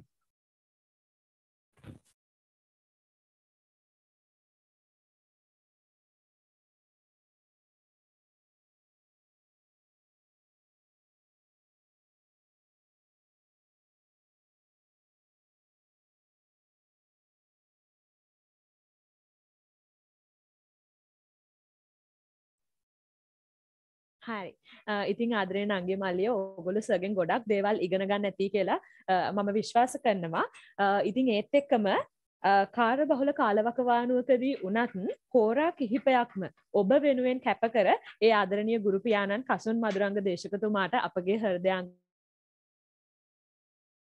ම ස්තුතිය පුද කරනවා. ඒ වගේම ඔහුගේ ඉදිරි වැඩ කටයුතුත් සාර්ථක වෙන්න කියලා සුභාශිංසන එක් කරනවා. ඒත් එක්කම නංගි මල්ලිය ඔයගලන්ට මතක් කරන්න ඕනේ. අපි ඔයගොල්ලෝ ඉන්න WhatsApp group එකට වගේම chat box එකටත් දැන් දානවා Google Forms දෙකක්. එකක් තමයි ඔයාලා මේ වැඩසටහන පිළිබඳව ඔයාලගේ අදහස් යෝජනා චෝදනා ඉදිරිපත් කරන්න පුළුවන් එක Google Form එකකින්. ඒ වගේම අනිත් එකෙන් අපි දැක්ක chat box එකේ ඔයගොල්ලෝසගෙන් ගොඩක් ප්‍රශ්න අහලා තිබ්බා ගොඩක් උනන්දුවෙන් වැඩසටහනට සම්බන්ධ වුණා.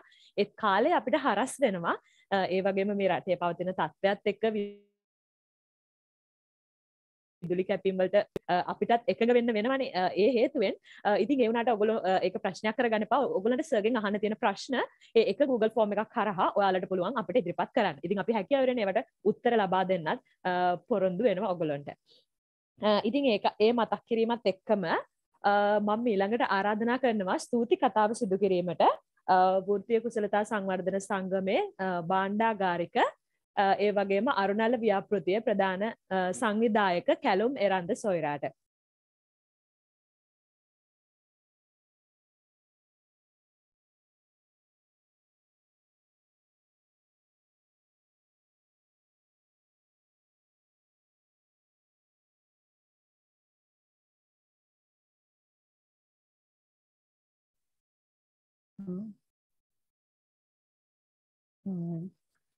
මේලාට මේ අදවස දෙවනි දවස අපේ අරුණැල්ල සම අරුණලට සමගාමිය කරන ශිල්පධාර දෙදස් විස් දෙක ඕල එල්ලමයින්ට කරන සම්බන්ධ ශාලාවේ දෙවනි දවස දියට අපි අද සාර්ථකව ගනි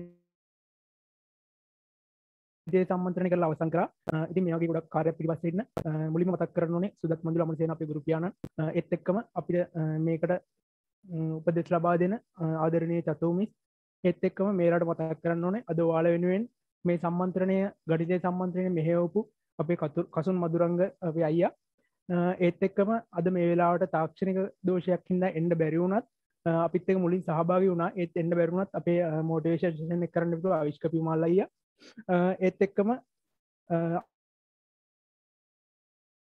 අද අවස්ථාවට දවස්ථාවට ස්පොන්සස් ලයිදියට අප අපි ලබ ස්පොන්සිප් ලබා දුන්න රාජ්‍ය ජෙසිංහස කම්බයින් මැත්කන් රාජ්‍යසිංස සහ අපිට මේ අවස්ථාව මේ ස්ටඩියක ලබාදීලා ගොඩක් ලොකු උපකාරයක් කරපු අපේ සංක ජනනත්ව ජංගදායරත්ව මතක් කරන්න ඕනේ. මේලා මේ අවස්ථාව ඒත් එක්කම අරුණැල්ල ව්‍යාපෘතිය පාසල් ළමයින්ට විද්‍යාගාරය පරිගණක විද්‍යාගාරයක් සහ පුස්තකාලයක් හදන්න. අරුණැල්ල ව්‍යාපෘතිය සමගම තම මේ කරන්නේ. ඒක අරුණල ව්‍යාපෘතියේ සංවිධායක මණ්ඩලය සහ ශිල්පධාර සංවිධායක මණ්ඩලය මේලාට ඉතාම ආදරේ මතක් කරනවා.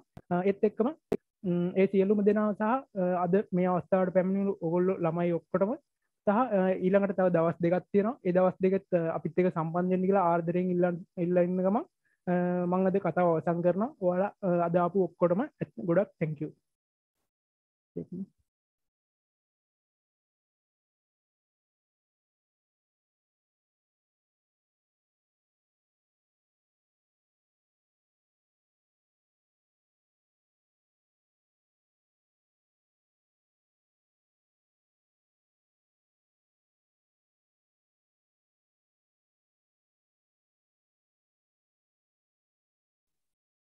Uh, ඕ uh, ඉතින් කැලුම් මෙරඳ සොයරාට ස්තුති කරන ගමන්ම uh, කොස්ස අතින් ගෙන ඔබ අතු ගාන්නට ඉගෙන ගත යුතුයි ඉතින් ආදරණීය නංගේ මල්ලියේ ඒ කතාව මම කිව්වේ ඔබ මේ ඉගෙන ගත්ත ගණිතය විෂය. ඉතින් ගණිතය විෂය කියන්නේ පුහුණුව තුළින් නිපුණත්වය ලබන්න ඕන විෂයක්. ඉතින් මම සරලව කිව්වොත් එහෙම මේ දවස් ටිකේ ඔයාලට තියෙන්නේ සර්ච් කිව්වා වගේම ගණන් හදන්න. පුළුවන් තරම් ගණන් හදන්න. සර් කරපු ගණන් එතකොට ඒ වගේම past papers ඒ වගේම තව පෙරහුරු ප්‍රශ්න පත්‍ර තියෙනවා නම් මේ සියල්ලක්ම මේ දවස් ටිකේ ගණන් හදන්න අනිවාර්යයෙන්ම එක දවසකට එක විෂයකට සීමා නොවි ගණිතය කියන විෂය මේ දවස් ටිකේම ඔයාලා හදලා අනිවාර්යයෙන්ම විභාගයට මුහුණ දෙන්න ඔයාලට ජයග්‍රහණය සාර්ථකත්වය හමුවන බව නොඅනුමානයි. ඉතින් ඒත් එක්කම අපි ශිල්ප ධාරා 20 22 වැඩසටහන තුලින් විද්‍යාව ගණිතය විෂයන් දෙකක් ඔබ වෙත මේ වෙදි තිලින කර හමාරයි. ඉතින් තවත් විෂයන් දෙකක් තියෙනවා. ඒ තමයි ඉංග්‍රීසි සහ සිංහල. ඉතින් හෙට දවසේදී ඉංග්‍රීසි විෂයෙන් නැවත හමුවීමේ බලාපොරොත්තුවෙන් අදට ඔබෙන් සමගන්නවා ඔබ සැමට ජයග්‍රාහී සුබ රාත්‍රියක්. ස්තුතියි.